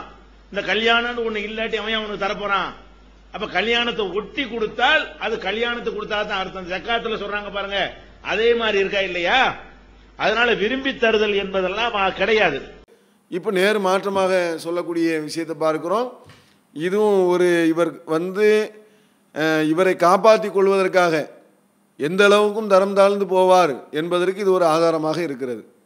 அடுத்ததாக இந்த பிஜே என்ப என்பவர் எந்த அளவுக்கும் தரம் தாழ்ந்து போவார் என்பதற்கு தன்னுடைய பாலியல் குற்றத்தை மறைப்பதற்காக எல்லாத்தையும் ஒரு மாதிரியாக பாலியல் சம்பந்தமாகவே சேர்த்து விடக்கூடிய பண்பு அவர்கிட்ட இருக்குது அதில் ஒன்று என்ன அப்படின்னு சொன்னால் சகாபாக்களை இவர் என்ன செய்கிறாருன்னு சொன்னால் சகாபாக்களை சகாபாக்களுடைய காரியங்களை பாலியலோடு இணைக்கிறார். அதாவது நபிகள் நாயம் சல்லா அலிஸ்லாம் அவர்கள் சகாபாக்களை இரவில் உங்கள் வீடுகளுக்கு செல்வதாக இருந்தால் அறிவிப்பு செஞ்சுட்டு போங்க. வெளியூர்லேருந்து வந்தீங்கன்னா அறிவிப்பு செஞ்சுட்டு போங்க அப்படின்னு சொல்லி சொன்ன ஒரு செய்தியை இவர் எப்படி இணைக்கிறாருன்னு சொன்னால் அப்படி அறிவிப்பு செஞ்சுட்டு போங்க. அப்படி அறிவிப்பு செஞ்சுட்டு போகலன்னு சொன்னால் தவறாக இருப்பதை நீங்கள் பார்க்க கூடும். அப்படிங்கிற மாதிரி சகாபாக்களையும் சகாபாக்களை வந்து சகாபாக்களையும் சகாபி பெண்களையும் ஒரு ரொம்ப ஆபாசமாக சித்தரித்து கீழ்த்தரமாக ஒரு மட்டரகமாக சித்தரிக்கக்கூடிய வேலையை அவர் செய்தார். அந்த செய்த அந்த வீடியோவை பாருங்கள் இரவுல நீங்க போக கூடாதுன்னு ரசூல்லா சொன்னாங்களா? சொன்ன உடனே ஒரு ரெண்டு பேர் என்ன செஞ்சாங்கன்ற ரசூல்லா தடுத்த பிறகு வீட்டுக்கு போறாங்க. ரசூல்லா நினைச்சிட்டாங்க வந்துட்டாங்களா? ராத்திரி நேரமாச்சு. ராத்திரிலாம் வீட்டுக்கு போறீங்க எங்கே பண்ணிட்டாங்க ராத்திரிக்கு போக கூடாது இரவுல போய் வீட்டுல நுழையக்கூடாது இங்கே தங்குங்க அப்புறமேல விடுதலை போய்க்கிருவோம் அப்படின்ட்டாங்க. ரெண்டு பேரும் நினைச்சிட்டாங்கன்னா ராத்திரி ராத்திரி கிளம்பி போயிட்டாங்க. போனா அதுல திருமதியில் வரக்கூடிய ஹதீஸ் தான் சரியான ஹதீஸ் தான். அஜத குல்லுவா இது மின்ஹுமா இம்ராத்திக்கு ரஜுலன் போன ரெண்டு பேருடைய மனைவிமாரோட வேற ஆம்பளைங்க இருக்கிறத பார்த்தார்கள். போன ரெண்டு பேருடைய மனைவிமாரோட வேற ஆம்பளைங்க இருக்கிறத பார்த்தார்கள். போன ரெண்டு பேருடைய மனைவிமாரோட வேற ஆம்பளைங்க இருக்கிறத பார்த்தார்கள். என்று அந்த ஹதீஸ் வருது. இது எதுக்கு சொல்றேன்னு கேட்டா ரசூல் என்ன சொல்றாங்கன்னு கேட்டா இந்த குறைகளை திரு அந்த- கூட சில விஷயங்கள் இருந்தா கூட நமக்கு அது தெரியாத அளவுக்கு கொண்டு போயிடுற அளவுக்கு நீங்க நடந்துக்கிறீங்க என்று அளவுக்கு ரசூல் சல்லா வழிகாட்டினார்கள் என்பதை இதை நம்ம பார்க்கிறோம். சொல்றாருல இது வந்து ஆதாரபூர்வமான ஹதீஸா என்று சொன்னால் ஆதாரபூர்வமான ஹதீஸ் கிடையாது. ரெண்டாவது இதுக்கு அறிவிப்பாளர் தொடர் இருக்குதா அப்படின்னு சொன்னால் அறிவிப்பாளர் தொடரும் கிடையாது. இது பலகீனமான செய்தி. அறிவிப்பாளர் தொடரும் கிடையாது. அறிவிப்பாளர் தொடர் இல்லாத ஒரு செய்தியை அவர் பேசும்போது இடையில என்ன சொல்கிறாரு ஆதாரபூர்வமான செய்தி தான் அப்படின்னு சொல்லி ஒரு லைட்டாக இணைச்சி விட்டு ஒரு வார்த்தையில் லைட்டாக வாழைப்பழத்தில் ஊசி சொல்கிற மாதிரி லைட்டாக சொல்லி சொல்லி விட்டு இது வந்து ஆதாரபூர்வமான செய்தி மாதிரி சொல்லுகிறார். அப்புறம் நான் மற்றவங்க எடுத்து காமிச்ச உடனே அப்புறம் பின்வாங்கக்கூடிய ஒரு வேலையை செய்யக்கூடியவராக இவர் இருக்கு. அப்போ இவர் வந்து தன்னை காத்து கொள்வதற்கு சகாபாக்களையும் இழிவுபடுத்துவார் என்பதற்கு இந்த வீடியோ சகாபி பெண்களையும் இழிவுபடுத்துவார் என்பதற்கும் இந்த வீடியோ ஒரு ஆதாரமாக இருக்கிறது என்பதை நீங்கள் கவனத்தில் கொள்ள வேண்டும். அந்த செய்தியுடைய நிலவரம் என்ன தெரியுமா? அந்த செய்தியை திருமீதி அம்மாம் பதிவு செய்யும்போது அதனுடைய ஆரம்பத்துலேருந்து எப்படி பதிவு செய்கிறாருன்னா மக்கது ருவியானி அனி இப்னி அப்பாஸ். இப்னு அப்பாஸ் ரதியல்லாவின் வழியாக அறிவிக்கப்படுகிறது. அவர் ரசுல்லா சொன்னதாக பின்வருமாறு அந்த செய்தியை சொல்கிறார். இது எப்படி ஒரு ஹதி ஒரு செய்தி ஹதீஸ் இருக்கிறது என்றால் அதனுடைய அடிப்படை விஷயமே அதற்கான அறிவிப்பாளர் தொடர் இருக்க வேண்டும். சனது இருக்கணும். அப்படி இருந்தால் தான் நான் அந்த ஹதீஸ் சேர்த்துக்க முடியும்? இதில் சனது இருக்குதா? எடுத்தோன்னு எப்படி ஆரம்பிக்குது? இப்னு அப்பாஸ் ரதியல்லாஹு வழியாக அறிவிக்கப்படுகிறது. இப்னு அப்பாஸ் யாருக்கு அறிவிச்சா? தாபி யார் தபோ தாபி யார் இந்த திருமதி இமாமுக்கு அற அறிவித்த அறிவிப்பாளர் யார்? என்று ஒன்றுமே இல்லாமல் சனதே இல்லாமல் அறிவிப்பாளர் தொடரே இல்லாமல் அப்படிப்பட்ட அந்த செய்தியை மேற்கோள் காட்டி அது சரியானது ஆதாரபூர்வமானது என்று சொல்லுகிறார். இது எப்படி தெரி எப்படி இருக்குது தெரியுமா? ஒரு பேச்சு வழக்கில் சொல்லுவாங்க மொட்டை தாத்தா குட்டையில் விழுந்தாராம். எந்த மொட்டை தாத்தா எந்த குட்டையில் விழுந்தார் அதுக்கப்புறம் என்ன ஆனாரு ஒரு விவரமும் இல்லாமல் மொட்டையாக போகிற போக்கில் ஒரு கருத்து சொல்லிட்டு போயிடுவாங்கள்ல அந்த மாதிரி தான் இந்த செய்தியினுடைய நிலவரம் இருக்குது. இப்னு பாஸ் யாருக்கு அறிவிச்சா? தாபியார் தபோ தாபியார் இந்த திருமதி மாமுக்கு அறிவித்த அறிவிப்பாளர் யார் என்றெல்லாம் முள்ளுமே இல்லாமல் அறிவிப்பாளர் தொடரே இல்லாமல் இந்த செய்தி அவர் மேற்கோள் காட்டி இந்த செய்தியை தான் ஆதாரம் பிடித்து இந்த மாதிரியான விஷ விஷமக்கருத்தை மேற்கோள் காட்டுகிறார். இந்த செய்தி வந்து திருமதியில் இருக்குது. ஆனால் அறிவிப்பாளர் தொடர் கிடையாது. இதைத்தான் அவர் என்ன செய்கிறாரு ஆதாரபூர்வமான செய்தி என்கிறார். ஆனால் இது வந்து பலகீனமான செய்தி. அறிவிப்பாளர் தொடர் இல்லாததை நாம் எப்படி மக்கள்கிட்ட சொல்லலாம்? ரசுல்லா அழகாக தெளிவாக சொல்லியிருக்கிறாங்க. அவர்கள் அலங்கரித்து கொள்வார்கள் என்று ஆதாரபூர்வமான செய்தி இருக்கிறது. மனைவிமார்களுக்கு முன்கூட்டியே சொல்லிவிட்டால் வெளியூர்லேருந்து கணவன் வரும்போது அலங்கரித்து கொள்வார்கள். நல்லபடியாக இருந்து கொள்வாங்க.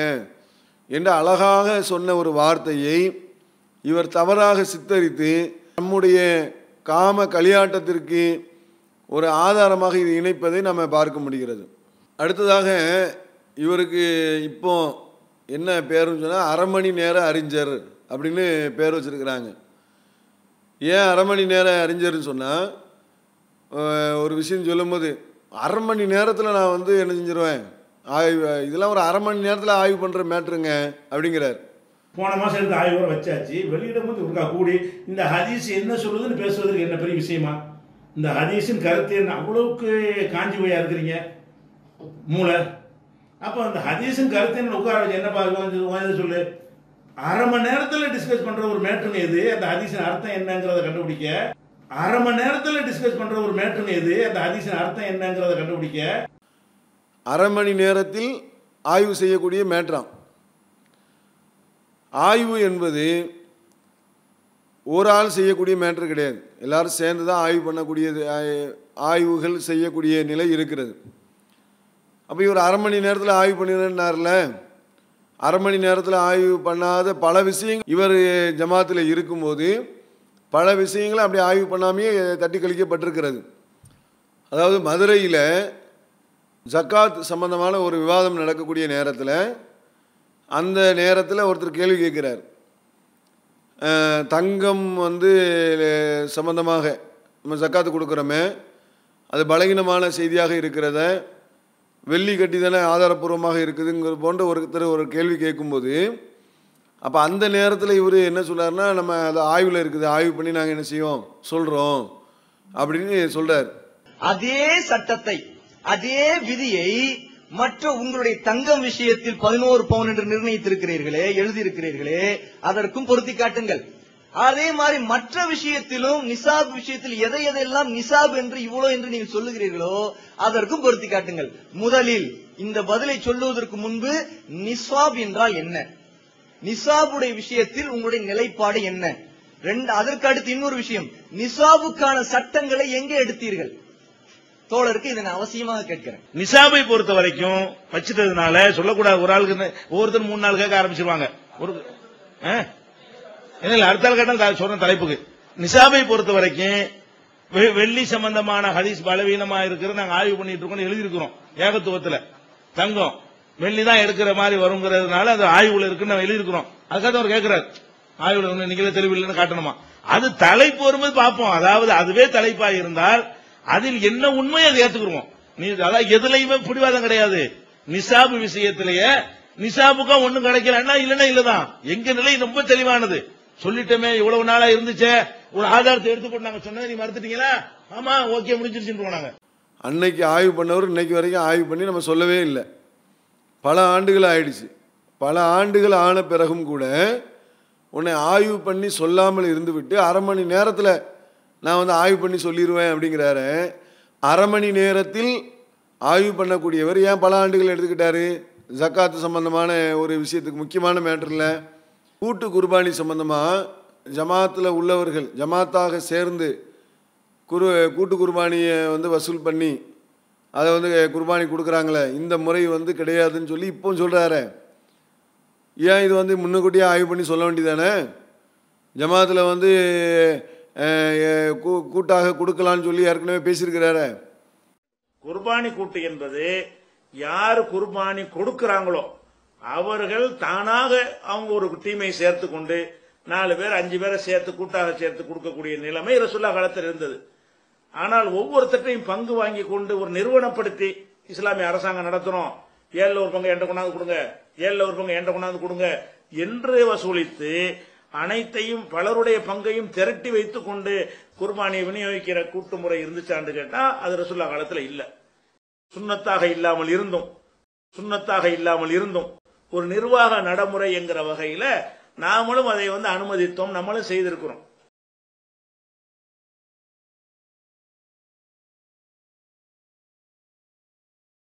அப்போ ஒன்றை பேசிக்கிட்டு ஒரு ஆய்வு பண்ணுறதுக்கு பல ஆண்டுகளா? என்ற ஒரு விஷயமே இதில் ஒரு கேள்வி இருக்கிறது. இந்த ஆய்வுங்கிறதுல வந்து அரை மணி நேரத்தில் நான் ஆய்வு பண்ணிடுவேங்கிறது பார்க்கறதுக்கு நடவடிக்கை எடுத்தாங்கல்ல. அதாவது இப்போ பாலியல் குற்றத்திற்கு வந்து அவங்க வந்து பேச்சாளராக பயன் பேசலாம். பாலியலே குற்றம் செய்திருந்தால் கூட அவர்கள் தாவா பண்ணுறதுக்கெல்லாம் தடை கிடையாதுன்னு சொல்லி இன்னைக்கு வந்து புதுசாக ஆய்வு பண்ணியிருக்கிறாராம் மார்க்கப்படி சகாபாக்கள்ல முக்காவாசி பேர் இந்த மாதிரி செஞ்சவங்க தான் ஆகுறதுக்கு முன்னாடி. சகாபி ஆகுறதுக்கு முன்னாடி இப்ப இந்த விபச்சாரம் சொன்னா அம்புட்டையும் செஞ்சவங்க தான் தண்ணி அடிச்சவங்க தான் எல்லா விதமான கெட்ட செயலும் செஞ்சவங்க தான் அவங்க அவங்க பிறகு இஸ்லாத்துக்கு வந்தவன அதை இப்ப செய்யவே இல்லை அழிஞ்சு போச்சு அதெல்லாம் பிரச்சாரம் பண்ணாங்க. அப்ப அந்த மாதிரியான ஒரு த- ஒரு தவறு செஞ்ச சிறுக்கு செஞ்சுட்டு வந்தவங்களே அப்புறமேல இப்ப அஹ், மார்க்கத்தை தான் நான் சொன்னாங்க அவங்க வழியா இஸ்லாத்தை நம்ம அறிஞ்சு கொண்டோம் அடுத்தடுத்த தலைமுறை எல்லாம் அப்ப தவறு செய்தல் என்பதற்கு வந்து பிரச்சாரம் செய்யக்கூடாதுங்கிற கான்செப்ட் இஸ்லாத்தில் கிடையவே கிடையாது. இவர் பாலியல் செஞ்ச பிறகு புதுசாக ஆய்வு பண்ணி என்ன செய்கிறாரு மக்களுக்கு சொல்கிறாராம் ஏன் இந்த ஆய்வு வந்து பார்க்கறதுக்கு நடவடிக்கை எடுக்கும்போது ஏன் வரல? அல்தாபிக்கு நடவடிக்கை எடுக்கும்போது ஏன் வரல? வேலூர் இப்ராஹிமுக்கு நடவடிக்கை எடுக்கும்போது ஏன் வரல? மற்ற மற்றவர்களாம் நடவடிக்கை எடுக்கும்போது ஏன் அந்த ஆய்வு பண்ணலை? இவருடைய பாலியல் குற்றம் வந்த பிறகு தான் ஆய்வு பண்ணுவாரா? என்ற ஒரு கேள்வி வந்து மக்கள்கிட்ட இருக்குது. அப்போ அரை மணி நேரத்தில் ஆய்வு பண்ணுறதுலாம் வந்து இவர் தன்னை பாதுகாக்கிறதுக்கு தான் அரை மணி நேரத்தில் ஆய்வு பண்ணுவார். மற்றவருடைய விஷயத்தில் ஏன் வந்து இவ்வளோ நாளாக வந்து ஆய்வு பண்ணாமல் இருந்தார்? அரை மணி நேரம் ஆய்வை ஏன் பயன்படுத்தலை? அப்போ இதெல்லாம் போய் நல்லா தெளிவாக தெரிகிறது.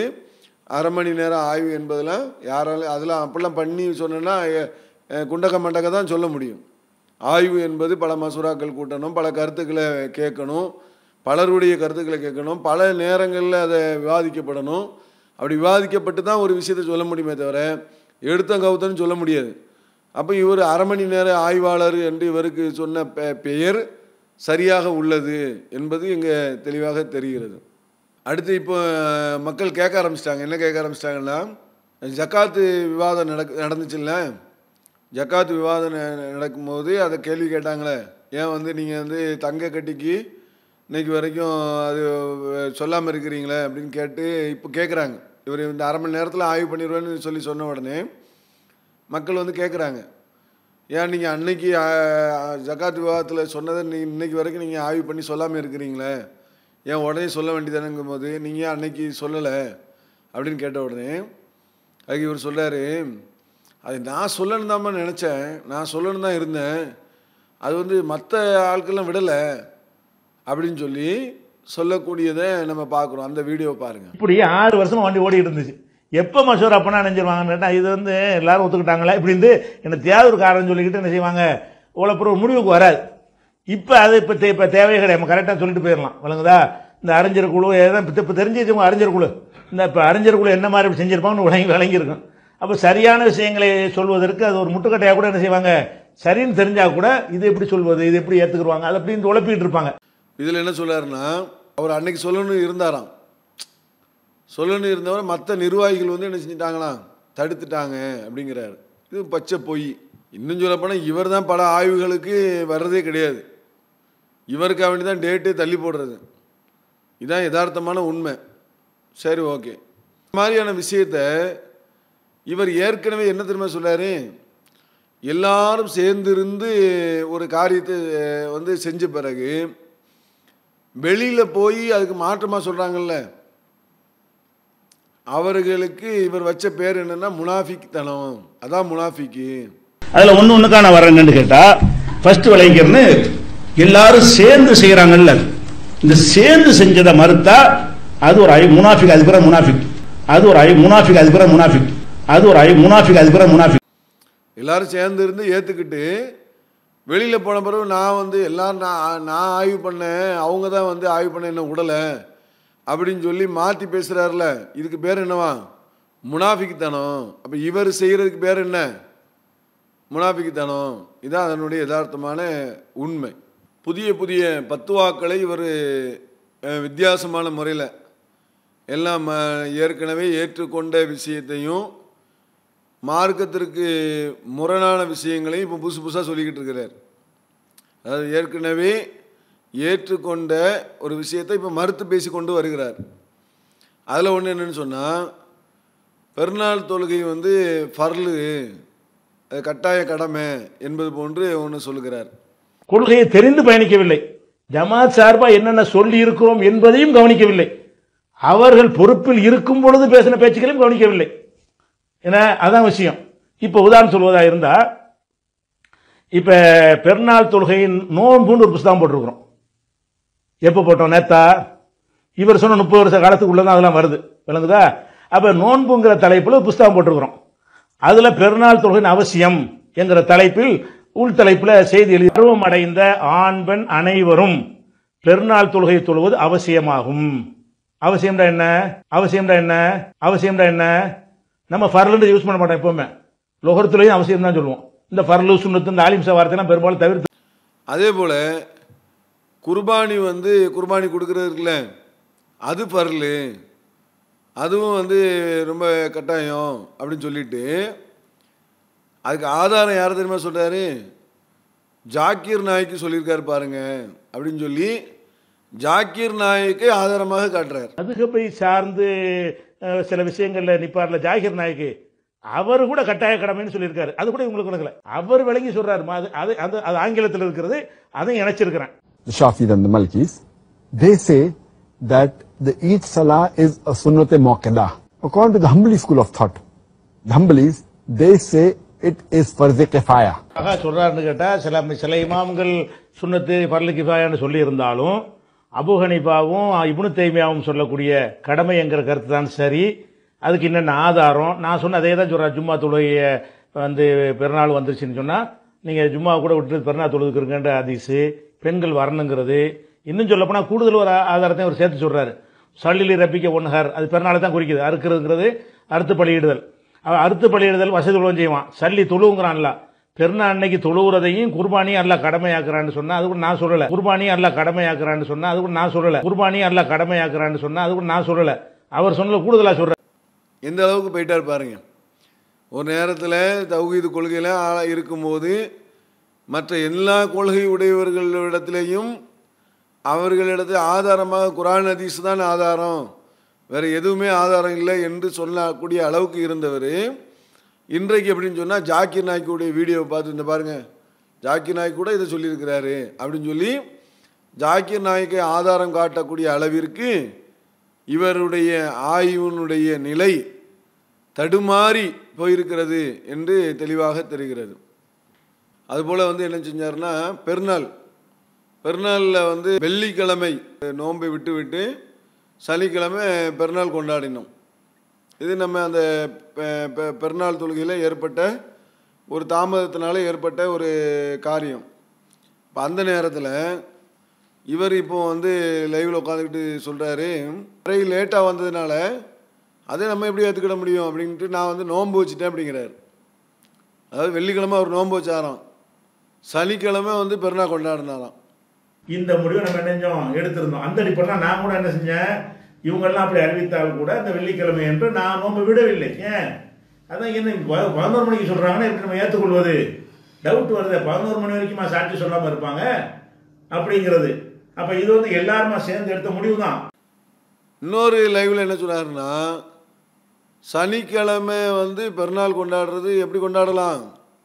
அது தப்பு அது அப்படின்னு கேட்குறாரு அப்போ சனிக்கிழமை பெருநாள் கொண்டாடுவது தவறு என்று சொன்னால் இவர் என்னைக்கு தான் கொண்டாடிருக்காரு. சனிக்கிழமை தான் கொண்டாடிருக்காரு. ஆனால் வெள்ளிக்கிழமை வந்து நோன்பு வச்சுக்கிட்டாராம். நம்ம வந்து பிறை பார்த்ததுனால நோன்பை விட்டுருக்குறோம். இதில் என்ன தப்பு இருக்குது? இதில் என்ன சொல்கிறாருன்னா லேட்டாக வந்தால் என்ன? நீங்கள் ஏற்றுக்கிட்டு வந்து வெள்ளிக்கிழமை பெருநாள் கொண்டாட வேண்டியதானே? அப்படிங்கிற மாதிரி பேசுகிறாரு இன்னொரு லைவில் என்ன சொல்கிறாருன்னா வெள்ளிக்கிழமை லேட்டாக வருது அது ஏன் லேட்டாக வருது? அதனால தான் நம்ம அதை ஏற்றுக்கிட முடியாது. அதனால தான் நான் வந்து அன்றைக்கி நோன்பு வச்சுட்டேன். சனிக்கிழமை பெருனா கொண்டாடுனுங்கிறாரு. அப்போ இவருடைய பார்வையிலையும் முரண்பாடு தான் என்ன முரண்பாடுன்னா லேட்டாக வந்தாலும் ஏற்றுக்கொள்ள வேண்டும்னு ஒன்று ஒரு பக்கம் சொல்கிறாரு தாமதம்டா எந்த தாமதம்? எவ்வளோ நேரத்தில் வந்தால் தாமதம்? தாமதமாக வந்தாலும் எது தாமதங்கிறீங்க வந்தது இப்போ சுபகுல வந்து ரசூல்லா கொண்டாடி இருக்கிறாங்க நீங்கள் ராத்திரியில் வந்து தாமதம்ங்கிறீங்க. தகவல் வந்தது இரவில். இரவில் தகவல் வந்தது என்ன சொல்றீங்கன்னா தாமதமா வந்தால் நம்ம தள்ளி வச்சுக்கிறோமோ லேட்டாக வந்ததுனால நான் ஏற்றுக்கொள்ளாமல் நான் நோன்பு வச்சேன் அப்படின்னு ஒரு பக்கம் சொல்கிறாரு இந்த முடிவை நம்ம என்ன செஞ்சோம்? எடுத்திருந்தோம். அந்த அடிப்படையில் நான் கூட என்ன செஞ்சேன்?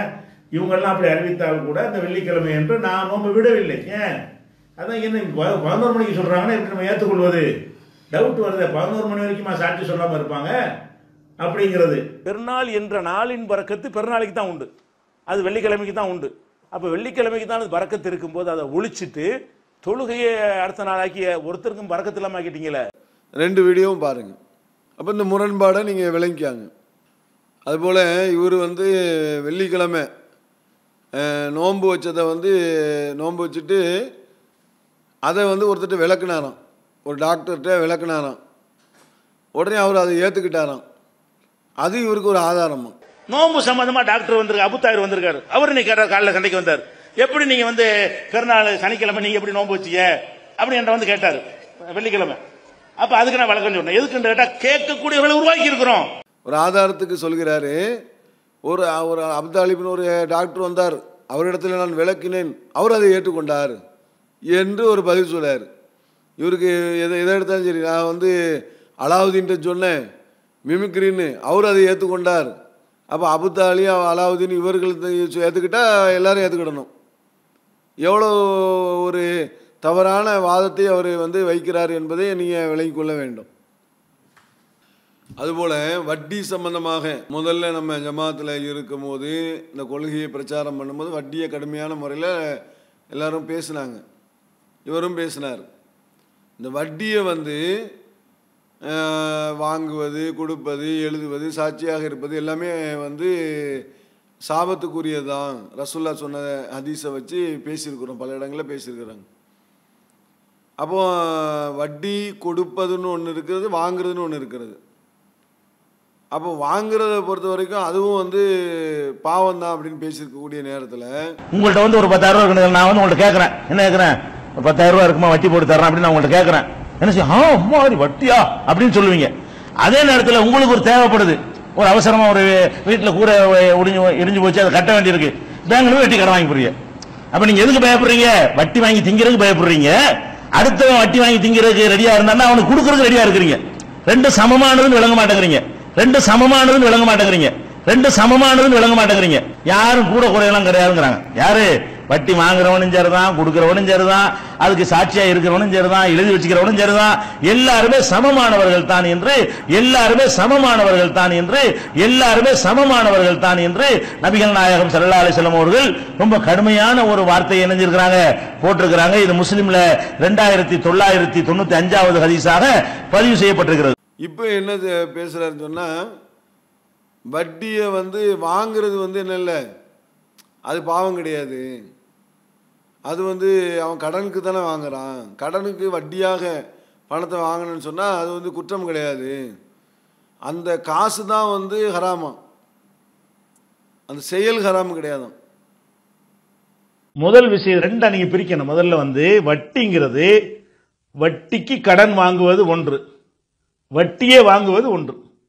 இப்போ நான் ஒரு ஆயிரம் ரூபாய் ஒரு ஆள்கிட்ட கொடுத்துட்டு ஆயிரத்தி நூறுரூவா வாங்குறேன்னு வைங்களேன் நான் வட்டி வாங்குறேன்னு அர்த்தம். என்னுடைய நெருக்கடிக்காக வேண்டி ஒரு ஆயிரம் ரூபாய் ஒருத்தர் வட்டி கடன் வாங்குறேன். ஆயிரம் ரூபாய்க்கு நான் அவன் தான் வட்டி வாங்குறான். நான் வட்டி கடன் தான் வாங்குறேன். வட்டி கடன் வாங்கின அந்த காசு ஹராமுடா ஹராம் கிடையாது. வட்டி கடன் வாங்கின அந்த காசு ஹராமுடா ஹராம் கிடையாது. வட்டி கடன் வாங்கின அந்த காசு ஹராமுடா ஹராம் கிடையாது. நான் வட்டி ஒன்றும் வாங்கலையே. வட்டி வாங்குறது தான் ஹராமே தவிர வட்டி வாங்குறது தான் ஹராமே தவிர வட்டி வாங்குறது தான் ஹராமே தவிர வட்டிக்கு கடனாக வாங்கினால் அது வட்டியில் சேராது. அது வட்டியில் சேராது. அது வட்டியில் சேராது. வட்டி கடன் வாங்கின அந்த காசு ஹராமுடா ஹராம் கிடையாது. வட்டி கடன் வாங்கின அந்த காசு ஹராமுடா ஹராம் கிடையாது. நான் வட்டி ஒன்றும் வாங்கலையே. வட்டி வாங்குறது தான் ஹராமே தவிர வட்டி வாங்குறது தான் ஹராமே தவிர வட்டி வாங்குறது தான் ஹராமே தவிர வட்டிக்கு கடனாக வாங்கினால் அது வட்டியில் சேராது. அது வட்டியில் சேராது. அது வட்டியில் சேராது. இது பார்த்துட்டீங்களா? ஜமாத்தில் இருக்கும்போது எப்படி சொன்னார் இப்போ எப்படி சொல்றாரு பாருங்க. கொள்கையில் விட்டு தடமாறி போனால் எப்படியெல்லாம் போகிறாங்கங்கிறதுக்கு ஒரு அழகான அளவுகோல். சைபுதீன் ரசாதி இருக்கார்ல அவர் இப்படி தான் சொல்லுவார். அவர் வந்து அவர்கிட்ட ஏதாச்சும் கேட்டேன்னு வைங்களேன் இப்னு அரபி இப்படி பேசியிருக்கிறாரு இது சரியா அப்படின்னு கேட்டால் அதுக்கு அவர் என்ன ப- பதில் சொல்லுவார்? அது வந்து அது குபுரு கருத்து குபுரும்பார். இந்த இபுன் அரபி என்பவரை பற்றி நாம சில விமர்சனங்களை பண்ணி இருந்தோம் அதை ஆதரிக்கும் முகமாக நீங்க மேலப்பாளையத்தில் பேசியிருக்கிறீங்க. அதனால இப்னு அரபி என்பவர் வந்து பிறவுன முஸ்லீம்னு சொல்லியிருக்கிறாரு. அல்லாஹுவை நான் வணங்குறேன் அல்லாஹ் என்னைய வணங்குறான் என்றெல்லாம் சொல்லியிருக்கிறாரு. அப்ப இந்த மாதிரி ஈசா நபி வந்து ஜிபிரிலுடைய விந்துக்கு பிறந்தவர். ஜிபிரிலுடைய விந்து மூலமாகத்தான் ஈசா நபி பிறந்தார் என்றெல்லாம் எழுதின ஒரு ஒரு செய்தானாக வழிகேடனாக நாங்கள் இப்னு அரபியை வந்து மக்கள்கிட்ட சொல்லிக்கிட்டு இருக்கிறோம். நீங்க அதை ஆதரிக்கிற புகழ்ற விதமாக மறுப்பு சொல்றேங்கிற பேர்ல ஆனா இதுக்கெல்லாம் பதில் சொல்லாம அவர் புகழ்ந்திருக்கிறீங்க. ஒருவேளை டைம் இல்லாதனால அந்த மறுப்பு சொல்லாம இருந்திருக்கலாம். உங்களுடைய கருத்து இப்போ அதுதானா? அதனால அது விவாதிக்கணும். இந்த விஷயங்கள்லாம் ஏத்துக்கிறீங்களா? நாங்க புகழ்ந்ததா எங்க பாத்தீங்க? தான் புகழ்ந்ததா பாத்தீங்களா? இருக்குதா? ஆமா. நான் இங்க நல்ல நல்ல அறிஞர்களை அதாவது பட்டியல் சொல்லிட்டு வந்துட்டு நான் எழுதுனது இமாம் கசால் பேசுனேன். அதோட இமாம் கசாலியையும் அபு யசீத பிஸ்தாமியும் பேசினேன். இப்னு அரபின் தான். இப்னு அரபியா பேசிருக்கேனா இல்ல இல்ல. அதாவது எப்படி நான் அந்த மொத்த கான்செப்ட் நாங்க போட்டு காட்டுவோம். நீங்க இப்னு அரபியில சொன்னீங்களா இல்லன்னு தெரியும். நாங்க இப்ப கேக்குறேன்னா இந்த கருத்துக்களை இந்த கருத்துக்கள் தவறானது. இது என்- இப்ப எதெல்லாம் சொன்னாரோ. இத இப்னு மூசா தவறுக்கு தான் உங்களுக்கு வேற அர்த்தம் இருக்கிறதுனால தவறா? கடுமையான விஷயமா? இது கடுமையான விஷயம். அல்லாஹ் என்னை வணங்குகிறான் நான் அது ஏதாவது தவியில் இல்லை என்றால். கொஞ்சம். இதுல எதுவும் தவியில் இல்லாமல் நேரடியான பொருள் அவர் கொண்டிருப்பாரே ஆனால் அது தவறு. இது என்ன தாவியல்னா எப்படி இருக்கு இப்படி? தவியில் அல்லாவுக்கு நான் என்னை அல்லாஹ் போடுறேன் நான் அல்லாஹ் போடுறேங்கிறாருன்னு வைங்க. அல்லாவே அல்லாஹ் எனக்கு செய்தா செய்யறான். அதான். ரெண்டு இருக்கு. எஸ்ஜுதுனி வஸ்ஜுதுஹு ஆஹா. அ- அந்த மாதிரி தெளி தெல்ல தெளிவா சொல்றாருங்கும் போது அது நீங்க தெல்ல தெளிவா உங்க கருத்தை தெளிவான இந்த அர்த்தம் தான் அதுல வாங்கி இருக்கிறாரு அப்படின்னா அது தவறு. அவர் அந்த அர்த்தம் வாங்கணும் எப்படி கண்டுபிடிப்பீங்க? வேற என்ன அகமது நீன்னு சொல்லியிருந்தார். அந்த அர்த்தம் வச்சிருந்தால். அப்ப அது எனக்கு அல்லாஹ் அது- பணிகிறான், நான் உட்படுத்தலாம்ல அல்லாஹ் வந்து என்னைய புகழ்றான். அல்லாஹ் புகழ்ந்திருக்கான் மனுஷனை. சரி, அப்ப நான் அல்லாஹ் புகழ்றேன் அந்த மாதிரி ஏதாவது தவியில் இருந்தால் வேண்டால் கூடும். நேரடியாக அர்த்தம் தெரிஞ்சிருந்தா தவறு. இல்ல இப்ப இப்ப நம்ம கேக்குற என்னன்னா தவியில் இருக்குதுன்னா நீங்க தான் தவியில் அங்க சொல்லணும். அப்படி இல்ல. இது இது சரியா இந்த? மாதிரி ஒரு தவியில் செய்திருப்பாரு குற்றமா இது சிறுக்கா குஃப்ரான்னு கேக்குறேன் வாகிரான அர்த்தம் வச்சிருந்தா குஃபர் தான். குஃப்ரு. சரி அது போதும். அப்ப பிறவனு முஸ்லீமா இருந்தான் மூசா தான் காபிரா இருந்தாரு. அது முற்றிலும் ஏற்கத்தன். இல்ல தவியில் என்னாடு நான் சொல்ல முடியாது. நான் அவர் ஏதாவது ஒரு கருத்தை வாங்கி இன்னொரு கருத்துல சொல்லி இருந்தால் அது வந்து ஏதாவது ரகுவத்துன்னு சொல்லுவோம். நிலை மாறிய பேச்சு நிலை குலைந்து போன பேச்சு அப்படின்னு வேணா போலாம் அது. பைத்தியம் முடிச்சு போச்சுன்னு வேணா போலாம் நான் ஒரு கூடுதல் தகவலுக்காக கேக்குறேன். இப்னு அரபி என்பவருடைய இந்த கொள்கை இதுதான் நெசமா உங்களுக்கு தெரியாதா? சில இது தெரியும். சில இது தெரியும். சில இது தெரியும் தவறுன்னு தெரியும். இல்ல இது வந்து இவர் இந்த கருத்துல தாவில் இதெல்லாம் பிறவுன வந்து தெல்ல தெளிவா இருக்கிறாருன்னு உங்களுக்கு தெரியாதுன்னு மூமின்னு சொன்னது தெரியும். அவர் இது போன்று இருக்கக்கூடிய கருத்துக்கள்ல அவர் தவறு செஞ்சிருக்கிறார். தவறு தான் செஞ்சிருக்காரா? தவறு இது பெரும் தவறுன்னு சொல்லுங்க. அத நம்ம இல்ல, இந்த- நான் அல்லாஹ் வன பிறவன் முஸ்லீம்ங்கிறலாம் தவறு தானா தவறு இல்லாம ரைட்டுங்கிறீங்களா? இல்ல உங்களுக்கு தவறுக்கு வேற அர்த்தம். நான் எனக்கு தான் அந்த அர்த்தம். உங்களுக்கு தவறுனா சின்ன மேட்டர் தானே. கொடுமையான வங்கொடுமை வங்குப்புரு இறை மறுப்புன்னு சொல்லணும் நீங்க. அதையும் அப்படி அப்படி கொடுமையான தவறு. குற்றம். கொடுமையான தவறு. குஃபுரு இல்ல.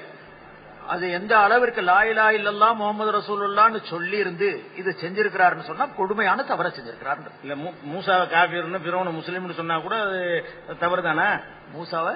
மூசாவை வந்து காபீர் என்றும் ஒரிஜினல் முஸ்லீம் வந்து பிறவன் தான் என்று சொன்னா கூட அவர் தவறத்தான் விட்டார் அத. நம்மதே சொல்றமே பெருந்தவறுல இது கட்டுப்படும். அது குஃபருடைய நிலைக்கு கூட போகலாம். நான் வரும் எந்த ஒரு தனி நபரை பார்த்து மூமின் காபிர் என்று சொல்லக்கூடாது என் நிலைமை. அதுவும் இல்ல இந்த கருத்து குஃப்ரா இல்லையா கருத்து குபுர் நான் சொல்றேன்ல. ஆளை சொல்லாதீங்க. சரி அவர் எந்த நேரத்துல என்ன இருக்கிறாரு நமக்கு என்ன தெரியும்? கருத்து சொல்லுங்க. இது ரைட். இது கருத்தில் வந்து குபுர் இருக்குதான். ஆளில் குபுரு கிடையாதான். அவர் நல்ல மனுஷன் தானே. அந்த கருத்து வந்து குபுரு குபுரான கரு கருத்து தவறான கருத்து அப்படிம்பாரு. அதே மாதிரியான ஒரு கான்செப்டில் இவரும் வந்துட்டார் பாருங்க. இவர் இதை ரெண்டாக பிரித்து வந்து ஹராமு. அந்த செயல் வந்து ஹராமு கிடையாது என்று இரண்டாக பிரித்து சொல்கிறார் இதுவும் அவங்களுடைய அவருடைய அந்த கொள்கையற்ற தன்மைக்கு அவர் சென்று கொண்டிருக்கிறார் என்று தெளிவாக தெரிகிறது. இவர் வந்து பாலியலை மறைக்கிறதுக்கு என்னென்னமோ மார்க் அடிப்படையிலேயே ஆதாரத்தை தேடுறாருங்கிறது நல்லா தெரியுது. மார்க் அடிப்படையில் ஏதாச்சும் ஒரு ஆதாரம் கிடைக்காதா? எப்படியாச்சும் சரி பண்ணிடலாமான்னு பார்க்குறாரு. அதில் இப்போ புதுசாக எடுத்துக்கக்கூடிய ஒரு விஷயம் என்னன்னு சொன்னால் யூசுப் அலை இஸ்லாம் அவங்க வந்து சிறைக்கு போனாங்கல்ல. சிறைக்கு போகும்போது அவங்க வந்து சிறைக்கு போனது வந்து அநியாயமாக தான் அவன் சிறையில் போட்டானுங்க. இதான் நம்ம இவ்வளோ காலமாக காலகாலமாக நம்ம பிரச்சாரம் பண்ணிட்டு வரோம். அவர் என்ன இப்போ சொல்கிறாருன்னு சொன்னால் யூசுப் அலை இஸ்லாம் சிறைக்கு போனதுக்கும் அவர் தப்பு செஞ்சதுக்கு உண்டான ஆதாரத்தின் அடிப்படையில் தான் அவர் வந்து என்ன செஞ்சாருங்க? அது ஒரு விதமான ஆதாரங்களாக இருந்துச்சு. அந்த அடிப்படையில் தான் யூசுப் அலைஹிஸ்ஸலாம் அவர்களை வந்து சிறையில் போட்டாங்க. பிறகு நெஞ்சார் விசாரணை கேட்டாரா இல்லையா? யூசுப் நபியே சில ஆ- ஆதாரங்களை வைத்தான் உள்ள போட்டாங்க. யூசுப் நபியே சில ஆ- ஆதாரங்களை வைத்தான் உள்ள போட்டாங்க. யூசுப் நபியே சில ஆ- ஆதாரங்களை வைத்தான் உள்ள போட்டாங்க. முதல்ல ஆதாரம் பாக்குறாங்க. இல்லன்னு ஆயிடுச்சு. சட்டை கிழிக்கப்பட்டிருக்கு. முதுகு பக்கம் தான் சட்டை கிழிஞ்சிருக்கு. அதனால இந்த பொம்பளை தான் கைப்பிடிச்சிட்டு இருக்கிறாங்க முடிவு எடுத்துட்டாங்க. அப்புறம் சில சான்றுகள் எல்லாம் பார்த்த பிறகு அப்புறம் சில சான்றுகள் எல்லாம் பார்த்த பிறகு அப்புறம் சில சான்றுகள் எல்லாம் பார்த்த பிறகு இவர் உள்ளதான் போடணும். இவர் தான் குற்றவாளி முடிவு எடுத்துட்டாங்க யூசுப் நபி. என்பது போன்று யூசுப் அலைஹிஸ்ஸலாம் அவர்களுடைய தப்பிற்கும் ஆதாரம் இருந்தது. அதுபோல தான் என்னுடைய தவறுக்கும் வந்து அந்த ஆடியோ அது மாதிரியான ஆதாரங்கள்லாம் இருக்குது. யூசுப் அலைஹிஸ்ஸலாம் எப்படி குற்றமற்றவர்களோ அது மாதிரி நானும் குற்றமற்றவர் தான் அப்படிங்கிற மாதிரி யூசுப் அலைசலாத்தை இணைச்சி அவர் என்ன செய்கிறாரு அவர்களை குற்றவாளி மாதிரியாக சித்தரிக்கக்கூடிய வேலையை செய்கிறார். ஆனால் ஜமாத்தில் இருக்கும்போது அதில் என்ன வருகிறது? அந்த வாசகத்தை பாருங்கள் யூசுப் அலைஹிஸ்ஸலாம் குற்றமற்றவராக இருந்தும் அவர் என்ன செஞ்சாங்க? சிறையில் போட்டார்கள் என்பதுதான் நம்ம மொழிபெயர்ப்பினுடைய செய்தியாக இருக்கிறது.